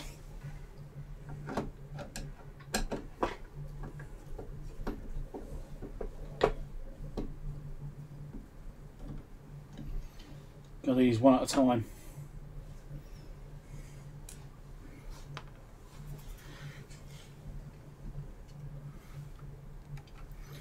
Taking these out. And interestingly, that felt a bit gunky there when I took that screw out. It felt like I had some gunk on it.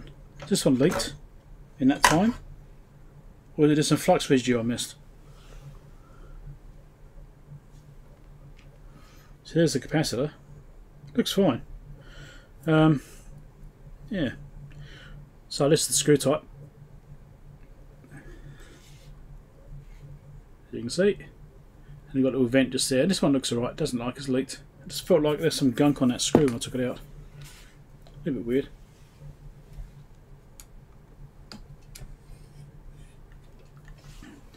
And what was this one? This is a uh, 13,040 volt.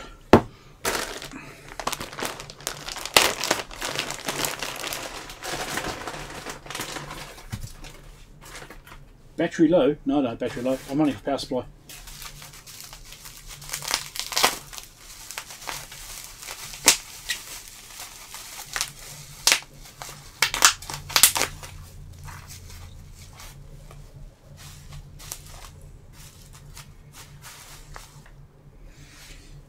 Well, that's a consideration.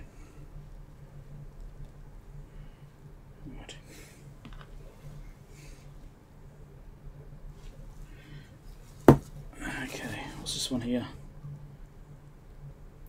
36,000, that's not the right one.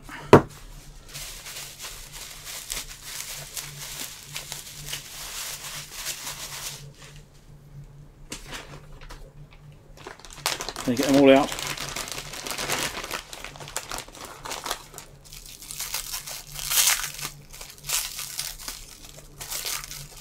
Because I couldn't get exactly the right values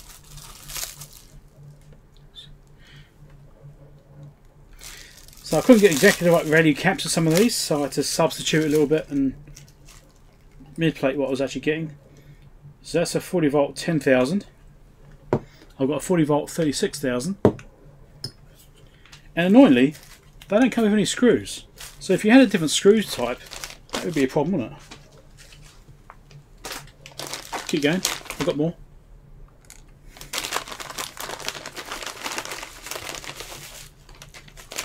Red dot in the upper right corner is the recording light.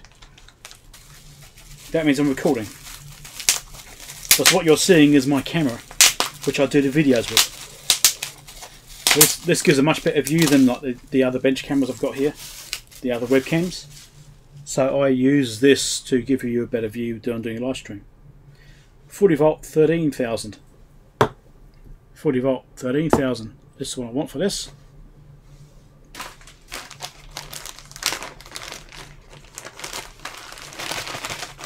Like I said, I, I couldn't get exactly the right caps um, because they're rare, right? So I got these from DigiKey as well.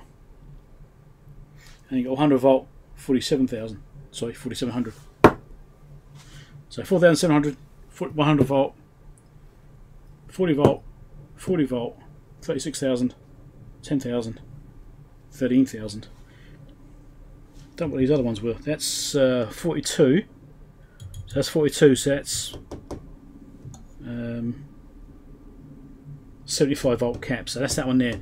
So this 100 volt one goes there. Don't got those two. Can I see them? Probably can't. Let's excuse the back of my head from that.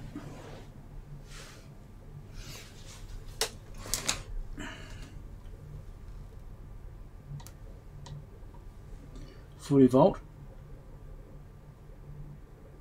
This is 8700 this one here. So I think this one is for this cap and this one here is for this cap. Are they the right spacings? I don't know. right. So I've unpackaged the caps. I've got a 40 volt 13,000 microfarad there.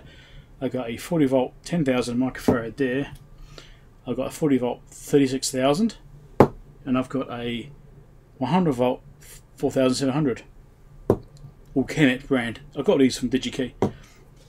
So the one I want is for this particular cap is this one here, which is smaller than the, the one that was in it, which is smaller again than the original, which was this kind of size. So it's amazing how they've got a lot smaller over the years. So this is plus or minus 20%, and I think the originals, I don't think they had a marking on what they were, but the one that was in here, which is a substitute, was plus 50% minus, two, minus 10, but that's just a random one I put in. So this one has got to go in there. I've got to make sure I get the polarity right, obviously. There is a vent hole, and you can actually see the vent holes marked on the PCB down here. I can get on shot. I'll try and get it in shot.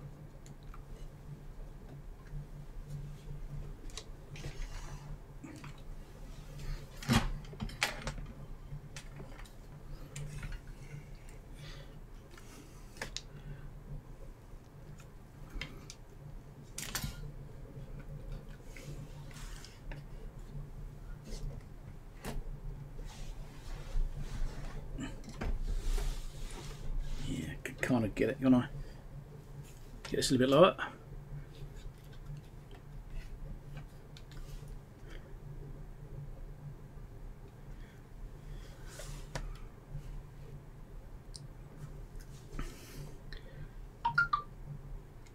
So there's the capacitor marking there. You can just see the positive on the back of the board. You can see it through the through the actual uh, PCB, and you can see a hole there as well. See the hole? That's the vent hole.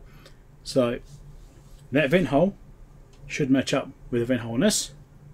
You close it. Eh? So there's the vent hole there. And this orientation should be that way. So that should be the positive. And it is. So you have to put it in that way up. Don't get it wrong. I'm pretty sure make a big bang if you got this wrong. Now, I have some more coffee.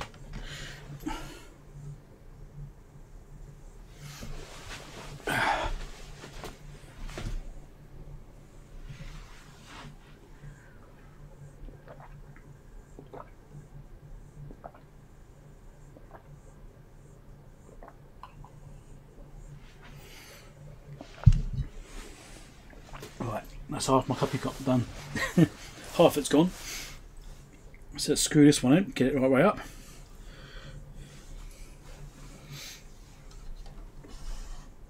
This is going to be tricky to get lined up.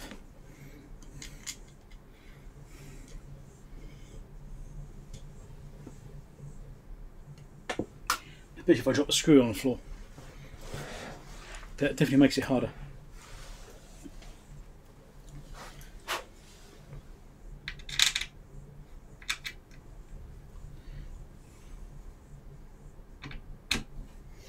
Okay, vent that way up. Now we'll try and get this in and in place and lined up. Oh, that's so tricky to get in there.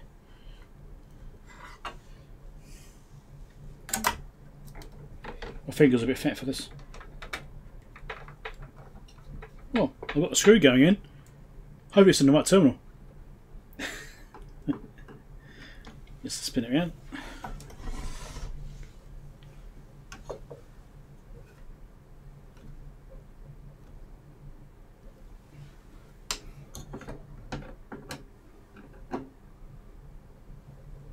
Yeah, I can see the vent. So, yeah, I got the right one. It's not upside down.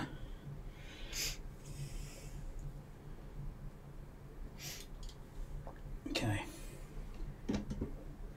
So I was debating doing this as a video, like just not doing a live stream on this and just doing a video on it. Just making it what it is, you know. Uh, so, oh no, do as part of the live stream as well. People like capacitor replacements, don't they?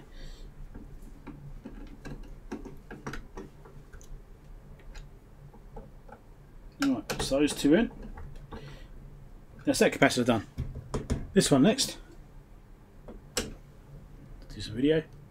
So that's that capacitor replaced. That's that one in place now. Now I'll take it to one above it. In this case, the positive is on the left-hand side. Well, side towards the back, I should say. Left-hand side from you, your view.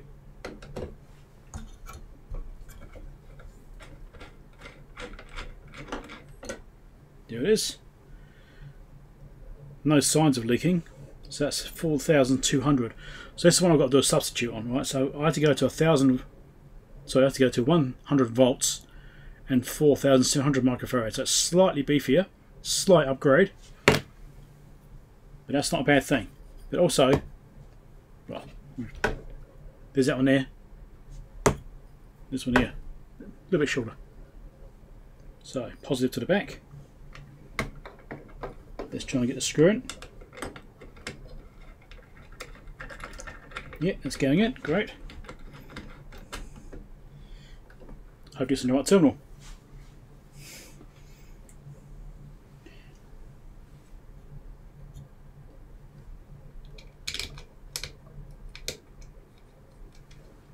The vent, I can see the vent through the hole, so that means it's definitely lined up. It's definitely correct orientation if I can see the vent through the hole. Not all PCBs have holes for the vents. It's nice this does have it, but when I've come across these before, there isn't always a hole there.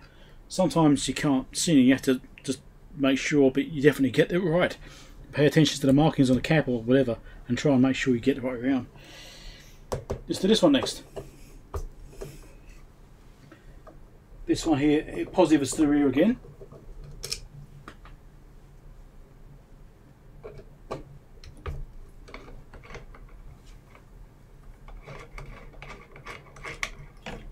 There it is. Drop screwdriver on the floor. So that's 8700 40 volt and no signs of leakage. I don't think, uh, maybe there's a little bit. I don't know, you see some staining there?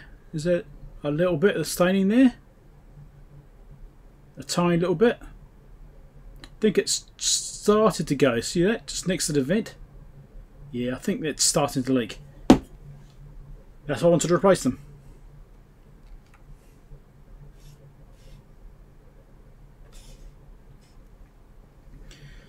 So that's 8700 at 40 volt.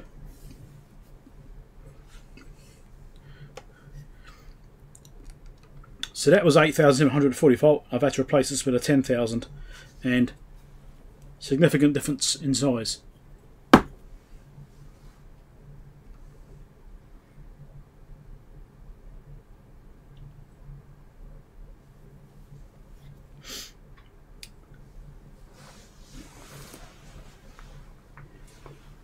Don't tell the charger caps first, no.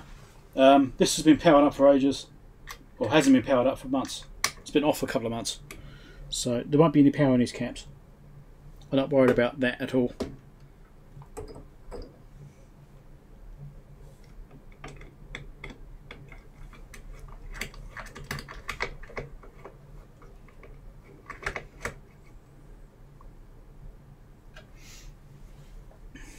Should probably mention that in the video, actually.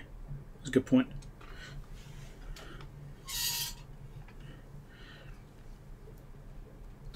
So these caps I'm taking out, if I'd had this powered up recently, you'd probably want to discharge them before you touch them. In some cases, at least, maybe for the uh, the 75 volt one, you probably want to discharge that. The other ones are probably alright. Um, but this hasn't been powered up for months. Um, I don't know, three months. Last one's powered up again, so they'll be definitely discharged. There won't be any power left in these. They would have been gone long ago. So I'm not worried about that aspect. But if it's something you're just working on and you've only just powered up recently, then yeah, you want to be careful about that because you don't want to accidentally uh, zap yourself by touching terminals which have potentially had a bit of power left in them. Capacitors store power for quite a long time. You know, certainly minutes, hours, sometimes days, months, not so much. Have a coffee.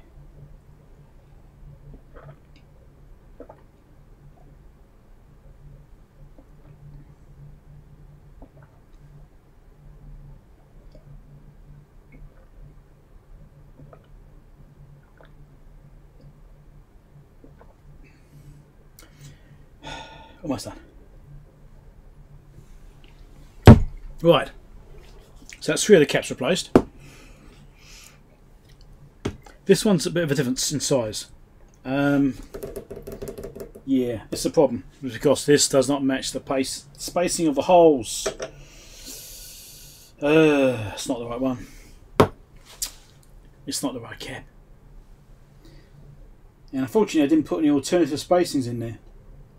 Sometimes they'll put secondary spacings, that'd be like two sets of holes. It out for different suppliers, things like that, you know, different spacings. This doesn't have them. These spacings are different. That's awesome. Um, now I do have some more screw terminal caps. I think. Let me fish those out in case I happen to get lucky and have one that's right.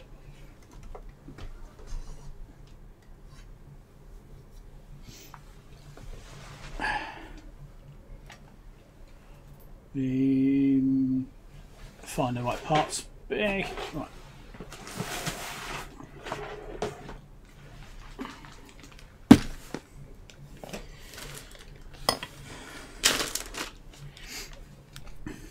And I've just lost the shot again because I just nudged the camera lead and it's gone blind. Oh no, it's back. It's Greg. It's back. Oh no, it's gone again. Oh, this bloody thing's annoying me. I think it might be the lead. Pretty sure it's the cable. Come on, come back on. I should just replace the cable. Unfortunately, I don't have one. So micro HD or micro HDMI, something like that.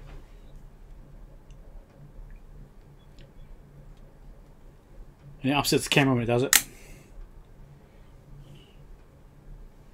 Actually crashes the camera because the camera doesn't know what to do with it. Tries again. Okay.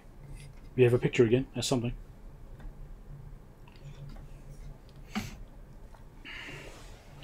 So I've got this box of parts. This is where the mailbag stuff comes to die. Um, and I'm pretty sure I've got some some valves. Spare valves from some of my gear. Got a few more in there. I'm pretty sure I've got some big caps in here somewhere.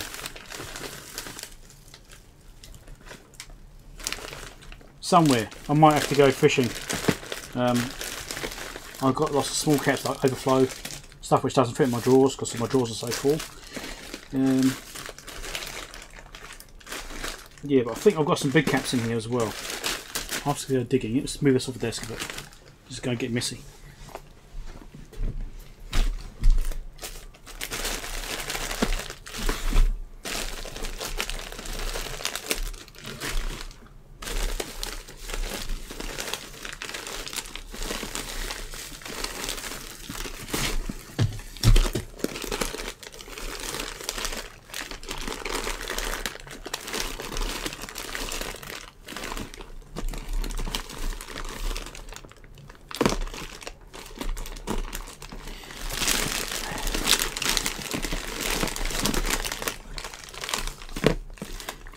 Well, these are all wire lead ones and they're 400 volt. That's not what I want.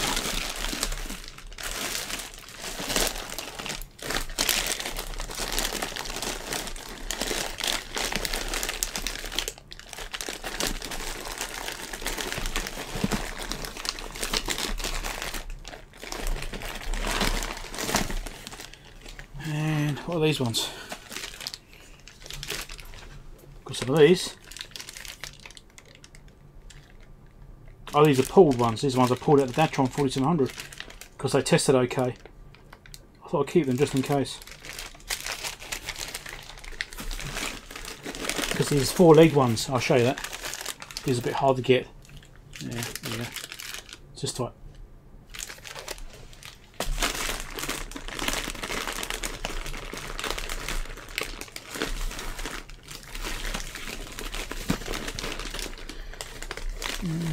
wire lead. There's a valve. Oh, I might be out of luck here. Because I was definitely like things like this cap being in there, but it's all wire lead stuff. I haven't got any screw terminal ones. Damn. It looks like I don't have the right cap.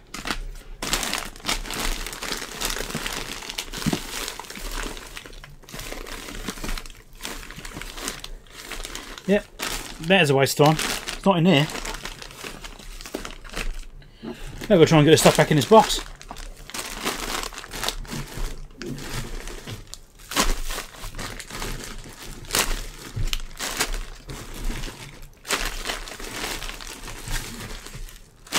What's these ones? What's this one? 2200 40 volt. Yeah, okay, very good. Okay, so now the right cap to do the last one which is annoying. I wanted to complete this thing. That's not good. So, damn. Goes in the box. Goes in the box. So there's one I can't do. That's annoying. Oh, almost sneezed, not quite. Thinking now if I've got anything out in the other room. Do I have any caps out there? I might have some out there, actually. That's possible. I might have some out there. Um, I can probably put this on these ones though. Oh, two of them. One's bigger than the others. Doesn't really work. I don't think.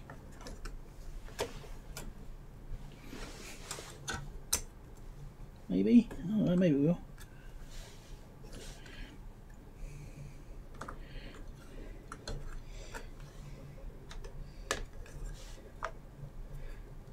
Does that work? Kind of.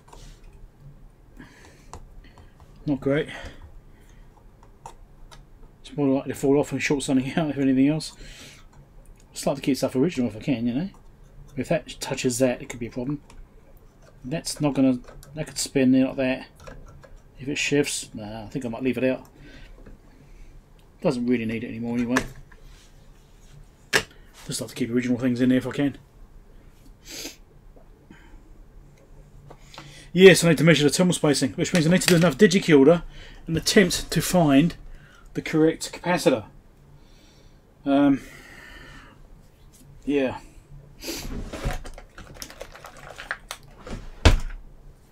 So the original ones are, what are they? 13, I think they're 13 mil spacing, about 13. And this one here is about 22. Approximately 23 mil spacing. It's probably an imperial size, but I don't understand that rubbish. I'm just looking at it now. and I'm trying to get it lined up better.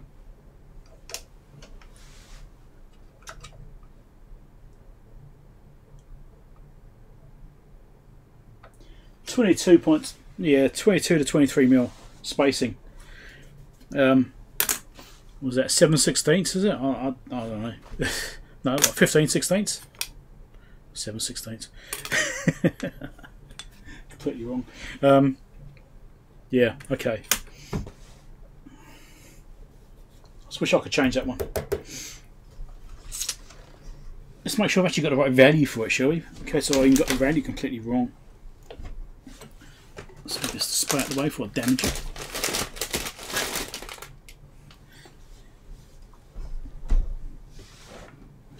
Can't see. Let's take it out. Let's take the capacitor out. Because I've got those values off the circuit board, off the um, circuit board, off the service manual.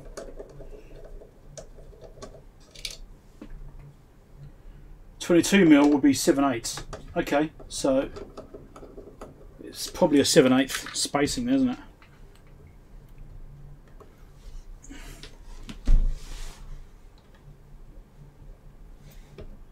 That's why it's got a little bracket in there.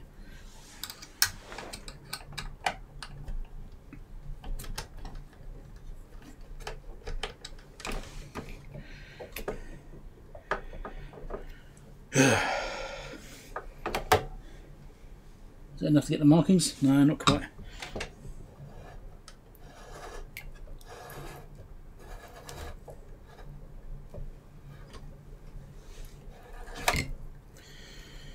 Alright, size of this bugger. Look at this. Alright. So this is the capacitor I need to replace. 20 volt, 30,000 microfarad. Right, so that's what I need. 20 volt, 30,000 microfarad. Um, and that spacing there. Which appear to be 22 mil or so. Trying to see it from here. Looks about 22 millimeters there. If I look at inches, got inches on this side. That is about, yeah, 7 eighths. 7 eighths of an inch. Okay, so 7 eighths or about 22 mil. Now, no, what I need to go and look for. Size of this thing. Yeah, what's the diameter of this thing? It's um, about 50 millimeters wide, 2 inches. And uh, what's that, 10 and a half centimeters long? So 11 if you include the posts. 11 centimeters, which would be, at this end, nearly four and a half inches. Just under four and a half. Yeah. Big boy. Hey Joe, how's it going? So we'll put this back in again. Seeing as I don't have a replacement. And it looks like it started leaking. Or it's just dust. Maybe, I don't know. It looks like it's just dust. Yeah, it's just dust. That's right.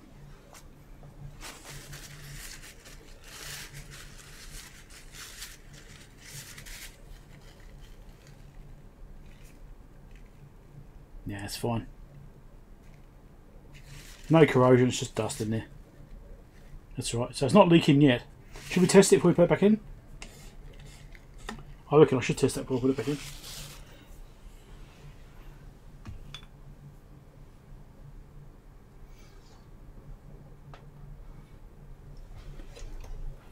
In millimeters. Well, I'm thinking it's you know HP, so it's an American instrument. It's come from the USA. Um, this is an American brand, isn't it?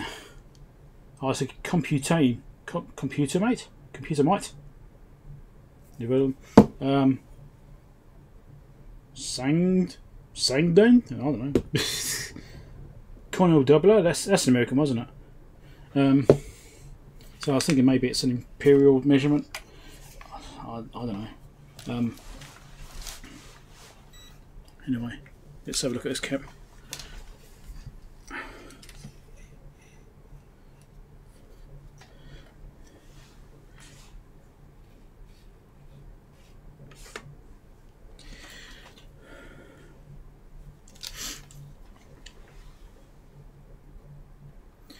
Right, so this is cap I just pulled out, which is at 20 volt, 30,000 microfarad, and I'm going to measure it on the DER since I've got it here on the desk anyway, and see what we get. What do you think of it? For a start, I think this is an inductor. That's not a great start. or it's a resistor. Ah, that's not what I want. Let's change frequencies because it's probably because it's the value of it. There you go. 100 hertz makes more sense. Can it read it? So far, it's not looking promising.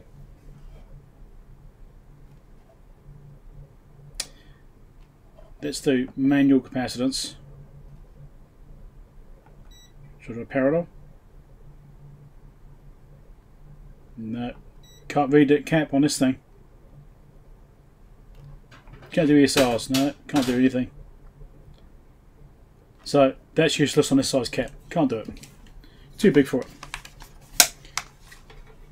Let's try my other bench meter. See if it'll work.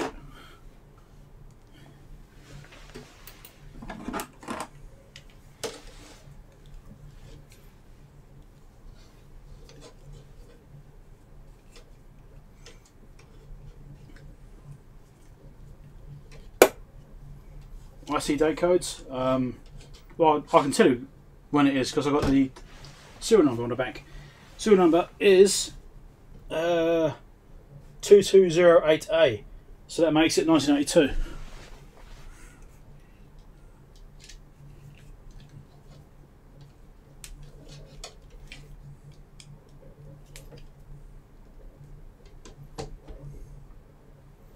So let's change views so you can see what I can see.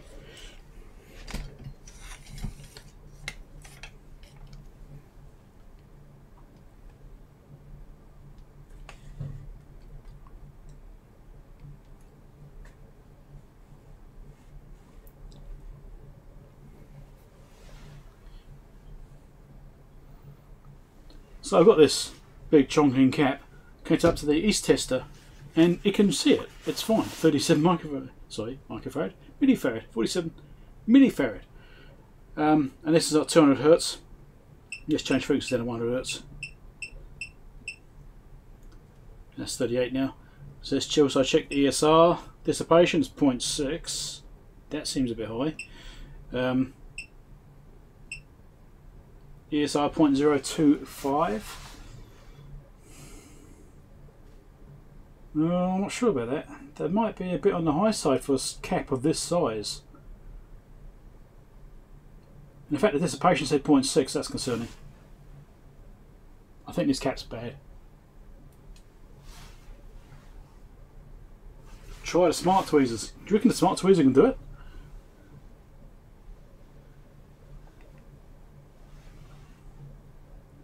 First thing is figuring out where I put them.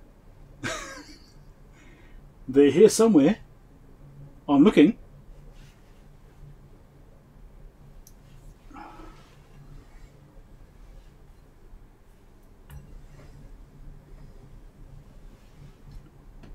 Where did I put them? Oh, there they are. They're on top of the ESR meter. There they are.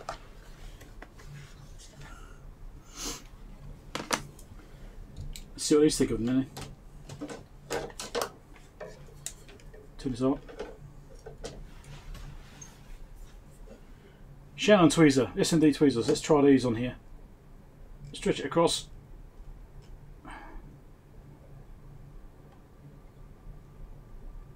Thirty-seven millifarad. Look at that. You can read them. One hundred hertz. And it's saying sea resistance is jumping around quite a bit as well. But you can read it. That's surprising. Um, hold on.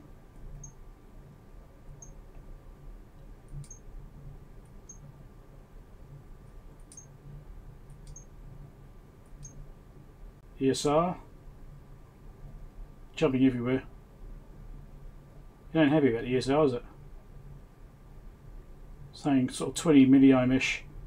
Now I'm getting a better connection. I'm just trying to leave it on it slightly, get better connection. Saying about 20 milliohms. Alright.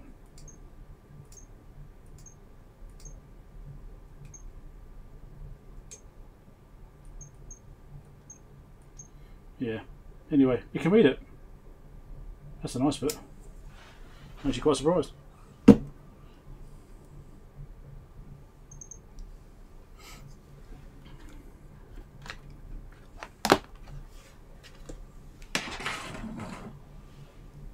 Anyway, so that measures capacitance okay, but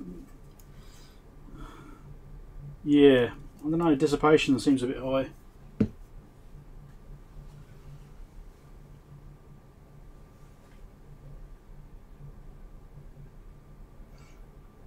Could I not make a bracket to put in your cap in? Yes, I could. I could make an adapter. That's a possible thing. It could be done. Of circuit board and, and just have it attached between those. I mean, it's a doable thing. Other people have definitely done that. You know, using a standard uh, wire lead cap. You know, um, but I want to try and keep stuff original if I can. So this is a B cap. This is going to be expensive. This cap is probably 50 bucks.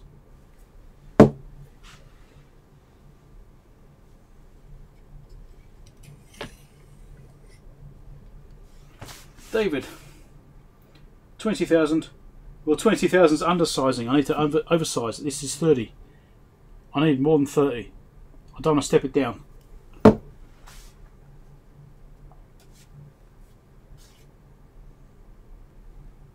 you find something more than 30, then I'll be going for it. DigiKeys will be going, most likely, because that's one of the few places that actually has these kinds of caps. And you're falling over on the floor again. You need to, you guys need to stop drinking.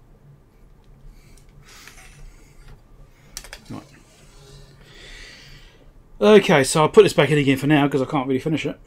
Um, I might. Minus 20. It's 30. 30,000. There you go. 20 volt, 30,000. And it's measuring 37. And it looks like a date code of 81, doesn't it?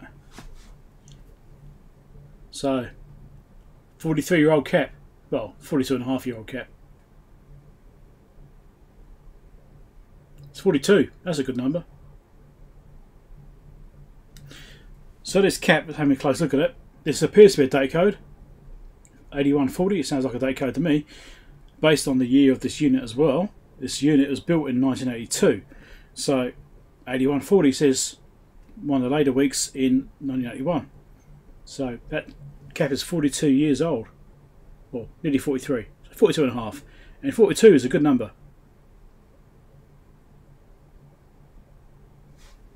Don't forget your towel.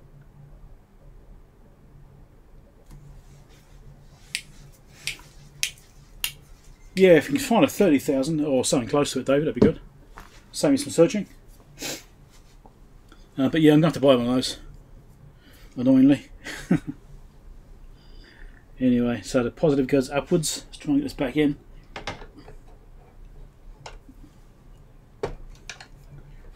And you can't see what the I'm doing because I'm all the way over there. There we go. Come on, get in the strap. There we go. Right. Which way is positive? Oh no. The markings are over there somewhere, so somewhere not there. Somewhere around there. I'll try and get this lined up now. Let's move these out of the way for hook on something and rip the stuff off my bench.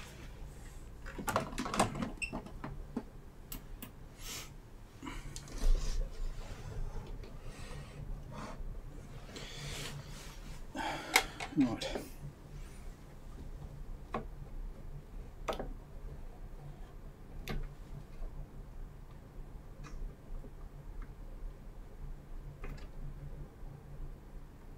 Now, is that a vent I can see, or is that the wrong way around? I should have marked which, way up was on here, eh? The markings were over here somewhere when I looked at it before. So let's just move the camera out of the way so I can have a look.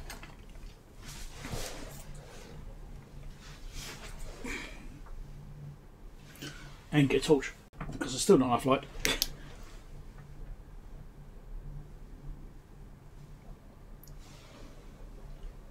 Where are they? I can't see the bloody markings. There they are.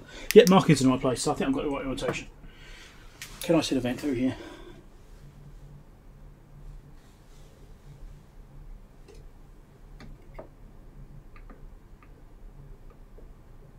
Yep, there's the vent. That's right. I've got it right around. I may never even power this up anyway until I uh, I get the new cap anyway.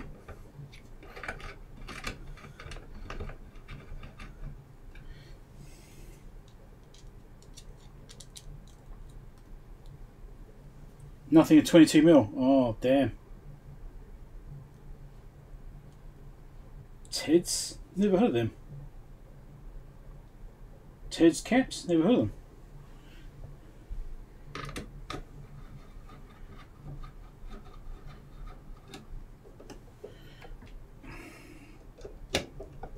Well, did you look for 7 8 rather than 22 mil in case it comes up under that? Sometimes I list them one way or the other. I didn't notice that when I was buying these other ones.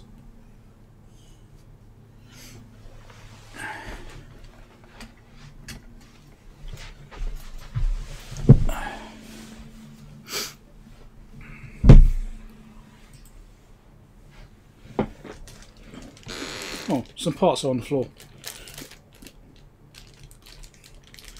Infrared sensors, apparently. Bag of infrared sensors. I don't know where I've got them. I think they're in a bundle of things someone sent me, maybe? Or had them somewhere. I, I, I don't know. They'll be useful for something one day. Uh, let's have a look at this address you've given me then. Rob, Let's see what that is.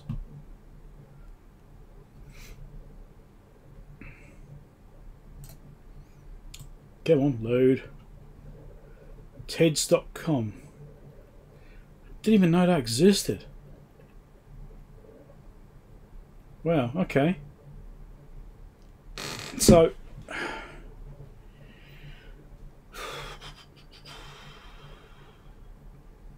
four hundred eighty-three pages. I think I need to narrow that search down. Okay, that's a good site. I didn't really, I hadn't even heard of them. Thanks to the tip, Rob. That's I'll have to bookmark that one. Bookmark, bookmark, um, bookmark this tab. Yes. Ah, hold on. In Chrome, not. Hold on. I need to go to my usual browser. I only use Chrome for doing YouTube stuff. Even though it's probably a better browser, to be honest. Right, let's bookmark this one. This makes more sense now.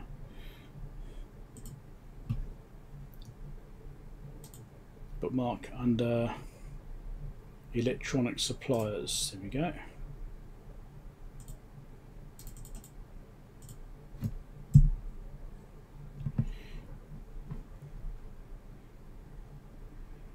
So I do all sorts of stuff, not just capacitors. Alright.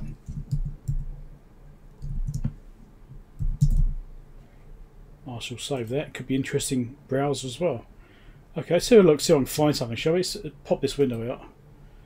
Um, shove this up the top. We'll have a look. We'll have a look. See if we can find something.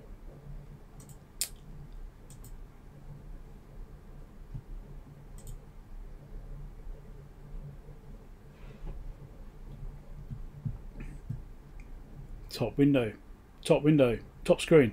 Here we go. Here we are.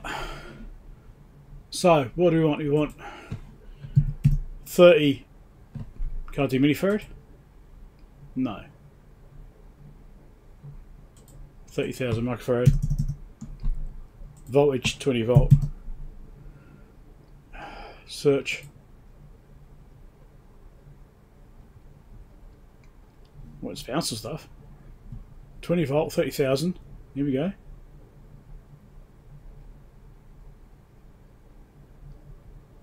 Um, prices look alright.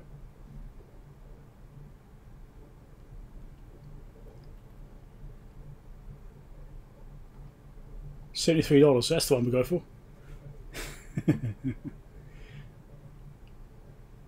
Two by five, two by four. Case size one three quarter. well, It's just under two inches wide. That's not the one we want. Case size two by four. Okay, so these are very similar size to what's in there. Two inches. Two by four, two by four. Yep. So those are the ones we want. It's one of those two. Um, let's have a look at them in more detail.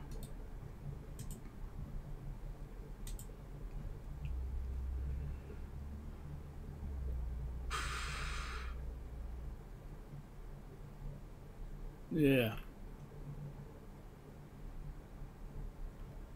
Mepco screw terminals.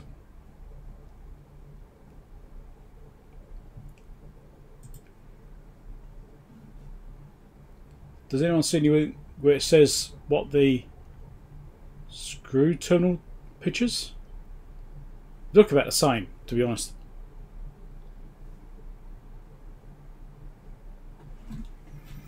Okay, well, they have them. Apparently, they're in stock.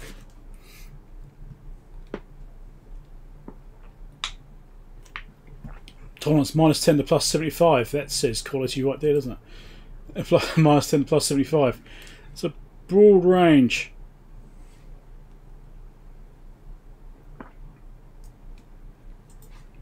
And they're both in stock. So I can at least get them. Wonder what the postage cost would be. Yeah. Right, that's something. We can get them. And the spacings are probably okay. They look about right. Visually look about right. This one's hard to tell because the angle. Um,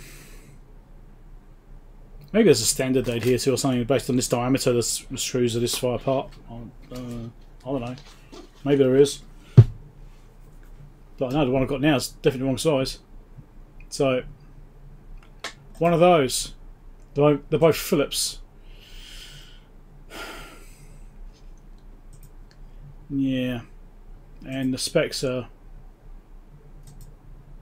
basically the same, aren't they? They're basically the same, from what I can see from that. Let's probably data sheet something for these things.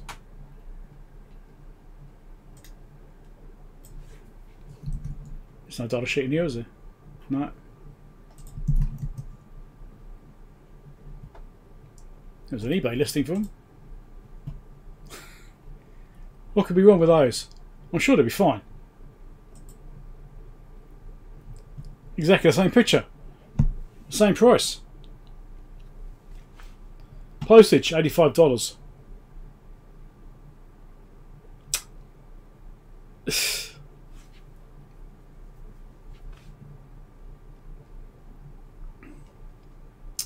okay. Um,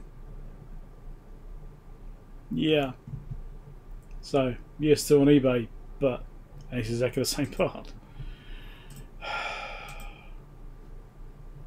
Yeah. Postage is more than a capacitor. At least it is from eBay. It may be cheaper from directly from them. Okay, well, I'm going to have to look into this and get this sorted out later on. Um, yeah. It needs replacing, though. A cap is not looking right to me. What we could do actually is compare the cap I got against the one that's in it, and check the dissipation and ratings on that one. We had, we didn't do that. We could do that. Let's do that. Let's go to a let's do let's do that view. Right. I've got to find a cap again. There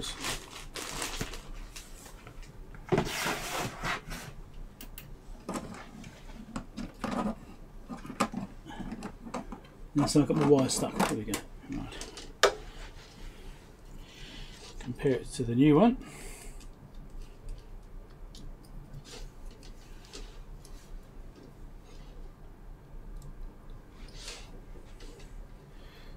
And that's changed to 120 hertz for some reason. 100 hertz, always use 100 hertz. So that's saying 32 millifarad. Dissipation of 0.13. ESR 0.0066. So that is definitely better than the other one. Um, yeah, dissipation is a fraction of it. One sixth of the other one, isn't it? Well, maybe a fifth. 0.13 it's probably one fifth of the other one. So, or just a, maybe a bit less than actually. A quarter of the other one. About a quarter of the other one. So it's definitely a lot better with that cap. So yeah, I'm pretty sure the one that's in it is on its way out.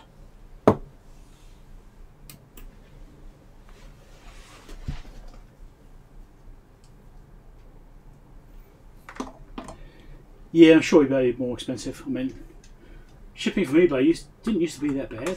It's just getting ridiculously expensive.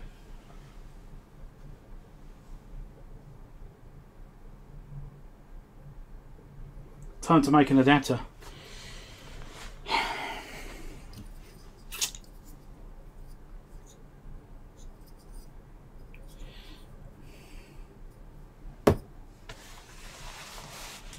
Potentially.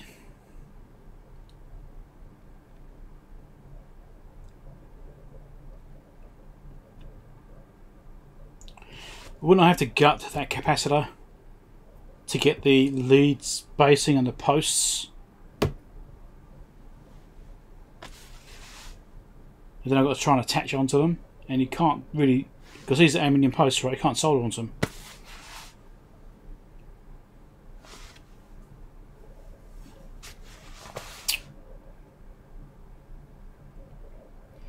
Yeah, I knew this would be expensive exercise, but I also knew it needed doing.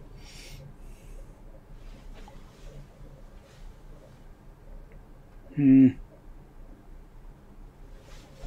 Yeah, I'm going to spend some money, aren't I? Unfortunately. Just turn the camera off for now. Right. So yes, I need to buy another capacitor.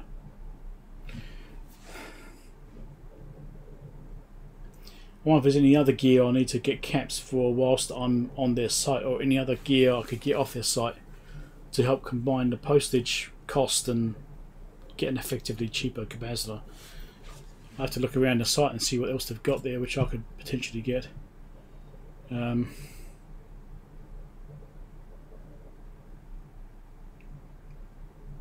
yeah, let's have a look.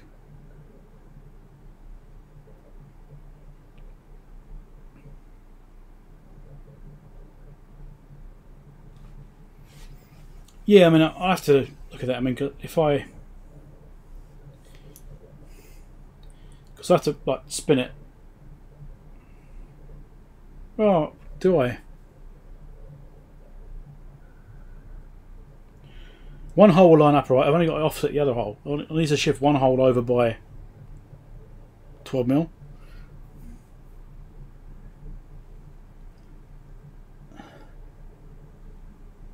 I wonder drilling a hole in a circuit board is an option. And just mounting it through the new hole. And sandwiching it and hoping for the best without a via or plated through hole. It's probably a bit of a bodge though, isn't it?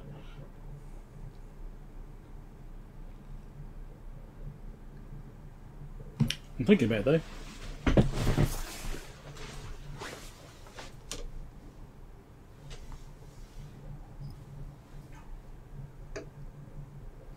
There is a trace right there. At least on this side.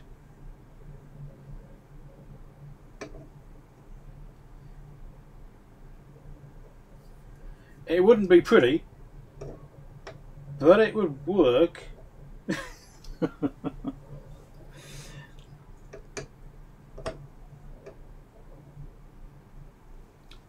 I'm, I'm actually really tempted to do that. Drill a hole through the circuit board.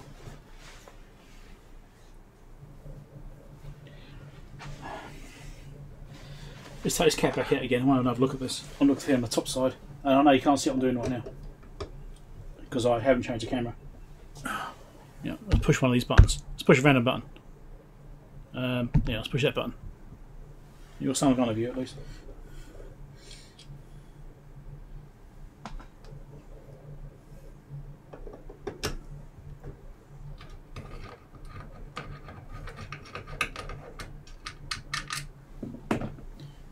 What I'm going to do this time before I take it out, I'm going to put a mark on it. So I know which way's up a bit easier. Up is that way.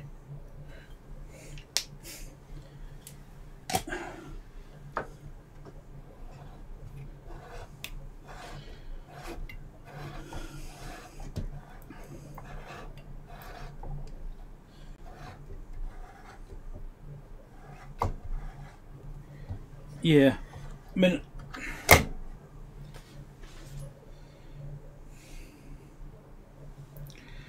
yeah, possibly. That might be enough solution. And the top side's got nothing. So there's only one trace, and that's on the bottom side. Top side has got no traces on it. So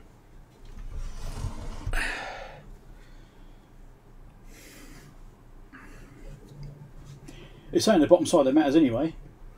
And there's a trace there. Um, I don't really want to do that though. That's a bit of a bodge. I suppose there's not traces on the top side, but you've got wires on it. I'm really surprised they haven't done that.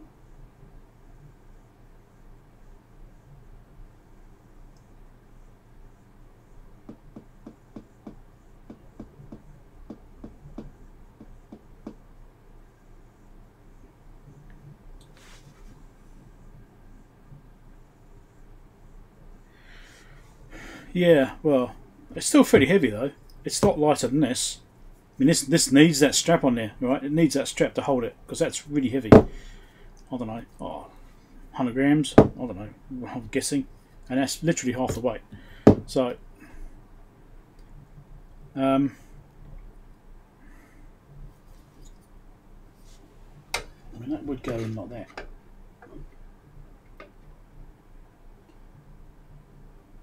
Yeah, I'm definitely thinking. I'm actually really tempted to shoot a hole in the circuit board. That would still work. I could get a nice screw mounting onto into the trace. I'll have to scrape away the um, the solder mask. And maybe tin it with some solder. So it's got something to bite into, so there's the copper. So it's got a bit of protection here from the screw as well. I'm actually really tempted to do that.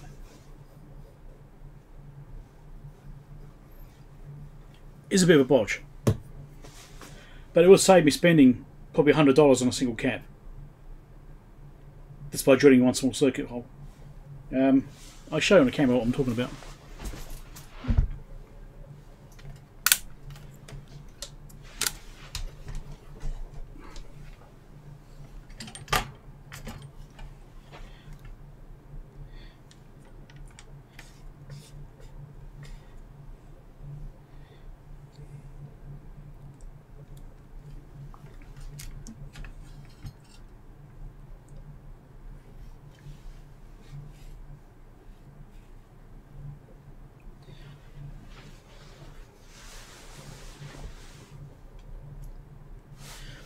Right now I'm thinking about solutions about how to fit this narrower spacing post cap.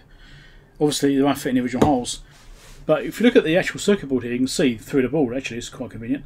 So you can see the little um, through holes. Lots of words there for a second. You can see the through holes here, which are plated, plated through holes. They've only got a really small surface area of copper on the top side, both of them. All the copper is on the bottom side. So the actual connections are made on the bottom down here on these two posts and you can actually see for this top one the trace comes downwards and then goes around right? So what I'm actually really tempted to do it's a bit of a bodge. In fact it's quite a lot of a bodge. Is to drill a hole in that trace. The correct spacing apart for these posts.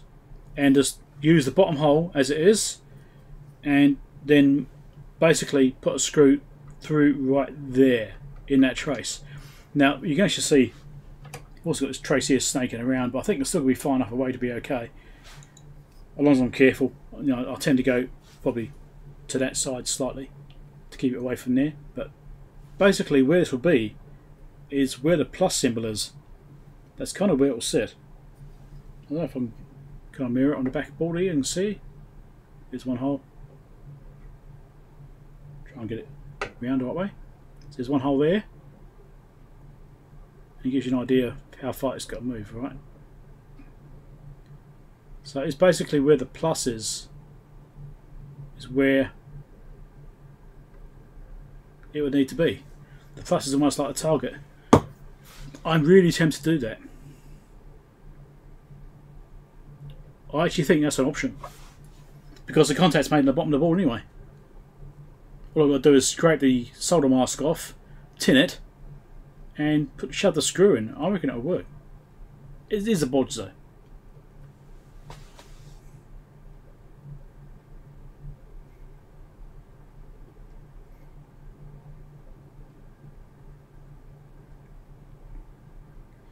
Yeah, that's what I'm thinking because I've seen this before where they've actually had multiple holes to allow for different size caps. So I'm actually really tempted to drill a hole in it. Yeah, I would I would turn it very slightly so it's very slightly away from those traces. So it's not much, you know, a fraction of a mil probably. Not much at all just to get slightly further away from there. But I think that's what I might end up doing. I reckon that's the plan. Yeah, I think that's what I'm going to do. Let's do that. Let's bodge it. Of course, it means going back out to the garage to get my drill again. I'll be back in a minute.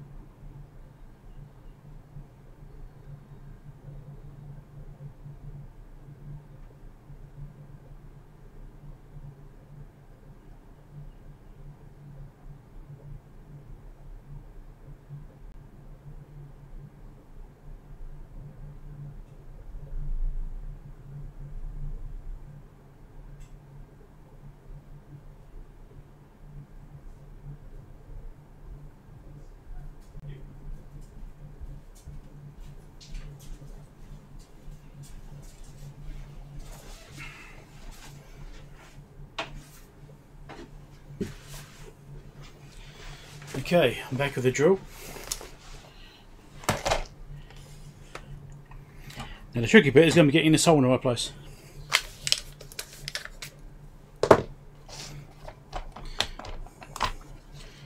So I'll start with something like a 2.5 mil and I'll step it up.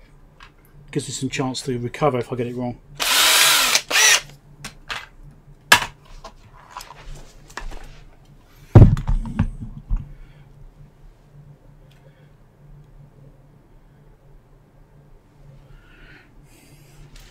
Do have some copper washers and some copper tape, so I could actually reinforce it. Um, where are the copper washers? Not sure. I do have some. So, do you think I should drill it from this side? As soon as I can see from this side? no, it's not going to work. Okay. I need to figure out exactly where to put this hole though. That's the bit I'm going, probably going to get wrong is getting the hole in slightly wrong place.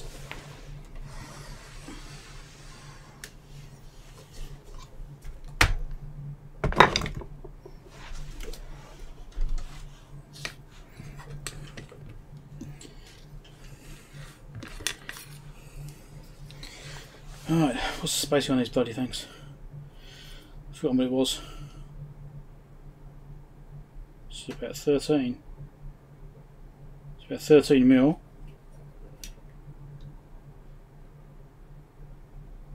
Or half an inch. Hmm. Could be either one actually.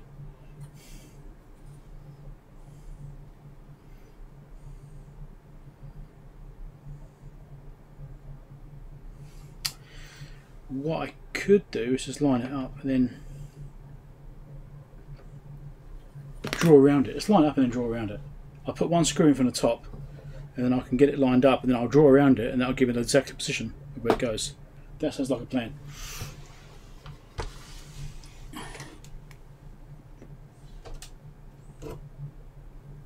What could possibly go wrong? Apart from lots of things.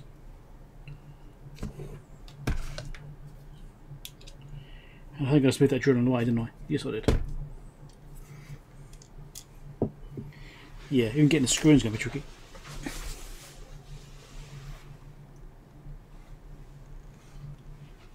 And I lost the lock washer. Oh no. It's on the floor somewhere.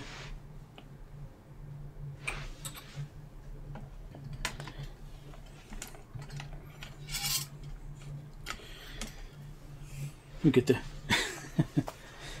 I'll find it. I've got to try and get this in there. That's not going to be easy. Stainless screws don't want to stick to the screwdriver. some reason. Let's try that. Magnet, magnet right next to it. No, not enough. Damn it, stainless screws.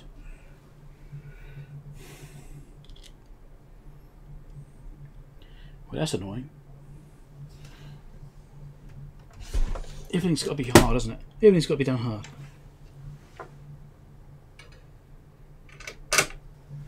Okay.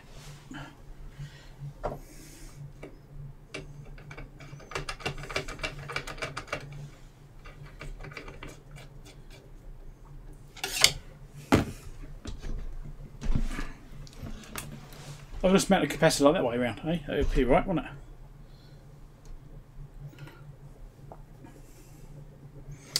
Well, let's mark that out. I can figure out where the centre of that is. That's the easy way of doing it. And I want to have it slightly off to one side.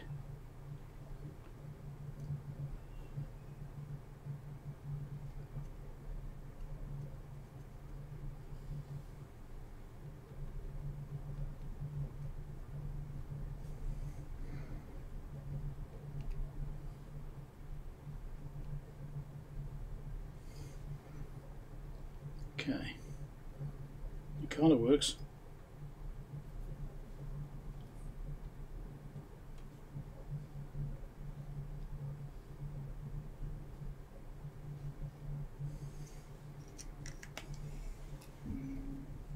Kind of.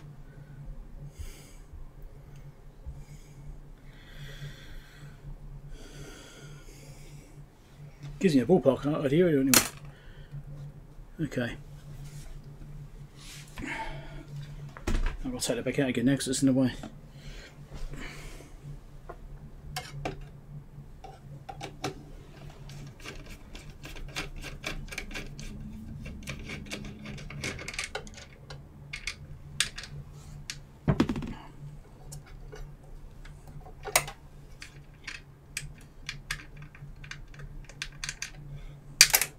Oh, now I've dropped it inside the chassis. I'll be good that now before I lose it.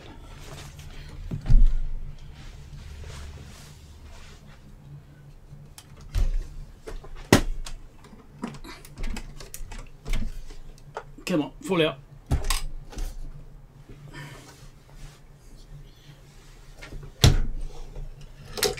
There we go, full out. Great.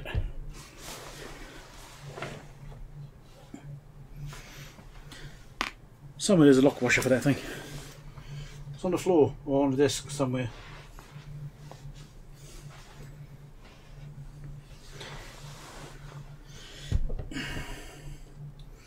At least I can see this better now, I suppose. I can actually line it up. Look where the centre should be.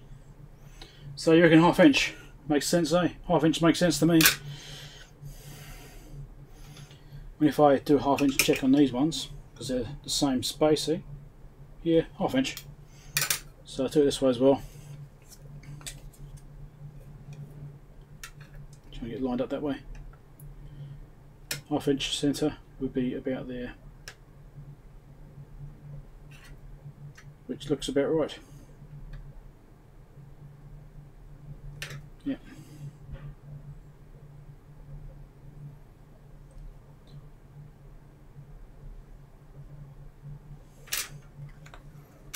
Okay.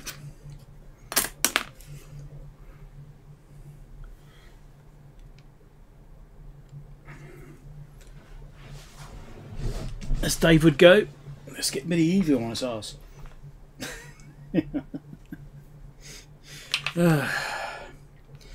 Right, so I've decided to bodge just a little bit because there is actually room to drill another hole through the circuit board here into the trace, which has the connections, and I can then use this spacing to fit mount it.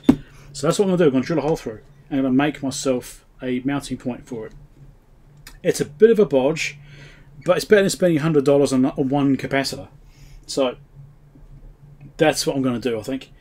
Um, we're going to go ahead and drill a hole through this. I'm sure it'll be fine. What could possibly go wrong? I'm sure nothing would go wrong, eh?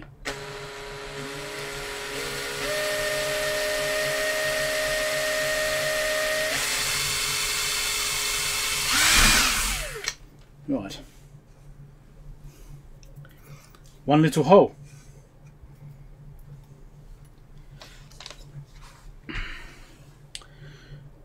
Now let's have a little look, see if it looks about right this way. Give a double check.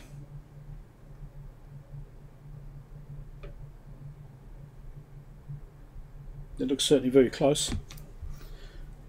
Alright, I'm going to carry on with this and I'll hopefully mount it. What I'm going to do is, obviously, when I drill the hole through, actually get a better shot, you can see what I'm talking about.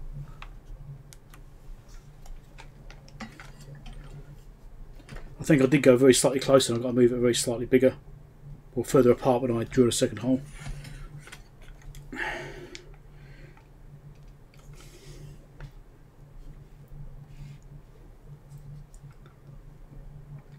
So this is what I'm talking about here. There's the original mount hole obviously and I need to move it closer. I'm actually very slightly close here so I need to move it very slightly over.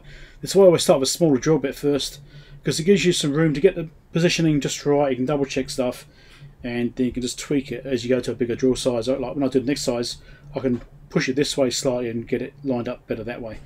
Um, so that's what I will do. So I've got a big pad right here which means I've got a space to put the screw onto. So that'd be okay. Um, all I've got to do is got to take this solder mask off here and I'm probably going to tin it. Put some solder on here to tin it so it's got something for the screw to bed into without going straight into the thin copper. Gives it a bit of a surface area. Should make it a bit more robust. And um, I could always do something like put a copper washer on it. I do have some copper washer or even a copper tape. Um, that might be an option, but it may actually be worse because of the adhesive and stuff like that. But I'll put his tin it and that'll probably be good enough. I think it'd be fine.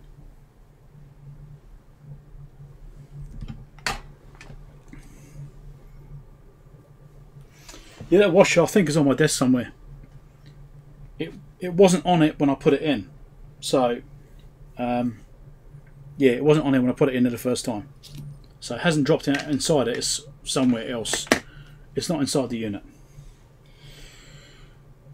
I would like to find it, but I know where it's not. It's not inside it. okay. Um, let's smooth this over a little bit.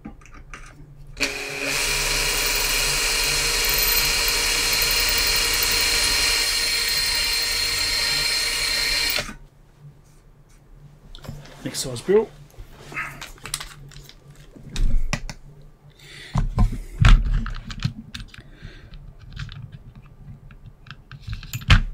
I'm going to go to full wheel.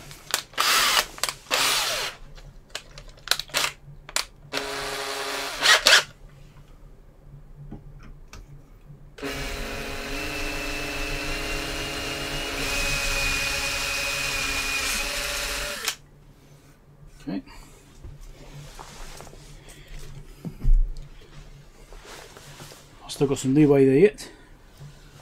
Check the spacing in visually.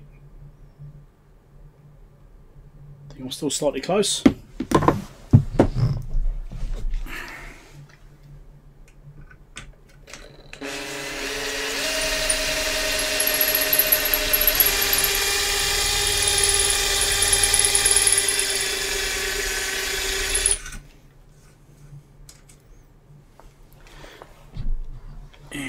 what size do I actually need for these screws?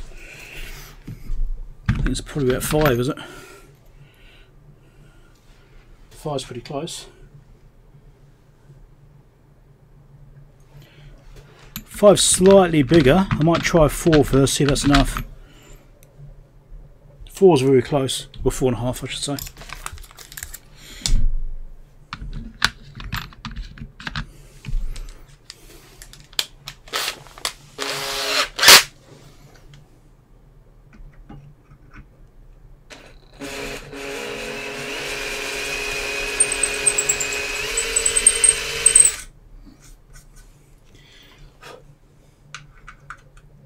Almost go through.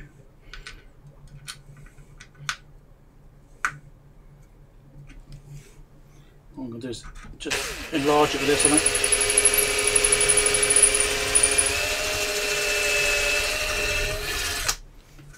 Because I think a 5 is actually a bit on the big side.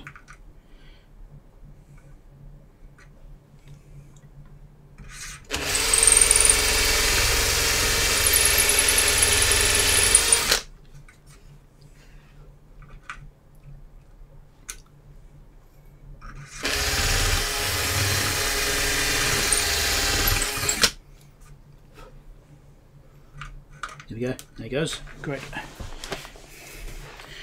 Let's hope it actually lines up.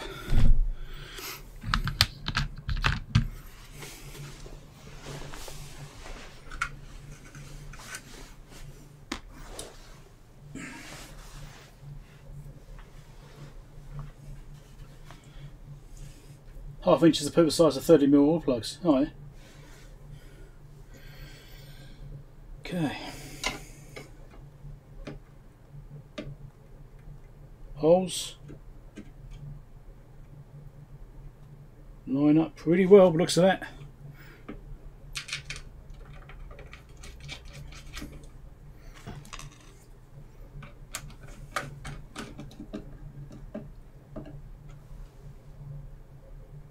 Now see if that goes in. If it does, then I'll tin it.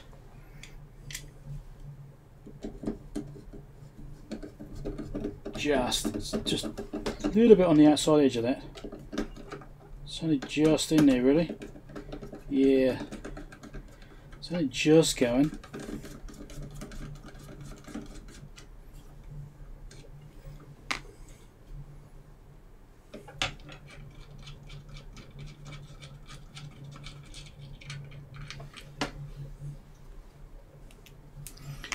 Going to bring it out very slightly more.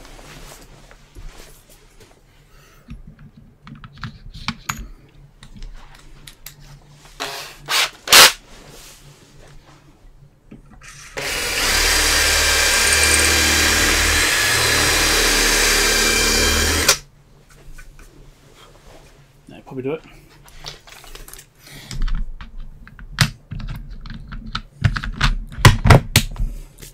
Now, where's that washer? there it is. Found it. So let's tin this thing. I'm sure bits in my iron actually.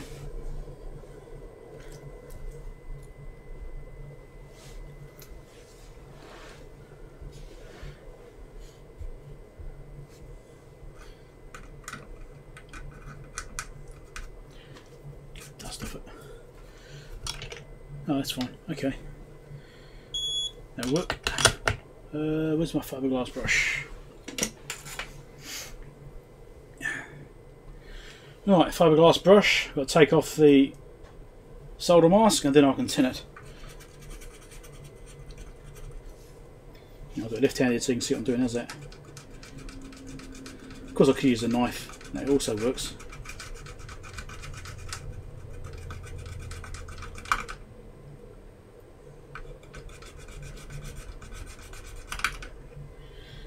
Well, this is tough solder mask on this one. It's not really touching it. Small knife it is. Usually that'll do it.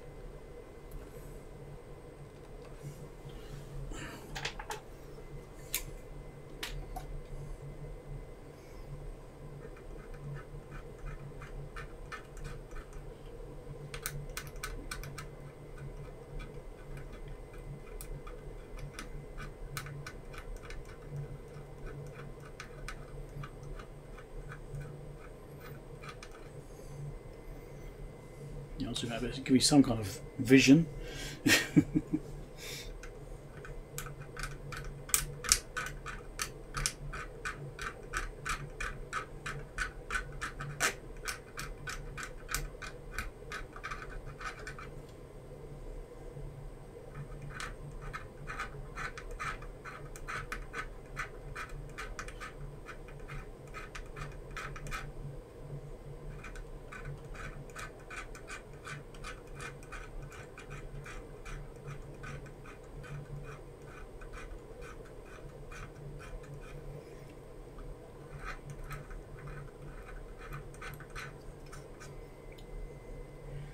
not quite as nice as the original gold plate, but uh, it'll do, I suppose. I'm actually going to go past where the screw's going to go to give it a chance to actually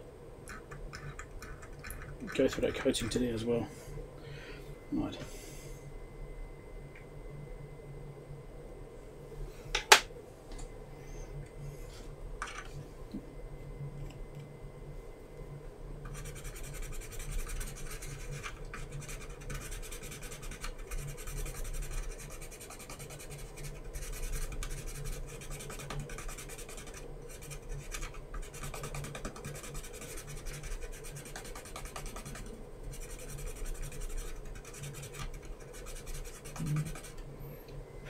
Right.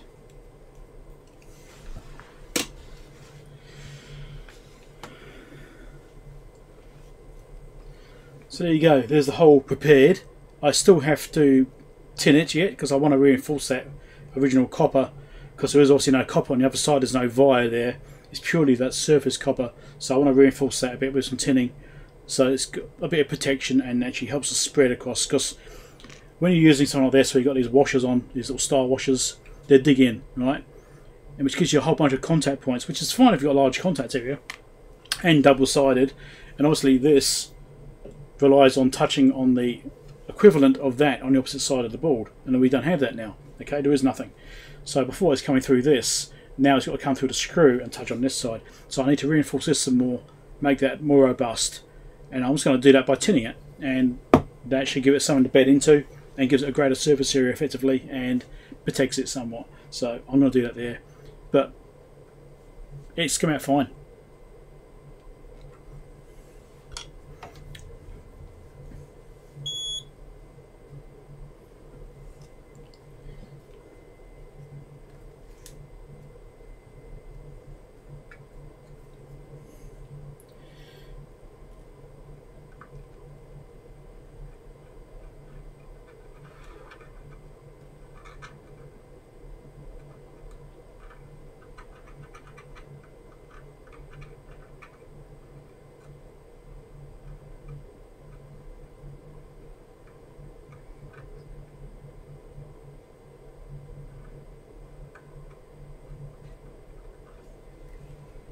Okay. Relatively even.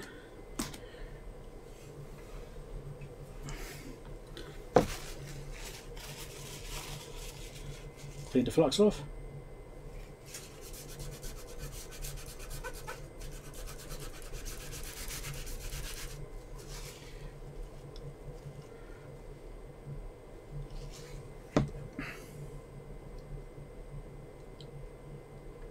Now, something I could also do, I could also put some copper tape on the top side of the board. Then run that through the via, or through the um, through hole. Vent hole next. no, I'm not putting another vent hole in. it would be fine. Um, I don't know, I think I'm probably over analysing this. I think it'd be fine. Because right now it's all going through the screw into the board here rather than being direct contact onto the pad. If I put some copper tape on the top side, it give it contact area through that side as well. I think I'm over analysing it. I think I'm overdoing it. So there you go. That's all tinned up now, ready to go. So we can put this thing back together. It should be fine. I hope.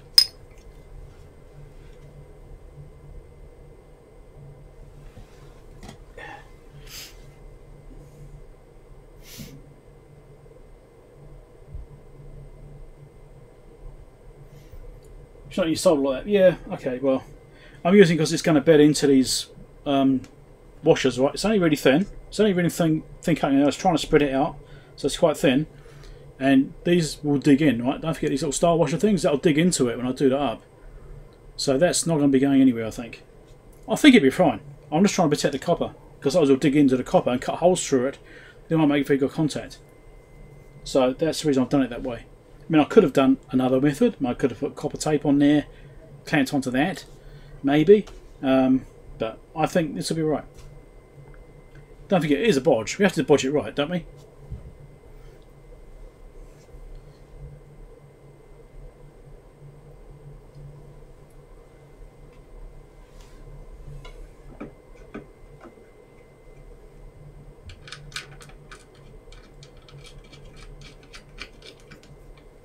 I know what you're saying about the solder deforming. Right, that's basically what you're talking about. Is it deforming, and then things get slack.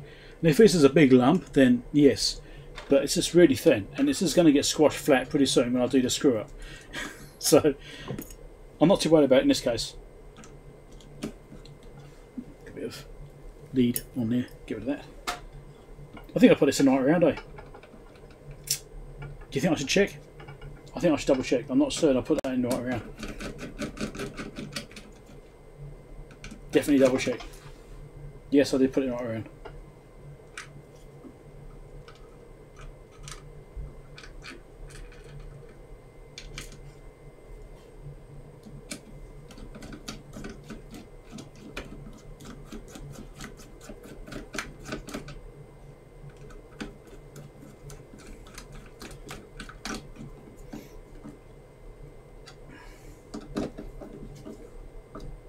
Right, that's nice and tight. Tight, tight, tight, tight, tight, tight. Okay, it's all tight. Should be all tight. Okay, let's put this plastic cover back on again. It's not likely to explode or anything, is it? Well, probably not anyway.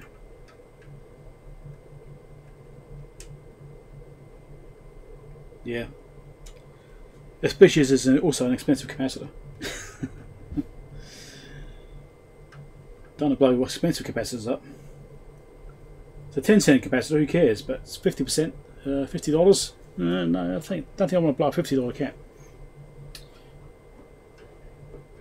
Where's the other screws? There's one there. Yeah, just about time for smoke test.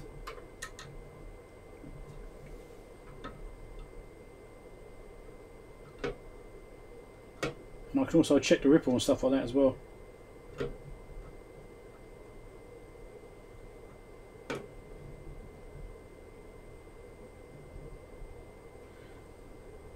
Kind of in place, but not done up yet. Let's see what to go in.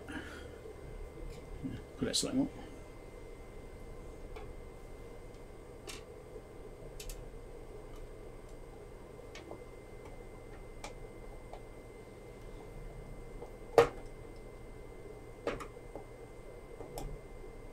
Where's the last one go?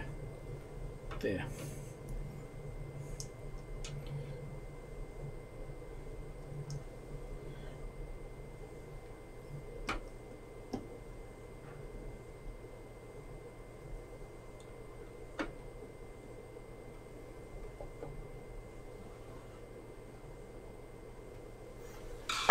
Right. Let's flip this thing around. Um, I still want to be get to these so I can test them. Yeah, awkward, but okay.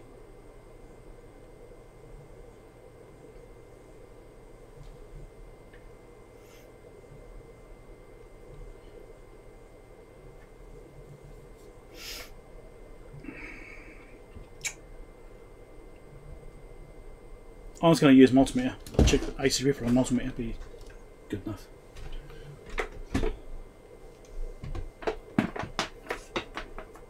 I could see them ultimately before, so yeah. Um, I'm going to get this thing around so I can see what the hell I'm doing. Everything's falling apart. Let's get the DI out of the way.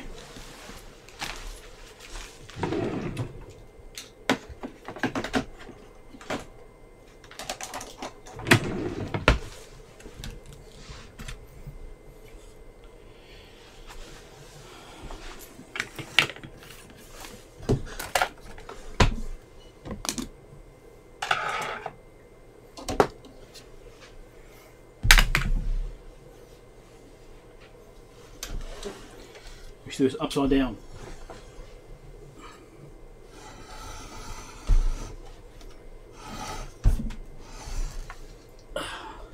Come on.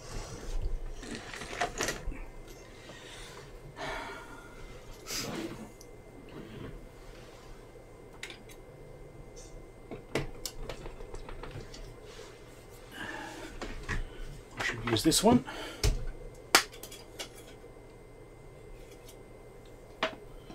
Was going to use the Fluke, but well, the other Fluke with 175 because it's a convenient one to use. But I think I'll use this one.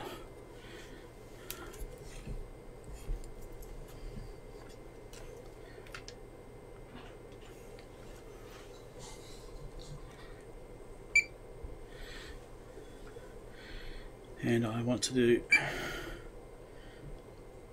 um, yeah what do I want to do? That one. Is that what I want to do? No. This one. That's what I want.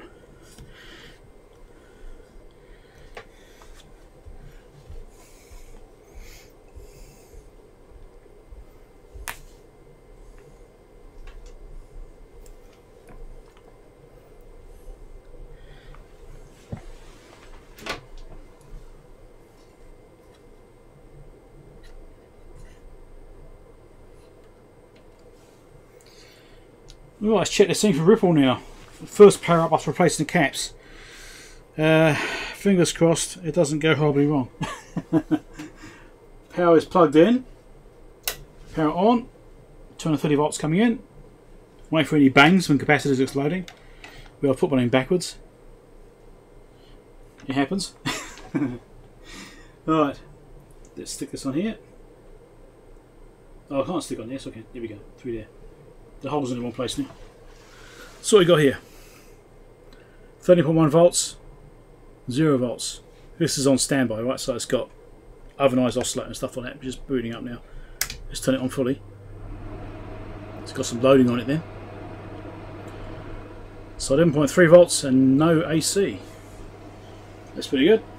Next one. That one before did have some AC on it. So this one's 29 volts and uh, at 0.2 volts AC. 20 millivolts AC is a lot of ripple on that one. That line, that line also had ripple on it last time as well when I did the original testing. This one here, same deal, 52 volts, 0.2 volts AC. So there is still a lot of ripple there, but it's definitely no worse than it was the original caps. It's definitely better. And 16 volt with 0.3 AC. Now these ripples might get better as these caps, I don't know, age a bit, they settle in a bit, have a bit of soak time. So I expect they'll get better. And the battery still worked. It's been sitting there for three months and it remembered the last frequency I used. So the battery that I did on this is still working after three months. That's good. Nice to know. So let's look at uh, millivolts AC. We'll do some tests with this. We'll check them again.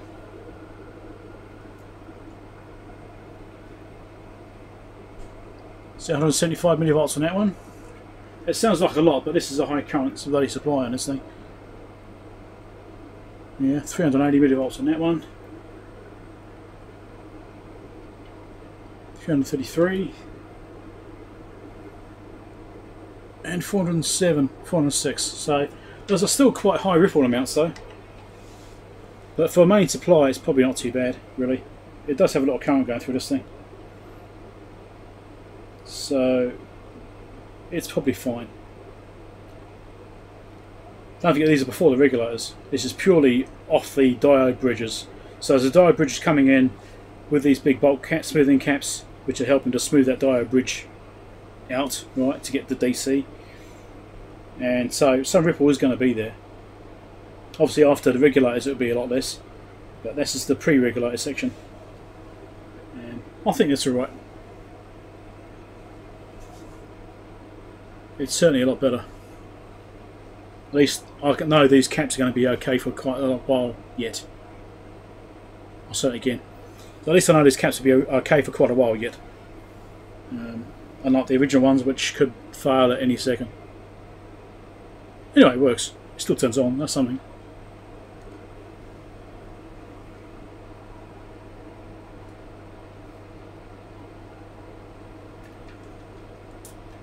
Forming, that's the one I'm looking for. Forming. Reforming.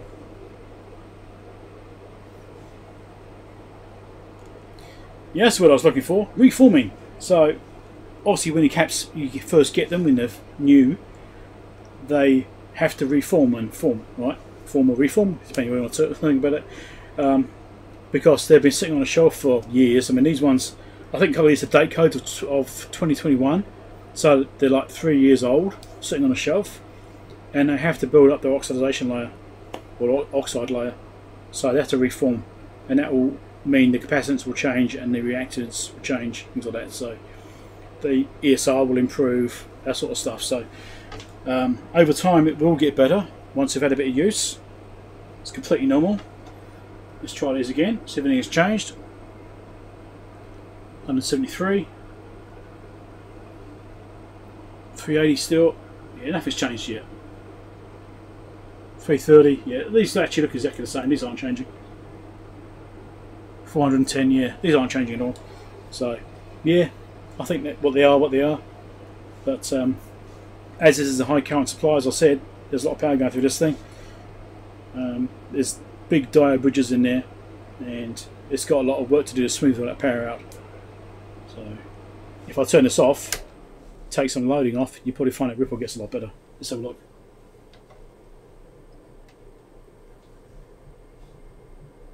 You go, 2 millivolts. See, it's relative to loading. 152.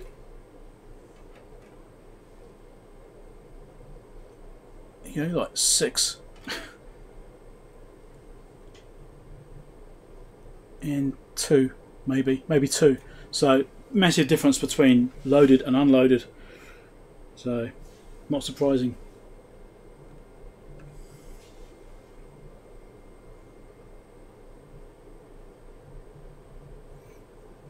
Dropped a few millivolts. Yeah, maybe. I mean, it'll come round. I think it's fine. The original was really bad. I think there's up to like half a volt in one of them. Remember rightly? About half a volt. 0.6 volts, I think it might have been. I don't know. I have to go back and look at the original video. The original video had it in it. Anyway, it works.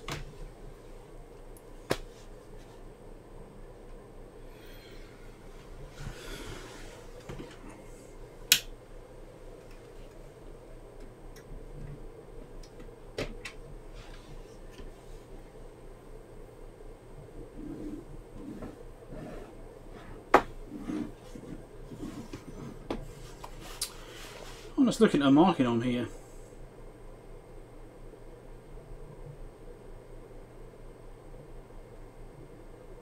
Alright, so on top of here it says it's got a little indicator here saying 400 hertz, and it's got the other two for saying 60 hertz. Doesn't mention 50 though. no, 50 doesn't matter, does it? It's close enough. Right.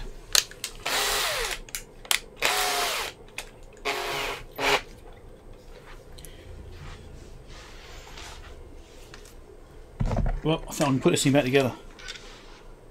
Hopefully.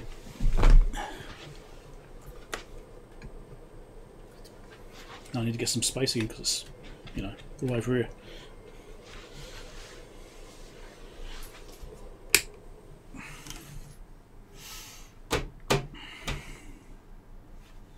Did I record video doing that? I don't know if I pushed record or not when I was doing those tests. Did I push record? Ah, doesn't matter. I've replaced them. People to assume they're, they're okay.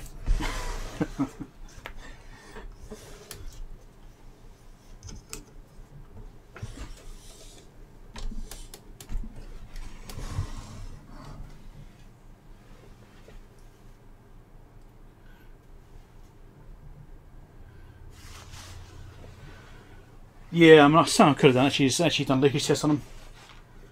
I absolutely could have done that and actually observed them.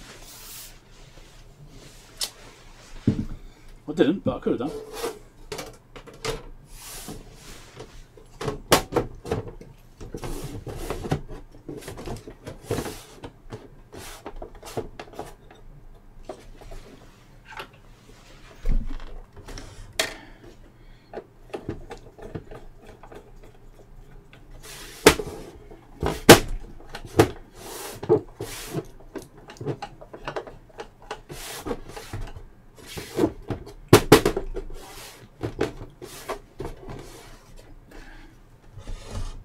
We'll see about this is so damn heavy. But I didn't have anything to do 18 gigahertz. No, I do.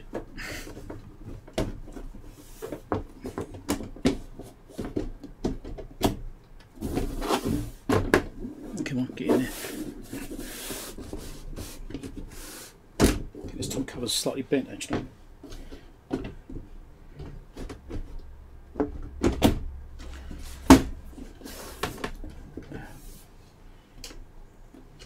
Pretty sure this cover's slightly bent.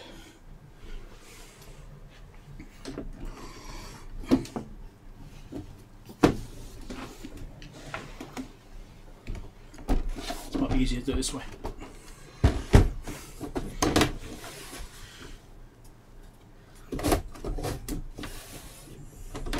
Yeah, this cover's definitely slightly twisted. Or something sitting in the wrong place.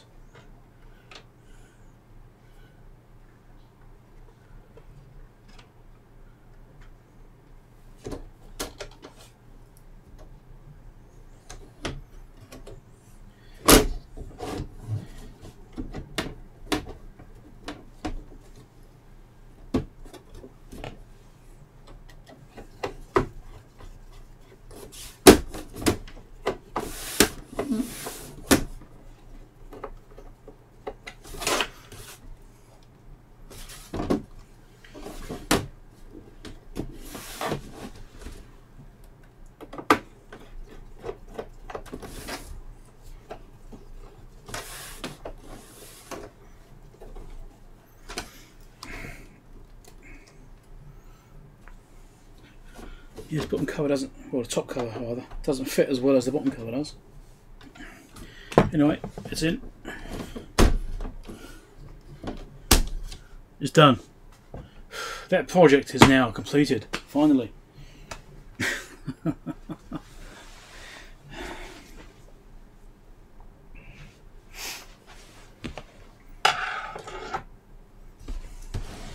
I can stop bugging me now about the fact it wasn't right, it wasn't finished.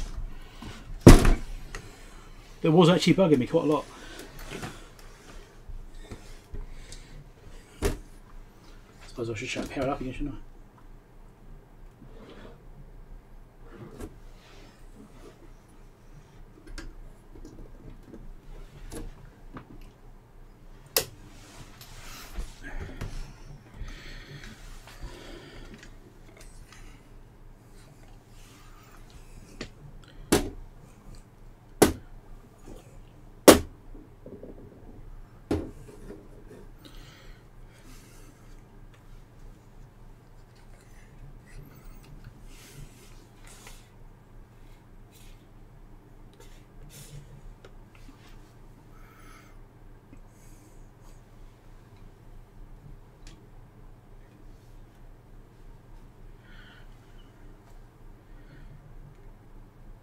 Well, there you go, it's back together. These are the cats we replaced. So it's got the oven turned on, turn the power on. That's all good. So the fact it's actually turning on with the frequency I used last time still on it means the battery pack upgrade I did last time, well, replacement. That is obviously still working fine because it remembered the settings, so that's a good thing.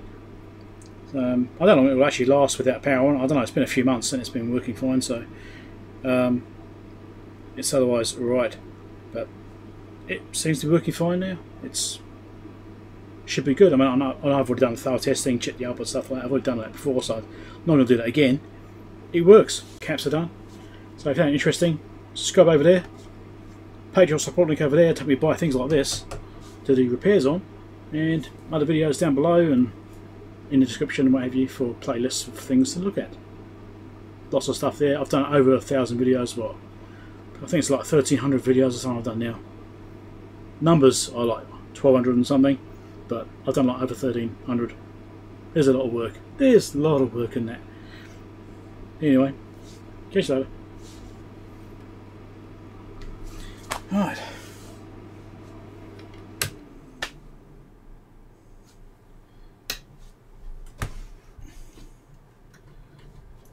Right, that's that done. This can go back away. I might look at this caps later on in more detail. Maybe try check leakage on them, stuff like that.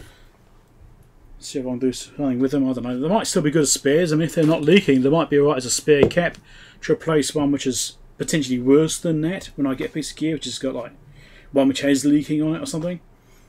It might be an option as a you know a last resort. um, depends on what the gear is. I mean, I don't, I don't mind using a used cap if I think it's okay in a piece of gear which isn't going to get much use and maybe is low cost, right? If it's something like this, which is worth a little bit of money, you know, it's worth keeping this thing in good, condition. But if it's something which isn't so critical, then chucking in a used cap's probably not too bad if it's better than what's already in it. Although obviously you want might want to put a proper cap in it, but you know a new one. But if the cap is you know fifty dollars and the unit's worth fifty dollars, why would you bother? Um, yeah. Anyway, that's that's that project done. Okay, so it's God, it's nearly 20, 10 to two. I'm on thirsty and going for a pee. All right. Um, okay, I'm gonna call it a day. I think. Let's get back over here. Move these back over here.